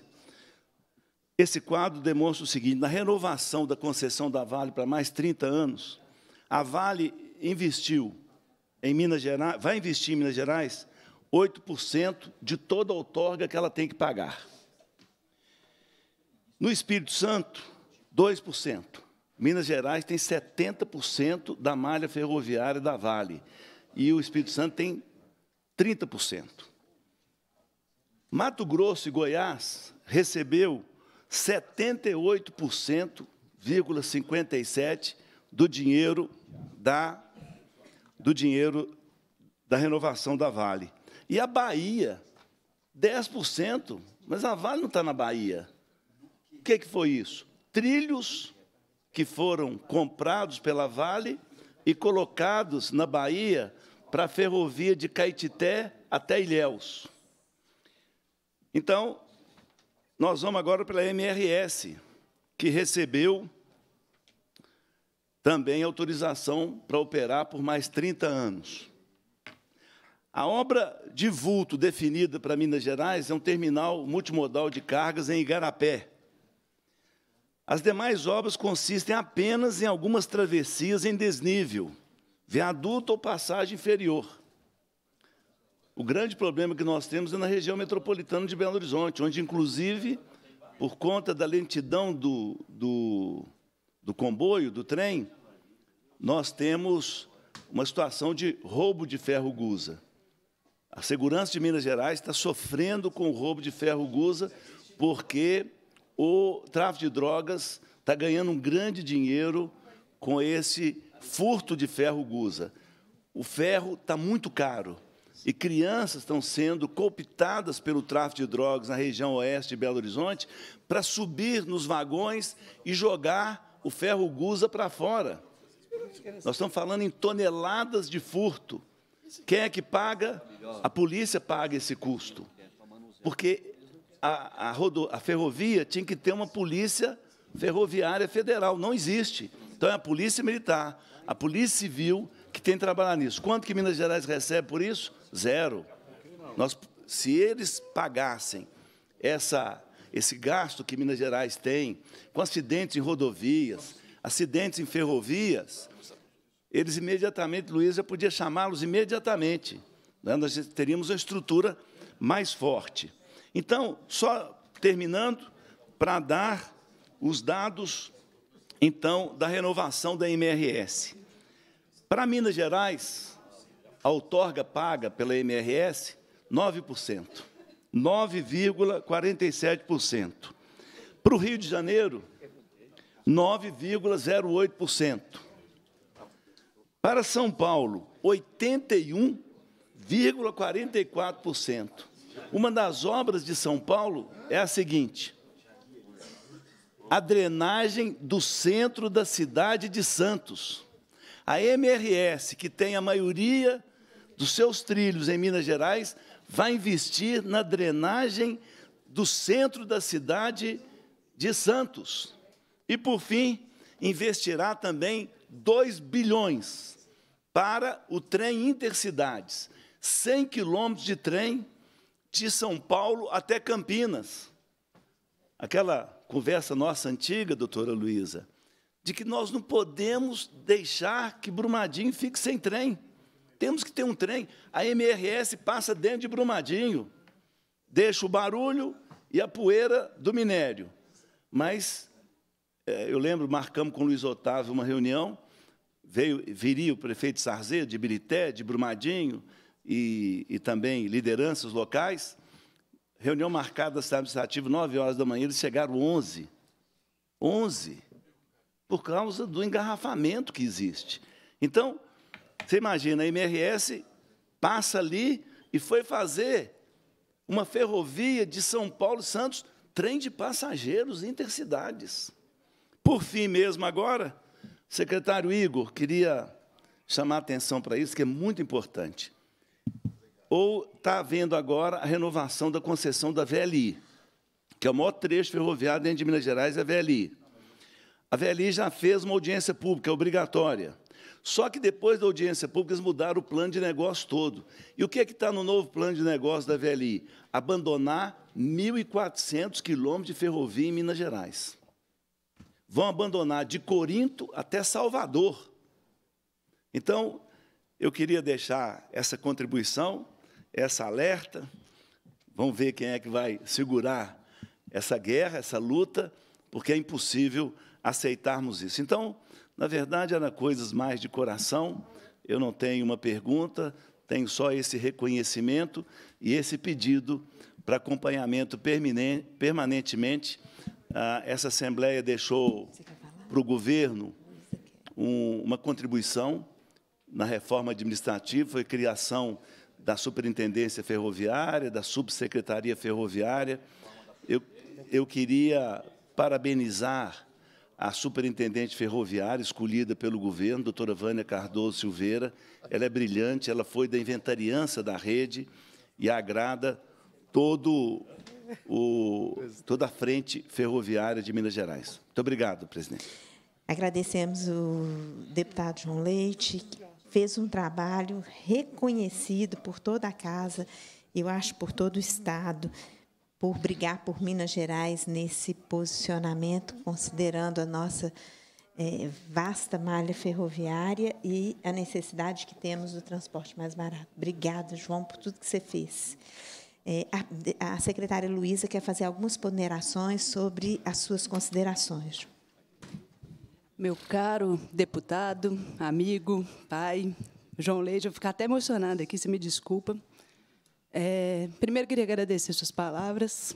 Você deixa essa casa, depois de alguns mandatos, de muita entrega, de muito legado e de uma dedicação incansável a todas as causas às quais você se dedicou. Você deixa um legado no esporte, deixa um legado no desenvolvimento social. Para as ferrovias, a gente ainda tem muito legado para construir, tem muita demanda ainda, mas nós vamos correr atrás juntos. E, sabe, deputado, eu sempre falo que conheço poucas pessoas com seu coração. Então, saiba que você tem aqui a filha, a amiga, e que queria só reconhecer seu tempo. Você me desculpa pela emoção. Você encerra sua participação no Legislativo com da melhor forma possível. Minas agradece por todo o seu trabalho.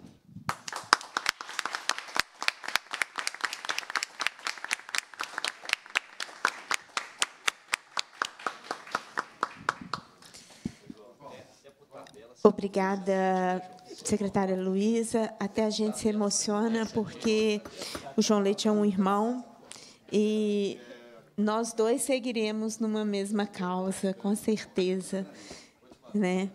numa, numa mesma luta, né, João? Seguiremos juntos, né, irmão? Como irmãos que somos. Eu vou, então, agora passar a palavra para o deputado Zé Reis. Minha querida presidente, meu muito bom dia, Celise, na sua pessoa cumprimentar todos os demais deputados dessa mesa e da mesma forma os que estão de forma online, cumprimentar toda a assistência e na mesma hora cumprimentar esses três secretários de referência do governo Romeu Zema, que carrega com todas as agruras e dificuldades, né, o Gustavo, a Luísa e da mesma forma né, o Igor. Né, quero aqui abraçar né, os nossos líderes, Zé Guilherme, e da mesma forma o nosso querido vovô, que ainda há pouco estava aqui, todo, toda a base de governo, todo o trabalho realizado nesses últimos quatro anos, que assim posso dizer, né, trabalho quando aqui assumimos, né, com todos os cenários né, de dados, de financeiros, aos destroços, todas as certidões ao descrédito total perante o governo federal. Então, é uma gestão que a gente conseguia olhar com todos os, bons espíritos e, e, e, altivez, ainda olhávamos para o fim de 2022, né, com os dados que talvez não chegaríamos a 30% né, do que é apresentado por esses relatórios que aqui vejo. Nenhum gráfico, nenhum gráfico né, demonstrando que o Estado regrediu, reduziu ou diminuiu o investimento ou o desenvolvimento. Então, terminando essa legislatura, a gente fica né, um tanto quanto feliz de, naquela ocasião, onde pairava a dúvida, onde pairava a possibilidade de uma gestão que, até então, naquela ocasião, se falava que daria, iria dar errado, que não iria avançar, que não iria crescer, e nós apostamos, mesmo que na dúvida, né, mas acreditando no potencial do governador Romeu Zema, acreditando no potencial do Estado de Minas Gerais, acreditando no potencial de trazer o Estado para os trilhos, e hoje estamos aqui né, comemorando esses dados tão importantes. Quando mais cedo o secretário Igor falava que até então, fim de ano, parecia fim do mundo. A pauta principal era, dentre elas, era que 13 terceiro não se tinha, né? não se falava de outros, né? mas o mais simples e básico de responsabilidade, que era o 13 terceiro, já era uma, quase uma assombração. E hoje estamos falando de outros assuntos, de outras cobranças, de outras perspectivas, né? mas sabendo que o básico está garantido, sabendo que a obrigação do governo foi feita, sabendo que o investimento está chegando, sabendo que as coisas estão acontecendo. Então, minha querida Celise, nesse dia de hoje, o que eu tenho para fazer, mais do que os parabéns, mais do que o agradecimento, é trazer né, a oportunidade de ter servido o governo, ter servido mais do que o governo, o Estado de Minas Gerais, né, perante as comissões, especialmente as comissões temáticas. Eu que estive nesses quatro anos lá na Comissão de Constituição e Justiça, vendo as tramitações, vendo muitos dos projetos que poderiam, que inclusive estão aí nas gavetas, que poderiam estar né, transformando vidas, né, transformando a nossa sociedade, mas que, infelizmente, por um fato de sermos uma minoria nessa casa, né, muitas vezes o governo tem que né, fazer outros, outros, ou ver as coisas passarem, ou ver outros, ou usar de outros mecanismos para fazer né, o governo andar. Quero aqui, de forma pública, né, trazer os parabéns pela forma humana, clara, de coração aberto, conversando com todas, com todas, com todos os segmentos da casa na representação quando o secretário Igor Eto, esse, menino, esse rapaz quase menino, assumiu. Nós que víamos naquela ebulição do governo Zema com diversos secretários e nunca conseguia encontrar alguém que conseguisse conversar com diversas alas, e ele né, na sua forma simples, juntamente com toda a equipe da Segov, que externos, porque afinal de contas tem que ter as pessoas que carregam o piano, né, que executa efetivamente a ideia, o planejamento, né, que consegue escrever efetivamente. Portanto, Igor, deixo aqui externar né, o meu, a minha, mais do que a minha gratidão, a minha admiração por esse trabalho agregador, esse trabalho de juntar, mesmo quando necessário e preciso dizer um não, você ouve, você escuta, você chama, você abre a oportunidade para o diálogo, e esse trabalho do diálogo, construindo dentro das suas possibilidades e limitações, falando sim, e da mesma forma, ao menos também dando a oportunidade para o dizer para o lado A, o lado B, o lado C, seja qual for a ideologia, falando não, e por que das razões desse não e dessa impossibilidade.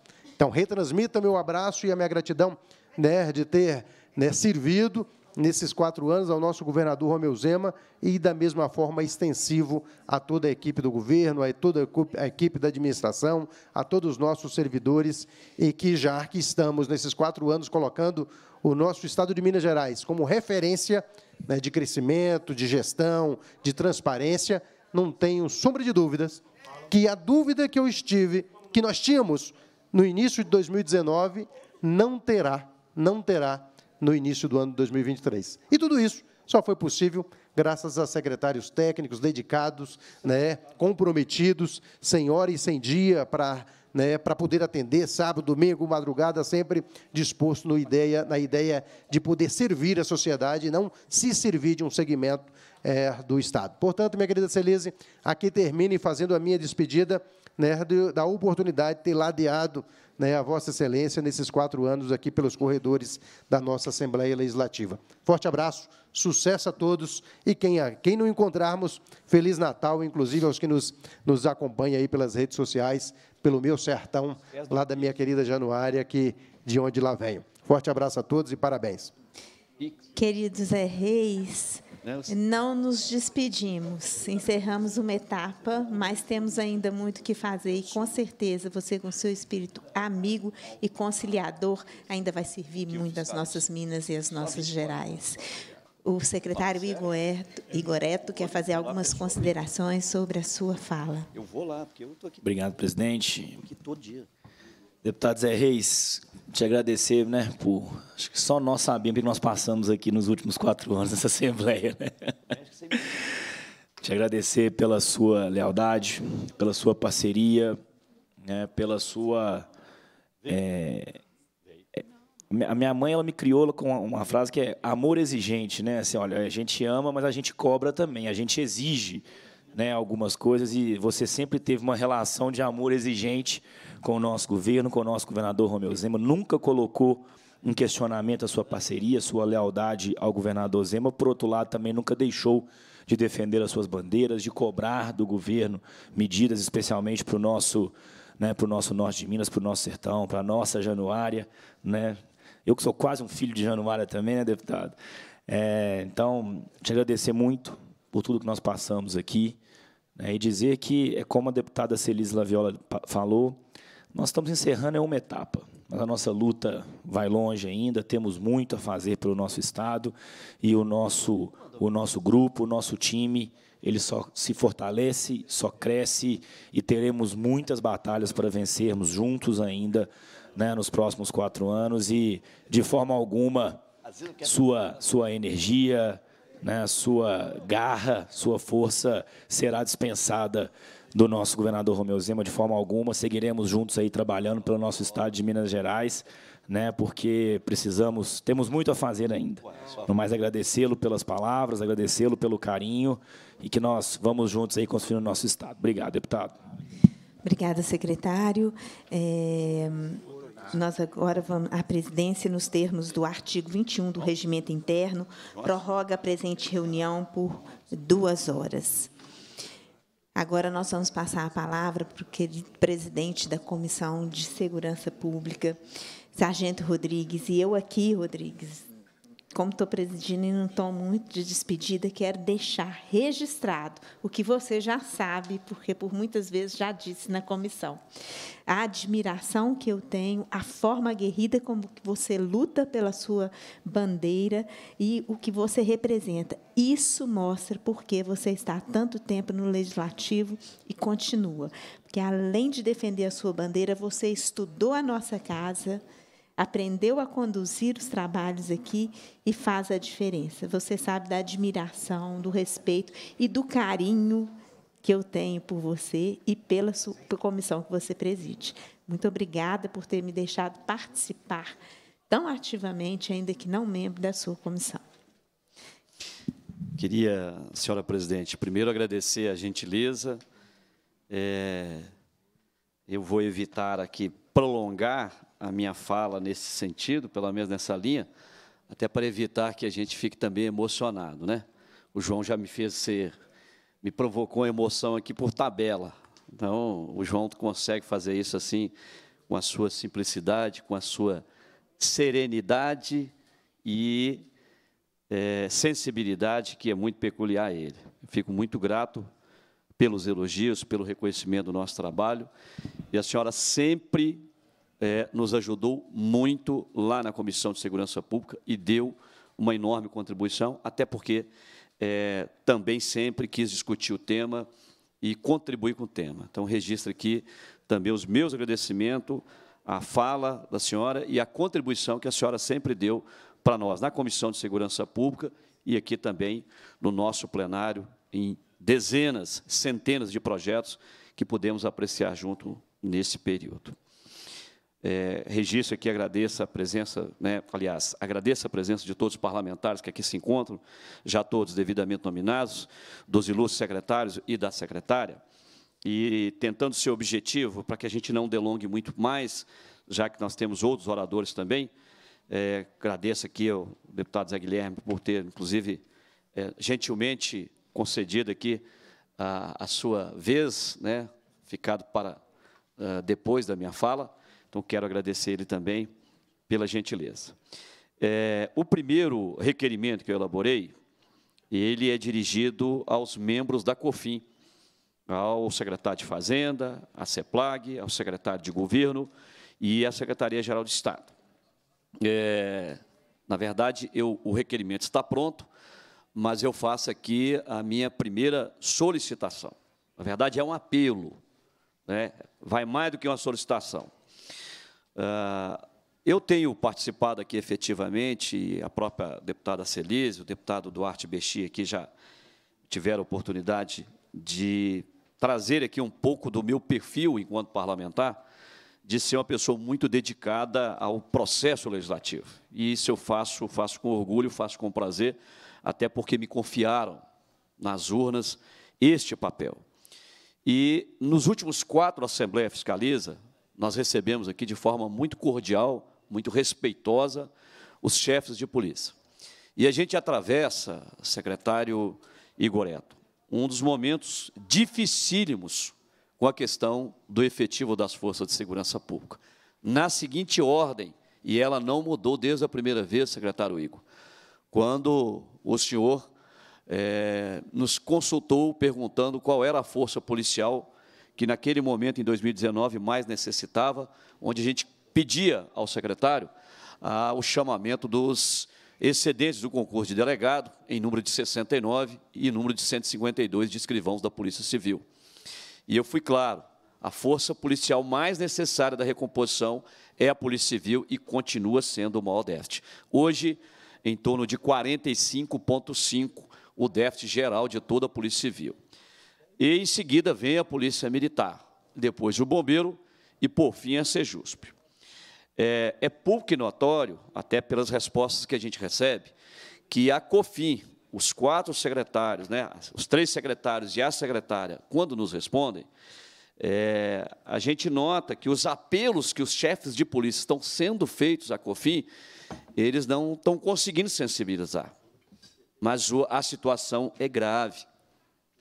E eu disse isso aqui na última reunião, tratando desse tema com os representantes da CEPLAG e da Fazenda. A situação é muito grave. Tem um, tem um histórico, é bom que os senhores né, e a senhora entenda, o episódio da, da reforma da Previdência, né, de, duas, é, de duas reformas que impactaram decisivamente dos servidores civis e dos militares. Então, a dos militares, todas as duas ocorreram em 2019. E isso, o governo Romeu Zema né, deparou com essa situação. Né? O governo não tem culpa de ter é, feito reformas em Brasília e elas impactadas, e com isso, porque vocês não podem, né, os senhores e a senhora não podem perder de vista. Quando o deputado, o coronel Giovanni Gomes da Silva, pede ao governador, olha, eu preciso que seja inserido lá em Brasília um dispositivo na Lei 13954, né, de 2019, precisamente 17 de dezembro de 2019, para que dê um lapso temporal de dois anos. Os dois anos venceram em 2021. Então, a saída dos nossos militares, ela foi provocada pela reforma com medo de sofrer mais e permanecer mais tempo. Grande evasão. Na Polícia Civil não foi diferente com a reforma aprovada em 2019, com servidores civis. Então, considerando essas reformas, o buraco ficou muito maior do que aquele que seria um processo natural de concursos anualmente. Então, você teria na Polícia Militar, exemplo, 800, 900, mil a evasão. Já teria essa evasão com as reformas, o policial, bombeiro militar, falando, não, eu tenho tanto tempo de férias prêmio, eu tenho esse tempo fora, eu vou contar meu tempo vou embora. Então, os senhores e a senhora da COFIN precisa botar isso na balança. Duas reformas. Fez com que tivesse uma evasão muito grande. Esse, é, é, segundo momento, o governo teve culpa? Não. O governo teve que acatar as reformas. Mas se os senhores e a senhora não olhar isso com o devido zelo, se apenas vier com o carimbo do não, muitas vezes para dizer não e mandar o chefe de polícia embora da reunião, não vou conseguir enxergar o buraco que nós estamos entrando e a dificuldade que será muito maior. Porque ao nós tivermos uma retração desse efetivo, há uma sobrecarga de trabalho em quem fica. A sobrecarga de trabalho provoca o que nós chamamos do absenteísmo. É aquela doença que ele adquire por excesso de trabalho. E isso é um círculo vicioso muito ruim. Doutor Sami está calejado de ouvir isso aqui, e eu não vou mudar, é porque é a realidade. Ah, mas o deputado, senhor fala a mesma coisa. Eu falo a mesma coisa porque eu enxergo isso com muita clareza. Afinal de contas, eu presido a Comissão de Segurança Pública há 12 anos, pelo sexto biênio. Então, eu tenho o dever de mostrar isso com clareza para os secretários. Então, é, antes de bater o carimbo, antes da COFIM, porque o carimbo do não vem é da COFIM, chefe de polícia não tem autonomia. Essa COFIM não foi criada pelos senhores e pela senhora, foi criada lá no governo Aécio. Eu estava aqui. E foi uma forma de filtrar muitas coisas que vá até o próprio governador. Então, criou a COFIM e falou, não, vamos resolver aqui, porque esses quatro secretários são secretários de postos chaves do governo. Mas, no tocante às forças policiais, tem uma atenção especial, secretária Luísa Barreto. A senhora sabe perfeitamente da nossa postura séria, coerente e, acima de tudo, republicana com essas matérias. A coisa está ficando preta. E eu disse aqui para o coronel, o coronel é, Rodrigo, falou, comandante, responsabilidade de, de, efetivo é do senhor até o senhor chegar e entregar o governo. De, daí diante é do governador. Não queira escalar policial sozinho. Se escalar policial sozinho, eu vou convocar o comando aqui. Porque a Polícia Militar, secretário Igoeto, tem mais de 200 anos chamados cadernos doutrinários de monografias, centenas feitas por oficiais superiores, que diz o seguinte: não há a mínima possibilidade de ação policial sem supremacia de força. Não foi eu que escrevi, foi muito, décadas e décadas antes de eu ingressar na instituição, eles já vinham apregoando isso. E estão começando a escalar policial sozinho. Há poucos dias atrás, nós tivemos uma policial civil dentro da delegacia tendo sua arma tomada. Por quê? Porque você tem um efetivo tão reduzido. Nós estamos tendo um gargalo hoje com o chamado plantão digital, que o doutor Joaquim insiste, teimoso, em bancar uma política pública equivocada, errada. Já falei isso para o secretário Goiás, já falei isso para o Sami várias vezes.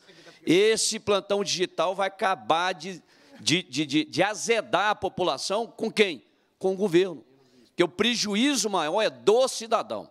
O dia que um secretário de Estado necessitar ficar 20 horas numa fila do plantão virtual por causa de uma ocorrência que ele foi vítima, Aí vai falar assim: é, esse trem tem que mudar é agora.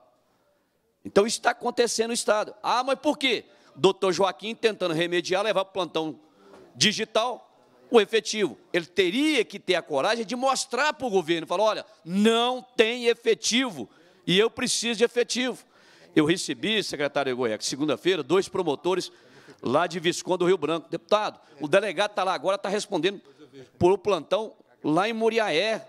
Então, assim, em Muriá não, Viçosa, nós estamos desesperados. Falei, até é bom você falar isso, porque Viçosa é terra do líder de governo. Então, essa questão do efetivo, essa questão do efetivo, eu peço aqui, secretário Igoeto, um apelo, um apelo sincero, um apelo de quem dedica ao tema 24 anos nessa casa. Eu não faço audiência pública para ficar atirando pedra no governo. Eu faço audiência pública para cobrar do governo, para exercer o papel que me foi confiado.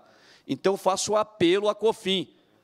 Não adianta dizer que é o chefe de polícia responsável, porque auto, a autorização vem da COFIM, viu, secretário Gustavo Barbosa? A autorização vem da COFIM. Sem o recurso, comando não chama excedente. Não chama excedente, não abre novo concurso.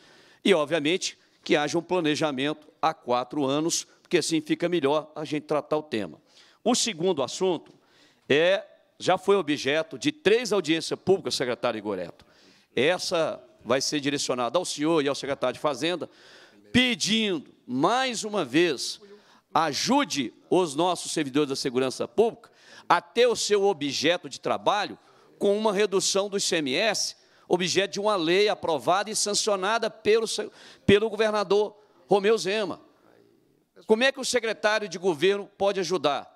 Pediu o governador Romeu Zema, governador Romeu Zema, na próxima pauta do CONFAS, meu secretário, um apelo que estou fazendo ao senhor, na próxima pauta do CONFAS, porque você vai ver lá a diferença que é, impacta muito positivamente para o servidor e para o governo, É algo irrisório. Você está ali descontando 25% na compra de uma munição. Do mesmo jeito que é feito com o taxista. Por que, que isentou o taxista de ICMS e IPI? É o instrumento de trabalho. Policial que não anda armado não é polícia. Ele é um mero executivo, ele é um mero servidor do executivo. Não é polícia. E disso eu entendo bem demais, mas muito bem. Então, arma é instrumento de trabalho. Munição é instrumento de trabalho.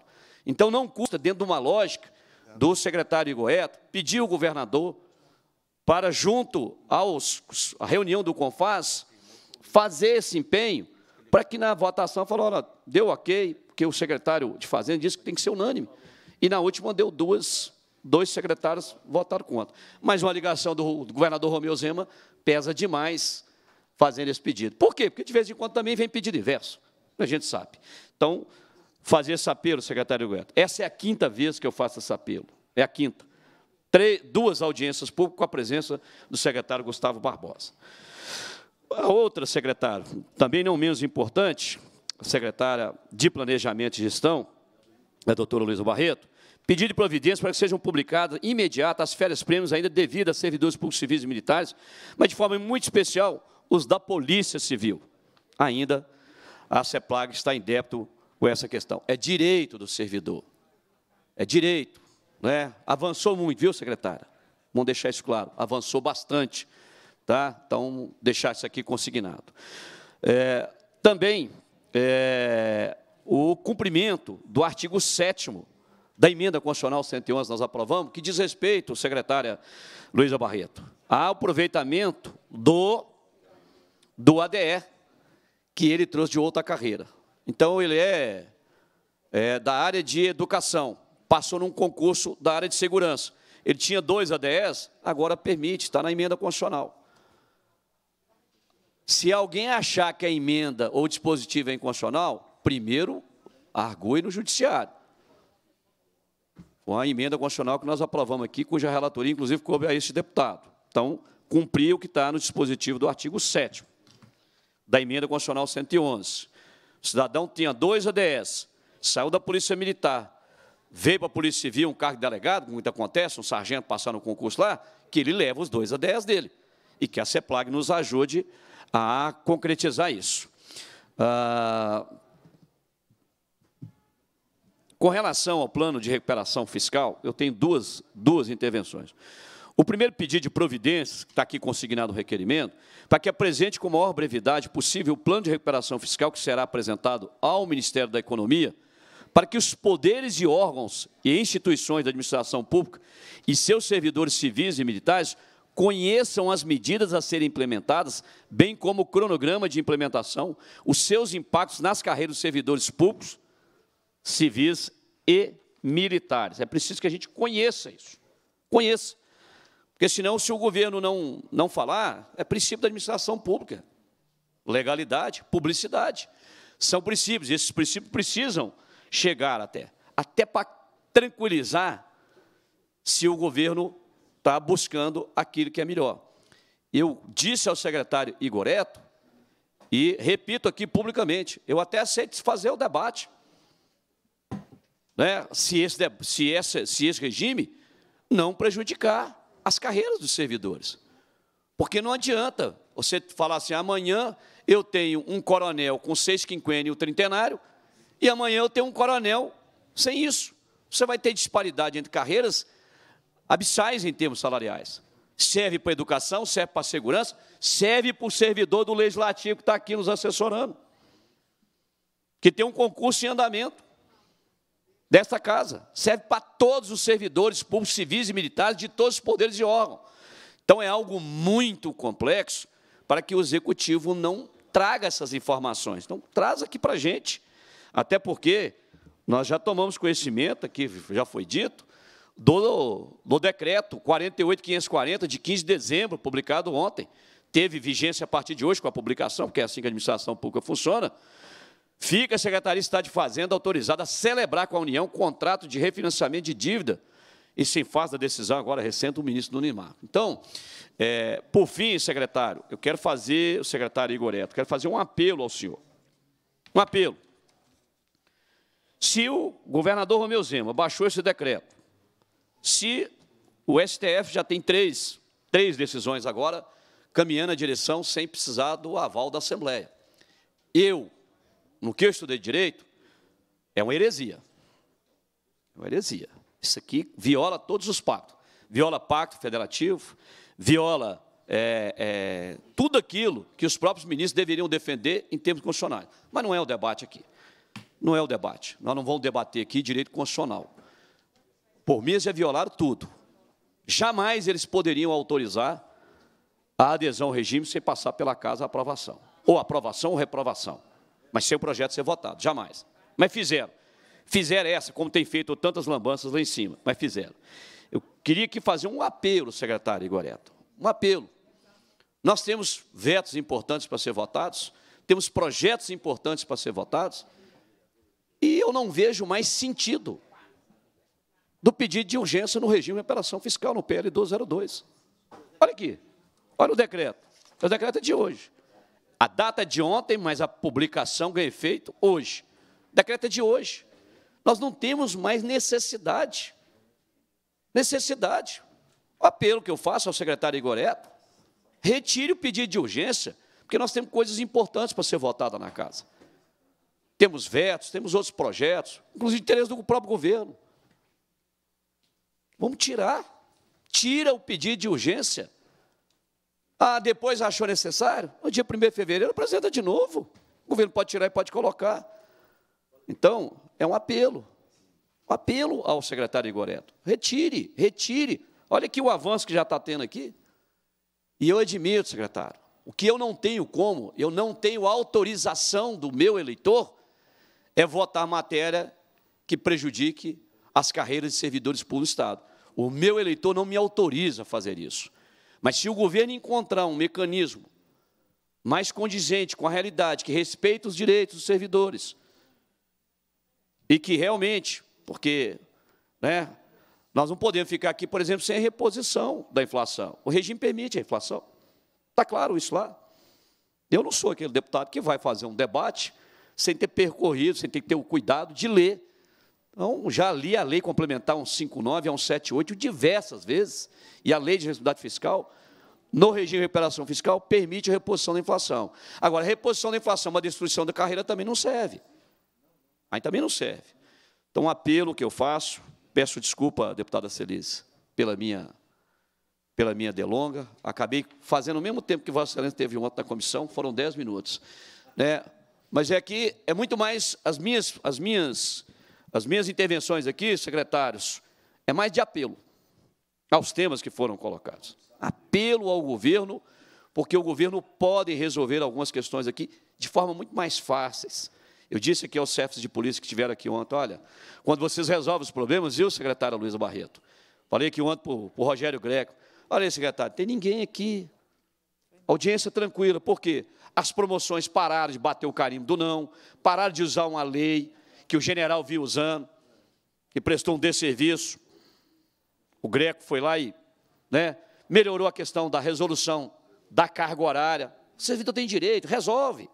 Então a CEPLAG Sejus fez a carga horária, bacana, sossegou, entregou a carteira deles, resolveu o problema de uniforme, pronto, cria um ambiente completamente favorável, tranquilo, para o servidor. A Polícia Civil, né? Mesmo o doutor Joaquim tem hora que ser muito, muito, é, eu diria, inflexível com as suas posições, resolveu o problema também, desde a última vez que a secretária esteve aqui com o doutor Joaquim, as promoções passaram a andar, resolveu, mais um gargalo, avançou sem problema nenhum, bombeiro tranquilo. Então, quando o governo ouve os apelos, quem está do lado de cá, falando, olha, aqui tem um ruído, isso é igualzinho dente de engrenagem, secretário Igoreto, que se um dente está quebrado, ela fica capenga, ela não, não anda.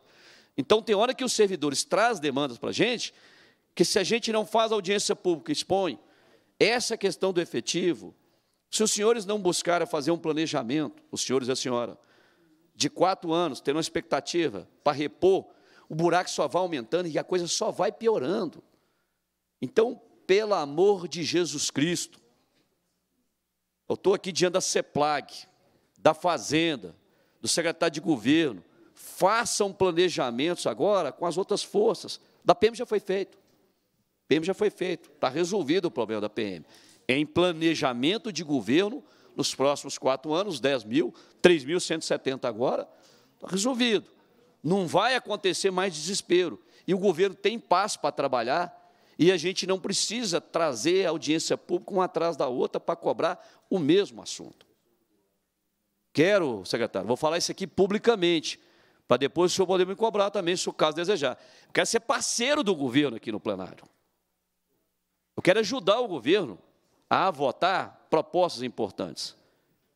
Mas desde que haja também sintonia do governo com o parlamento.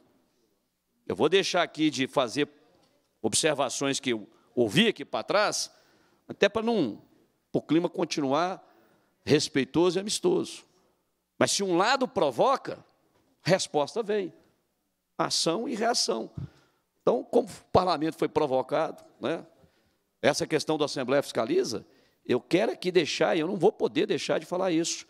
O presidente desta casa fez algo que é exemplo para o país. Então, onde o, o presidente Agostinho Patrus estiver, eu vou sempre lembrar do nome dele, de forma brilhante, por ter enaltecido o parlamento, torná-lo mais independente, mais forte, mais pioneiro no país e, acima de tudo, podendo exercer aquilo que nós aprendemos logo no início, na nossa, né, na nossa faculdade de Direito. Chama-se freios de contrapeso. Porque um poder né, que tem uma Assembleia Fiscaliza, que tem emenda impositiva, melhora muito a sua condição de relação. Eu não tenho esse problema, não fico batendo na porta do secretário Igoreto, ah, libere isso para mim, libere Não, não tem não. Acho que o que está aqui para mim já é suficiente demais da conta, vamos trabalhar, vamos resolver. Eu concordo com parte da fala do Ardo Bexi, nós também temos que trabalhar para buscar as condições, mas nós fizemos isso lá no passado. Fizemos com a autorização do Nióbio, fizemos com a reforma da Previdência, fizemos várias vezes, né, que permitiu o governo ter avanços significativos. Ah, deputado, falei com o Roberto Andrade, o governo quer atualizar o salário dos secretários, manda aqui. Se quiser mandar agora, eu sou relator. Não, existe a possibilidade do cara ser secretário de Estado e ganhar 10 mil, não. Não existe isso em lugar nenhum na face da terra. Com a inflação que nós estamos vivendo, não existe. Ah, não, já falei, eu sou relator lá, pode me escalar lá na fiscalização. Sou suplente do Braulio Braço, pode me colocar como relator. Eu mesmo sou relator para atualizar o salário dos secretários. Estou falando isso aqui publicamente, porque se não votar agora, pode me chamar o um ano que vem. Eu estarei aqui para ajudar. Agora, eu espero que o governo nos ouça com mais atenção. Nos ouça. Efetivo, pelo amor de Deus, nós temos uma força aqui, ó, pronta. Aí eu faço outro requerimento, eu faço outro edital dois anos para esse edital falar assim: ingressou. Prova, teste físico, psicotécnico, exame de saúde, aquele monte. Eu passei por isso várias vezes, eu sei. Ah, o governo quer economizar, o governo precisa economizar. Tá bom, então chama. Chama os excedentes da Polícia Civil, chama os excedentes da Polícia Penal. Né? São várias carreiras, já que eu disse aqui, continuo repetindo. A Polícia Civil, secretário Gué, não mudou ainda não, desde 2019. Continua sendo a instituição mais prejudicada na questão do efetivo. Peço desculpa aos meus colegas deputados e deputadas pela delonga, aos secretários aqui. Espero o secretário Igor Ereto, espero que a secretária Luísa Barreto, secretário de Fazenda, é, continue fazendo o melhor possível, o melhor. O governo tem grandes avanços, reconheço. O governo acertou em várias áreas, avançou bem, e pode melhorar. Não significa que não tem falhas, não tem erro. Tem falhas, tem erros, mas quando a gente apontar aqui, nos dê ouvido. Porque não tem jeito da secretária Luísa Barreto sair e visitar um soldado lá em Presidente Olegário e falar assim, olha, esse soldado está sendo escalado sozinho. Não tem jeito. Porque o volume de trabalho que ela tem não permite ela, não permite nem compartilhar tempo mais com a família. Porque isso é nos é tirado. Né? Então o secretário está lá 12 horas, como é que ele vai visitar? Mas nós não. Nós, por dever da essência do exercício do mundo parlamentar, nós temos que nós temos que ouvir, nós temos que receber, porque essa é a característica, né, mais, eu diria, mais genuína do parlamento. Ser voz e poder do cidadão. E ninguém é voz e poder do cidadão sem ouvir. Por isso que a gente é muito afeito à audiência pública. Por isso que nós nos lapidamos, nos treinamos para poder fazer esse exercício. Né, Celice? Então, parabéns a Vossa Excelência pela condição do trabalho.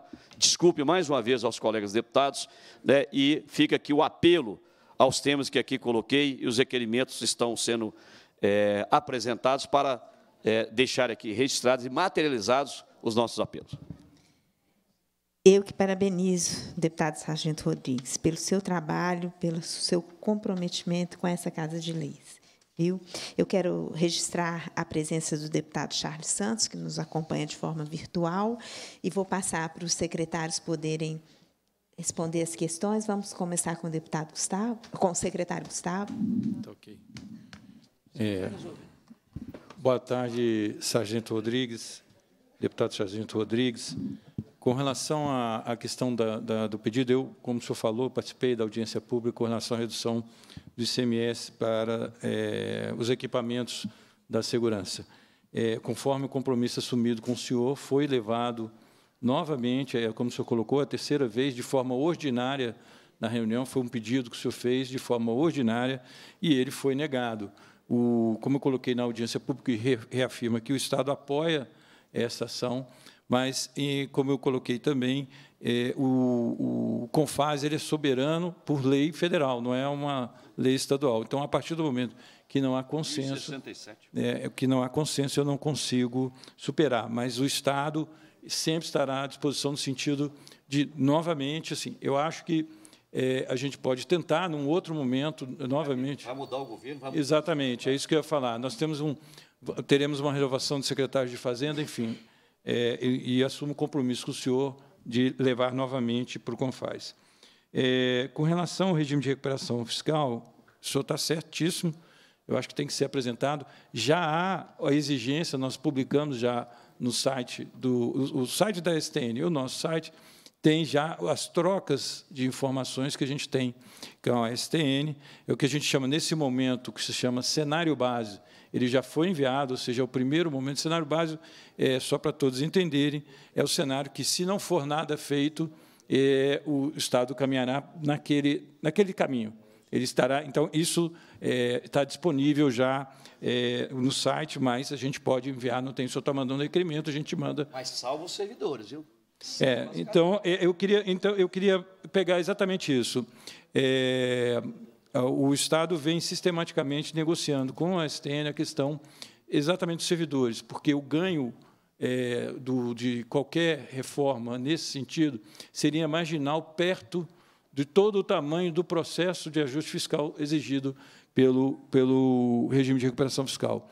E isso foi atendido através de um decreto, eu não tenho de cor aqui o decreto, mas me comprometo a mandar para o senhor, é, um decreto em que a questão do triênio, quinquênio, trintenário, ela foi superada. Então, o que eu quero dizer ao senhor que hoje não há mais a necessidade de acabar da, com o quinquênio e trintenário existente, tanto o servidor civil quanto o servidor é, militar. Então, isso afirma aqui, a audiência pública aqui na Assembleia Fiscaliza, que isso foi superado. Então, é, na lógica de negociação que a gente conseguiu. Então, isso, isso não estará, não estará nas propostas de negociação do regime de recuperação fiscal. Afirmo isso para o senhor. É, enfim, é, então, o cronograma eu coloquei para o senhor, e estamos abertos, deputados, na questão da discussão do regime. É, legítimos, tudo que o senhor está colocando é, é, muito legítimo no sentido da discussão, e a gente está aberto. O que for necessário, a gente apresenta todos os dados, enfim, a abertura total para isso. Acho que é isso. Não sei se o senhor está satisfeito ou quer mais alguma informação. Obrigado. Boa tarde, meu caro deputado Sargento Rodrigues. Acho, queria começar falando, é, nosso papel, deputado da COFIN, ele nem sempre é simples, né? ele é sempre um papel complexo, e da nossa parte não há nenhuma vontade nem intenção de ter o carimbo não, mas sim de buscar uma forma devida, correta, de viabilizar as necessidades do Estado a partir de uma lógica estruturada, planejada, que faça sentido. E nesse e, e, e, desta forma já temos buscado evoluir. Né? O senhor citou, por exemplo, os pleitos feitos por você é, de nomeação de excedentes da Polícia Civil em 2019 e 2020, que foram atendidos, com nomeação em 2019 de 425 investigadores e 25 delegados, em 2020 de 152 escrivães e 65 delegados. E nós já temos hoje né, buscado, como coloquei aqui da última audiência pública que participei, fazer um processo constante é, de renovação dos quadros da segurança. Hoje nós temos 9.966 vagas de concurso que foram autorizadas desde 2019 e 5.150 nomeações feitas desde 2019 apenas na segurança. Então, o governo tem, sim, um compromisso permanente de realizar concursos públicos, de fazer nomeações, mas, como eu coloquei, dentro de uma lógica planejada, estruturada. Da última reunião, inclusive, estive aqui, ainda não tinha havido a nomeação dos candidatos aprovados no concurso da Polícia Civil. Naquela ocasião, é, nós tratamos a nomeação, anunciei que seriam feitas, foram realizadas, é, foram alguns excedentes nomeados. E a gente, deputado, tem sim perspectiva de fazer novas nomeações. Só que essas novas nomeações, é, a gente precisa ainda delas planejadas. Como o senhor bem disse, na Polícia Militar nós já temos um planejamento de todos os próximos quatro anos como correrão os concursos. Na Polícia Civil, esse planejamento ainda não foi concluído. Já, inclusive, me reuni com algumas das é, comissões estão aqui, salvo engano, estão aqui comissões de investigadores, peritos, escrivães, delegados. Eu tenho certeza que falei isso com a comissão de delegados na reunião online que tivemos, de que a gente precisa fechar esse planejamento para fazer novas nomeações. Eu sabia, inclusive falei na ocasião, que neste ano de 2021, esse planejamento, de 2022, esse planejamento não estaria concluído. A gente espera que esse planejamento se conclua, e, no caso da Polícia Civil, em alguma medida, esse planejamento é um pouco mais complexo, porque a gente sabe que tem uma série de mudanças estruturais da Polícia Civil que têm sido debatidas com essa casa, ainda não foram concluídas, não foram transformadas em lei, mas tão logo a gente tem um planejamento é, claro, porque esse planejamento ele acaba impactando, inclusive, em quais vagas têm que ser chamadas, eventualmente uma vacância, né? A vacância ela é tida sempre é, quanto ao quantitativo financeiro dela, então você pode, eventualmente, num planejamento da Polícia Civil, trazer um, quantitativo maior de determinado cargo ou de outro, enfim. Nós estamos fechando esse, esse planejamento junto à Polícia Civil e teremos, sim, mais nomeações. A gente vai fazer o anúncio efetivo de quantas nomeações, em quais cargos, no momento devido, mas podem ficar tranquilos que o governo não é insensível, o governo ele sabe da necessidade de recomposição das forças de segurança pública e tem atuado desde 2019 para que elas aconteçam de maneira devida. Com relação às férias-prêmio, deputado, é, a gente fez a quitação de férias-prêmio de 33.956 servidores, foram 908 milhões de reais é, que foram gastos para esse intuito. E o que acontece muitas vezes é que os órgãos eles têm que fazer os devidos lançamentos das férias prêmio. E não consta para mim aqui hoje um passivo de férias prêmio já lançadas pelo órgão a pagar. Hoje, o passivo que eu tenho para janeiro de férias prêmio a pagar é só de 25 servidores. Então, eu não tenho já lançadas para mim este passivo, que não quer dizer que não exista, tá? é uma questão procedimental. É, uma informação que eu tenho aqui da, da nossa assessoria que as férias ainda não publicadas, pagas após o cronograma de pagamento, não publicadas. É porque eu não consigo fazer pagamento se ela não for publicada, e a publicação ela depende do trâmite interno no órgão. Então, a CEPLAG, que operacionaliza a fase final de pagamento, eu só consigo fazer aquilo que já foi publicado. Então, o que acontece, inclusive, quando a gente anunciou as férias prêmio, o volume inicial de recursos que nós anunciamos era bem menor. E a gente acabou é, tendo um volume de recursos bem maior, justamente porque várias férias prêmio não tinham sido lançadas em sistema, porque, como havia um passivo muito grande, os órgãos priorizaram outros outros lançamentos. Mas nós temos o compromisso que todas as férias prêmio que forem lançadas e publicadas serão mas quitadas. É, mas aí, secretário, nós precisamos. O, o, pedido é no sentido de agilizar a publicação. É, e eu reconheço que avançou, porque nós fizemos uma audiência pública, a senhora estava aqui junto com o chefe da Polícia Civil. Tinha um passivo enorme, enorme. Agora, esse passivo diminuiu muito. Então, é, é, a, é, a, é o atraso, é a demora na publicação, é, quer dizer, porque a pessoa tem direito.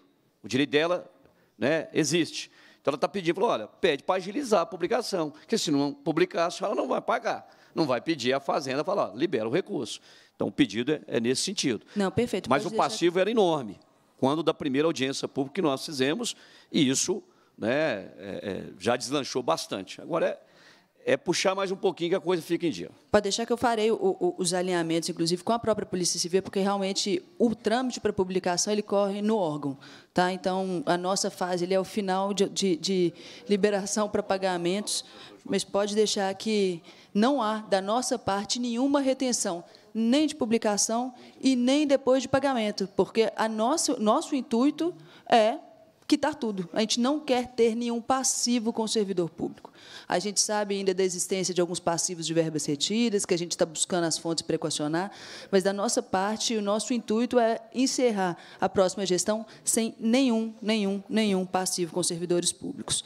E, por fim, deputado, o senhor perguntou das ADEs, eu pedi já a minha assessoria, desde que a lei foi aprovada, para, para que se organizasse e entendesse os trâmites, porque há uma questão de, de, de, de, lançamentos que precisa ser melhor compreendida, e, por isso, isso ainda está em avaliação interna técnica, e espero que da próxima vinda aqui já esteja devidamente solucionado. Muito obrigada. Secretário Igor.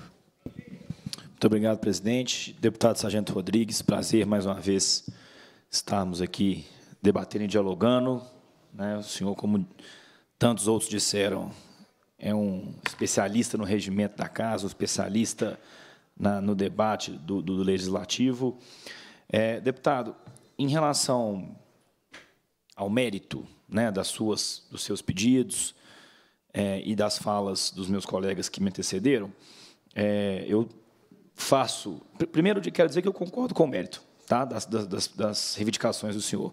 Segundo, que eu também falo, que eu concordo com as, as falas dos meus parceiros aqui, dos meus colegas secretários, mas eu queria só fazer uma, uma ponderação no sentido de os meus colegas vão até rir de mim, que agora eu quero fazer uma defesa da COFIN. E por que, que eles vão rir de mim? Porque eles sabem, é, dos membros da COFIN, e aqui nós temos a maioria da COFIN aqui, já está aqui nessa mesa, eu, eu, sou o membro que menos gosta de fazer as reuniões da COFIN, porque eu, é, é a tarde inteira de reuniões da COFIN, debatendo, discutindo.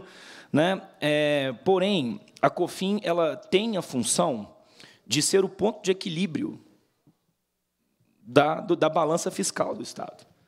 Porque, no fim do dia, a conta tem que fechar. Né? O senhor ponderou muito bem de que a questão da segurança pública, da, da, da, convocação dos excedentes, que é o que está em tela aqui, por exemplo, é, não é mais uma questão com os comandantes das forças. O senhor está coberto de razão. Os comandantes das forças eles têm canal aberto para ir até a COFIN e fazer a mesma defesa que o senhor acabou de fazer aqui. Né? É, a única parte que eu vou me permitir discordar do senhor, deputado, é quando o senhor diz que a COFIN tem um carimbo do não. É, a, a função da, da COFIN é ser o carimbo do não. Na verdade, eu vou vou pegar as próprias ponderações, os próprios é, demandas que o senhor trouxe aqui, só para poder fazer uma análise de exemplo, longe de fazer uma análise de mérito e até de comparar uma coisa com a outra. Mas qual é a função da COFIN? O senhor trouxe aqui duas demandas. Primeiro, convocação dos excedentes. Qual é o efeito né, da convocação dos excedentes? Pelo amor de Deus, estou se filmando aqui, eu não estou entrando no mérito dos excedentes. Mas é obviamente que a convocação dos excedentes irá acarretar em, em aumento das despesas do Estado. Aí, logo depois, o senhor trouxe uma demanda pedindo redução dos impostos para a compra das armas. Qual é o impacto disso?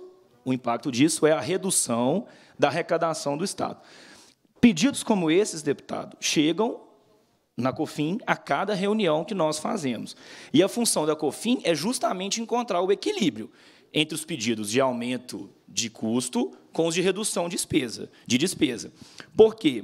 Porque, como foi dito reiteradas vezes aqui na nossa audiência hoje, este governo não abre mão da responsabilidade fiscal.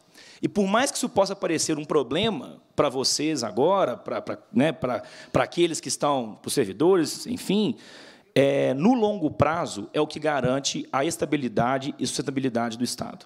E disso nós não vamos abrir mão. Porque, e até me chama atenção, porque os servidores passaram por isso, aqueles que já estão no Estado. Mas nós que assumimos o governo do Estado em 2019, na situação que nós assumimos, né, é, a gente viveu na pele o que, que é um Estado desequilibrado do ponto de vista fiscal. E nós, o governador Romeu Zema, ele não vai passar por isso de novo. Este risco ele não vai correr.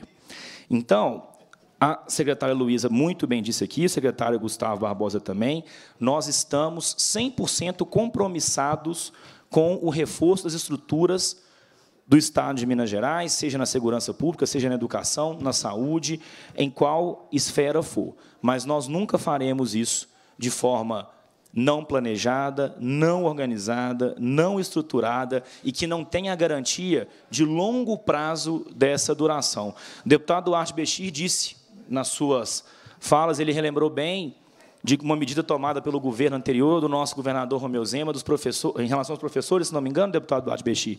E ele disse que um mês depois já não foi possível cumprir o que tinha sido acordado um mês antes. É, nós, que trabalhamos ao lado do governador Romeu Zema, este risco nós não assumimos. Quando o governo, quando este governo diz que sim, é sim.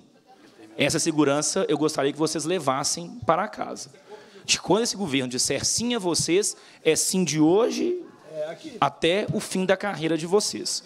Então, essa paciência eu gostaria de pedir a cada um de vocês, porque do lado de cá, a nossa função não é ser carimbador de não. Do lado de cá, a nossa função é manter o equilíbrio da balança sem perder o foco na prestação de serviço de qualidade ao cidadão e nós não temos nenhuma dúvida de que não há investigação sem investigadores, não há justiça sem escrivão de polícia, nós não temos. Aí está longe, né? Aí me apertou. Sem perícia não há justiça, nós não temos nenhuma dúvida disso. Mas nós temos que encontrar o equilíbrio, é essa a, a, a, a reflexão que eu gostaria que todos nós tivéssemos aqui. Tá? De que o nosso compromisso é pelo bem do povo de Minas Gerais, naquilo que está ao nosso alcance, obviamente, mas sem nunca perder o foco também no equilíbrio fiscal. Falando em equilíbrio fiscal, para terminar minha fala, deputado Sargento Rodrigues, é, a questão do regime de urgência do RRF, é como eu disse mais cedo aqui, está explícito na decisão do ministro Castro Nunes Marques que o fato uh, do, do Poder Judiciário, do STF, ter autorizado o Estado a avançar na adesão ao regime de recuperação fiscal, não exime, não exclui a necessidade da pauta ser discutida de forma né, é, é, totalmente urgente na Assembleia Legislativa, como é o caso, e é o interesse do Estado de Minas Gerais, do governo do Estado de Minas Gerais, e é o que nós esperamos fazer o mais breve possível, junto ao Poder Legislativo, uma, uma discussão democrática, aberta, republicana, à exaustão, como eu já disse aqui antes, visando né, o bem do Estado de Minas Gerais. Muito obrigado a todos. Indago, deputado Sargento Rodrigues, se deseja fazer a sua réplica. Não será uma réplica, será só mais um pedido, não gastarei 30 segundos. Secretário Igor Eto, secretária Luísa Barreto, secretário Gustavo Barbosa. Vai longe. É, é direito dos servidores públicos, é assegurado, pelo menos é assim que a lei trata, no seu inciso 10, artigo 37, é assegurada a revisão geral anual, ou seja, o IPCA, a inflação. É, e é uma, um pedido, um apelo que eu estou fazendo, para não esperar que a gente leve os servidores públicos para a porta da cidade administrativa para cobrar o direito para cobrar o direito que é a reposição da inflação dos servidores. Então, por favor, durante as reuniões da COFIN que ainda acontecerão esse ano, não se esqueçam. Então, faz parte do planejamento entre CEPLAG e Fazenda fazer uma previsão, falar, olha, isso é direito do servidor, então nós temos que botar isso aqui na pauta. Não adianta querer fugir, tapar, o, né, colocar um, um uma venda no olho e falar assim, olha, eu não, eu não quero ver isso. Porque essa é uma cobrança que ela não vai deixar de existir. O servidor tem direito. Porque o aluguel sobe, a comida sobe, a gasolina sobe. Então, as despesas sobem, tem que pagar o IPVA, tem que pagar a escola, tem que comprar material escolar. Então, qualquer cidadão sabe disso. Por isso, secretário Igoreto, que eu disse aqui claramente, se precisar ser relator aqui, para atualizar o salário dos secretários, eu estou disponível. Pode me pedir que eu sou relator e dou parecer favorável. Por quê? Porque necessita. Então, que os senhores e a senhora da COFIN lembrem o governador. Os servidores precisarão, de no mínimo, a recomposição da perda inflacionária no ano que vem. Muito obrigado. Obrigada, deputado Sargento Rodrigues. Nós agora vamos passar para o último orador inscrito, nosso querido líder de bloco, deputado Zé Guilherme.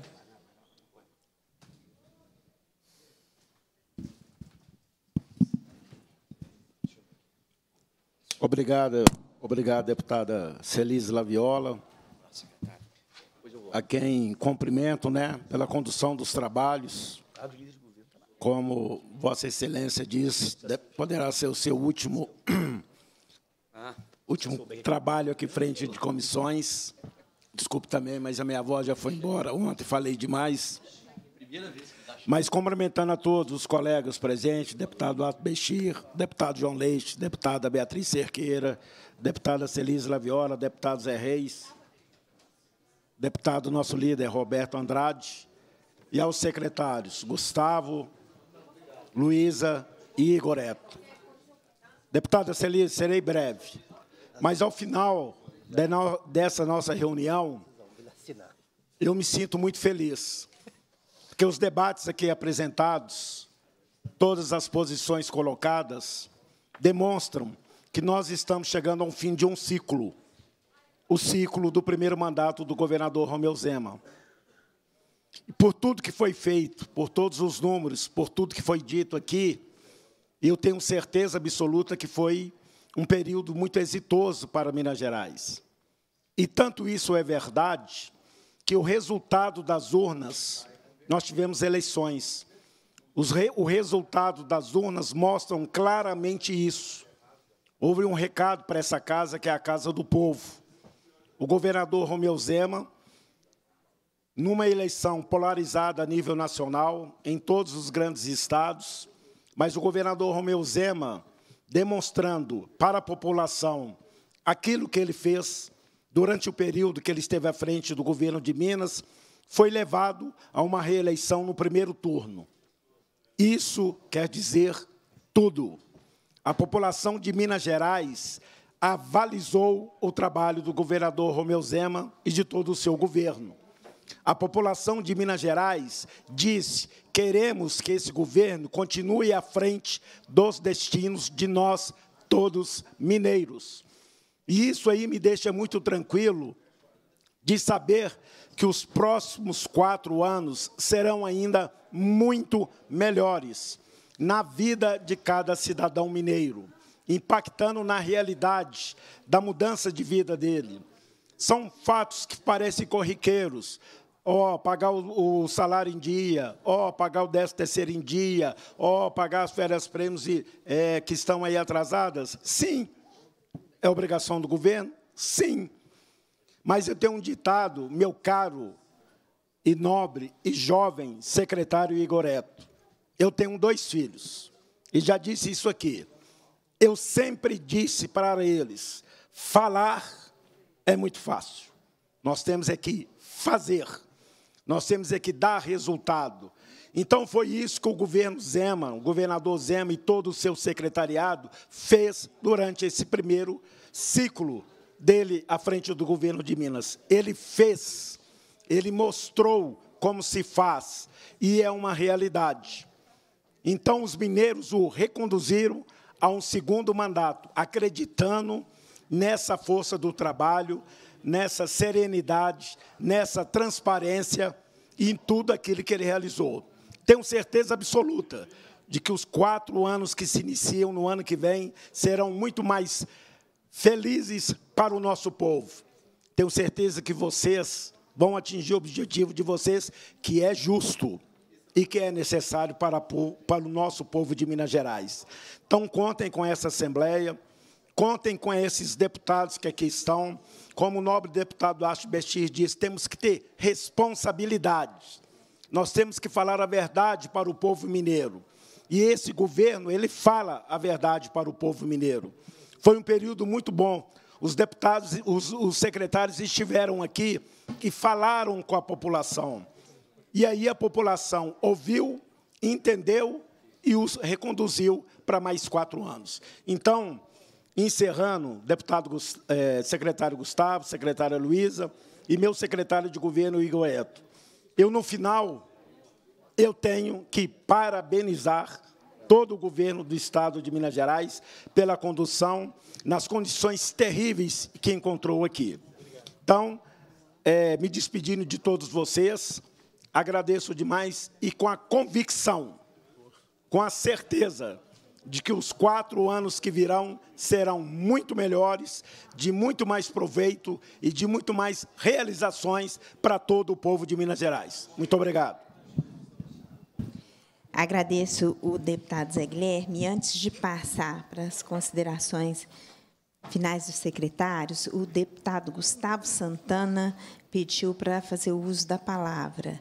Então, com a palavra, o deputado Gustavo Santana.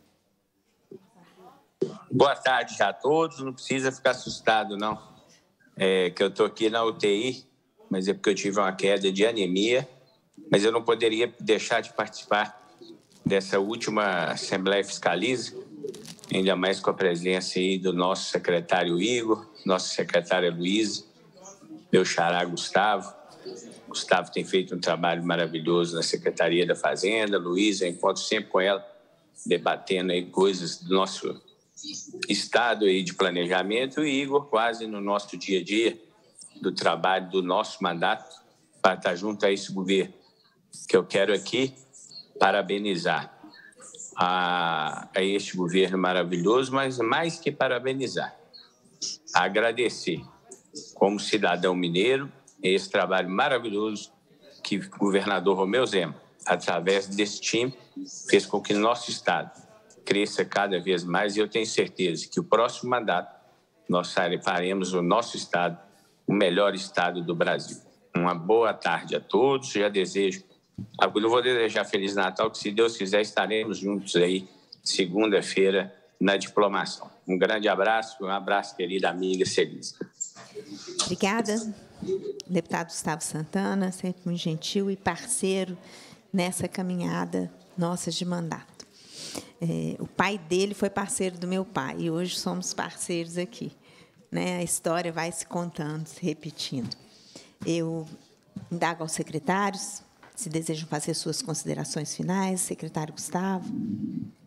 É, inicialmente, agradecer a oportunidade de mais uma vez estar aqui apresentando é, as contas, a evolução das contas públicas do Estado de Minas Gerais. Acho que isso é fundamental e a Assembleia é o lugar ideal para que se faça isso, esse debate, é, a exposição dos números, é, como o Estado está e eu acho que o, o ambiente da Assembleia é o mais adequado para a gente apresentar esses números.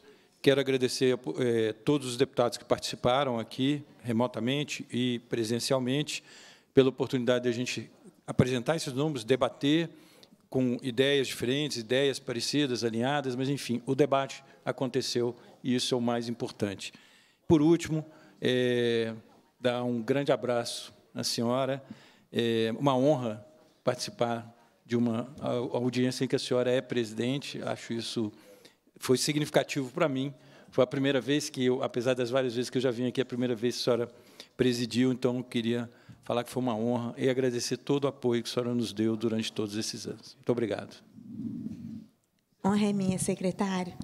Sabe o tanto que eu admiro o seu trabalho e sou grata pela oportunidade de poder acompanhar, às vezes, nas dificuldades de atender, de entender o que a Secretaria da Fazenda estava fazendo, a disponibilidade de explicar e de pôr a equipe técnica para que a gente entendesse e conseguisse viabilizar as necessidades maiores do Estado de Minas, inclusive, viu, gente, dos empreendimentos na minha região, da área de laticínio, que é muito importante, toda a instrução para que os benefícios acontecessem sem prejuízo para a arrecadação fiscal do Estado. Parabéns pela atuação brilhante, pelo trabalho que vem fazendo pelos mineiros. Somos gratos.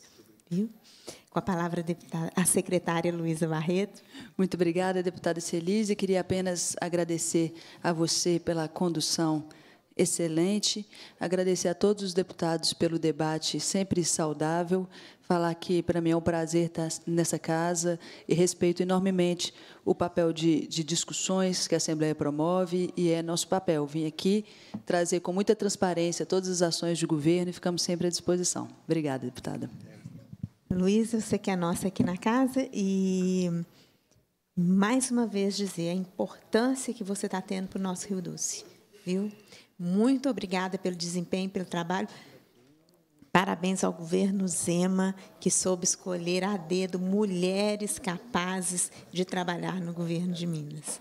Obrigada por tudo, Luísa. Agora, vou passar para as suas considerações, nosso querido amigo, secretário de governo Igor Eto. Obrigado, presidente. Agradecer inicialmente também as palavras do nosso líder de bloco, deputado Zé Guilherme. Tempos difíceis que passamos juntos, né, deputado? De muita batalha, de muita luta, mas sempre com muita altivez e transparência, defendendo com muita integridade as pautas do nosso governador Romeu Zema, as pautas do nosso governo de Minas Gerais. Agradecer mais uma vez à Assembleia Legislativa pela realização do Assembleia Fiscaliza. É, é sempre um prazer para todos nós do governo do Estado estarmos aqui dialogando, construindo com vocês as decisões para o governo do Estado de Minas Gerais, as políticas públicas executadas no Estado de Minas Gerais. É isso que a gente defende desde o começo, é isso que nós queremos desde o começo e é o nosso maior desejo para o ciclo que se inicia.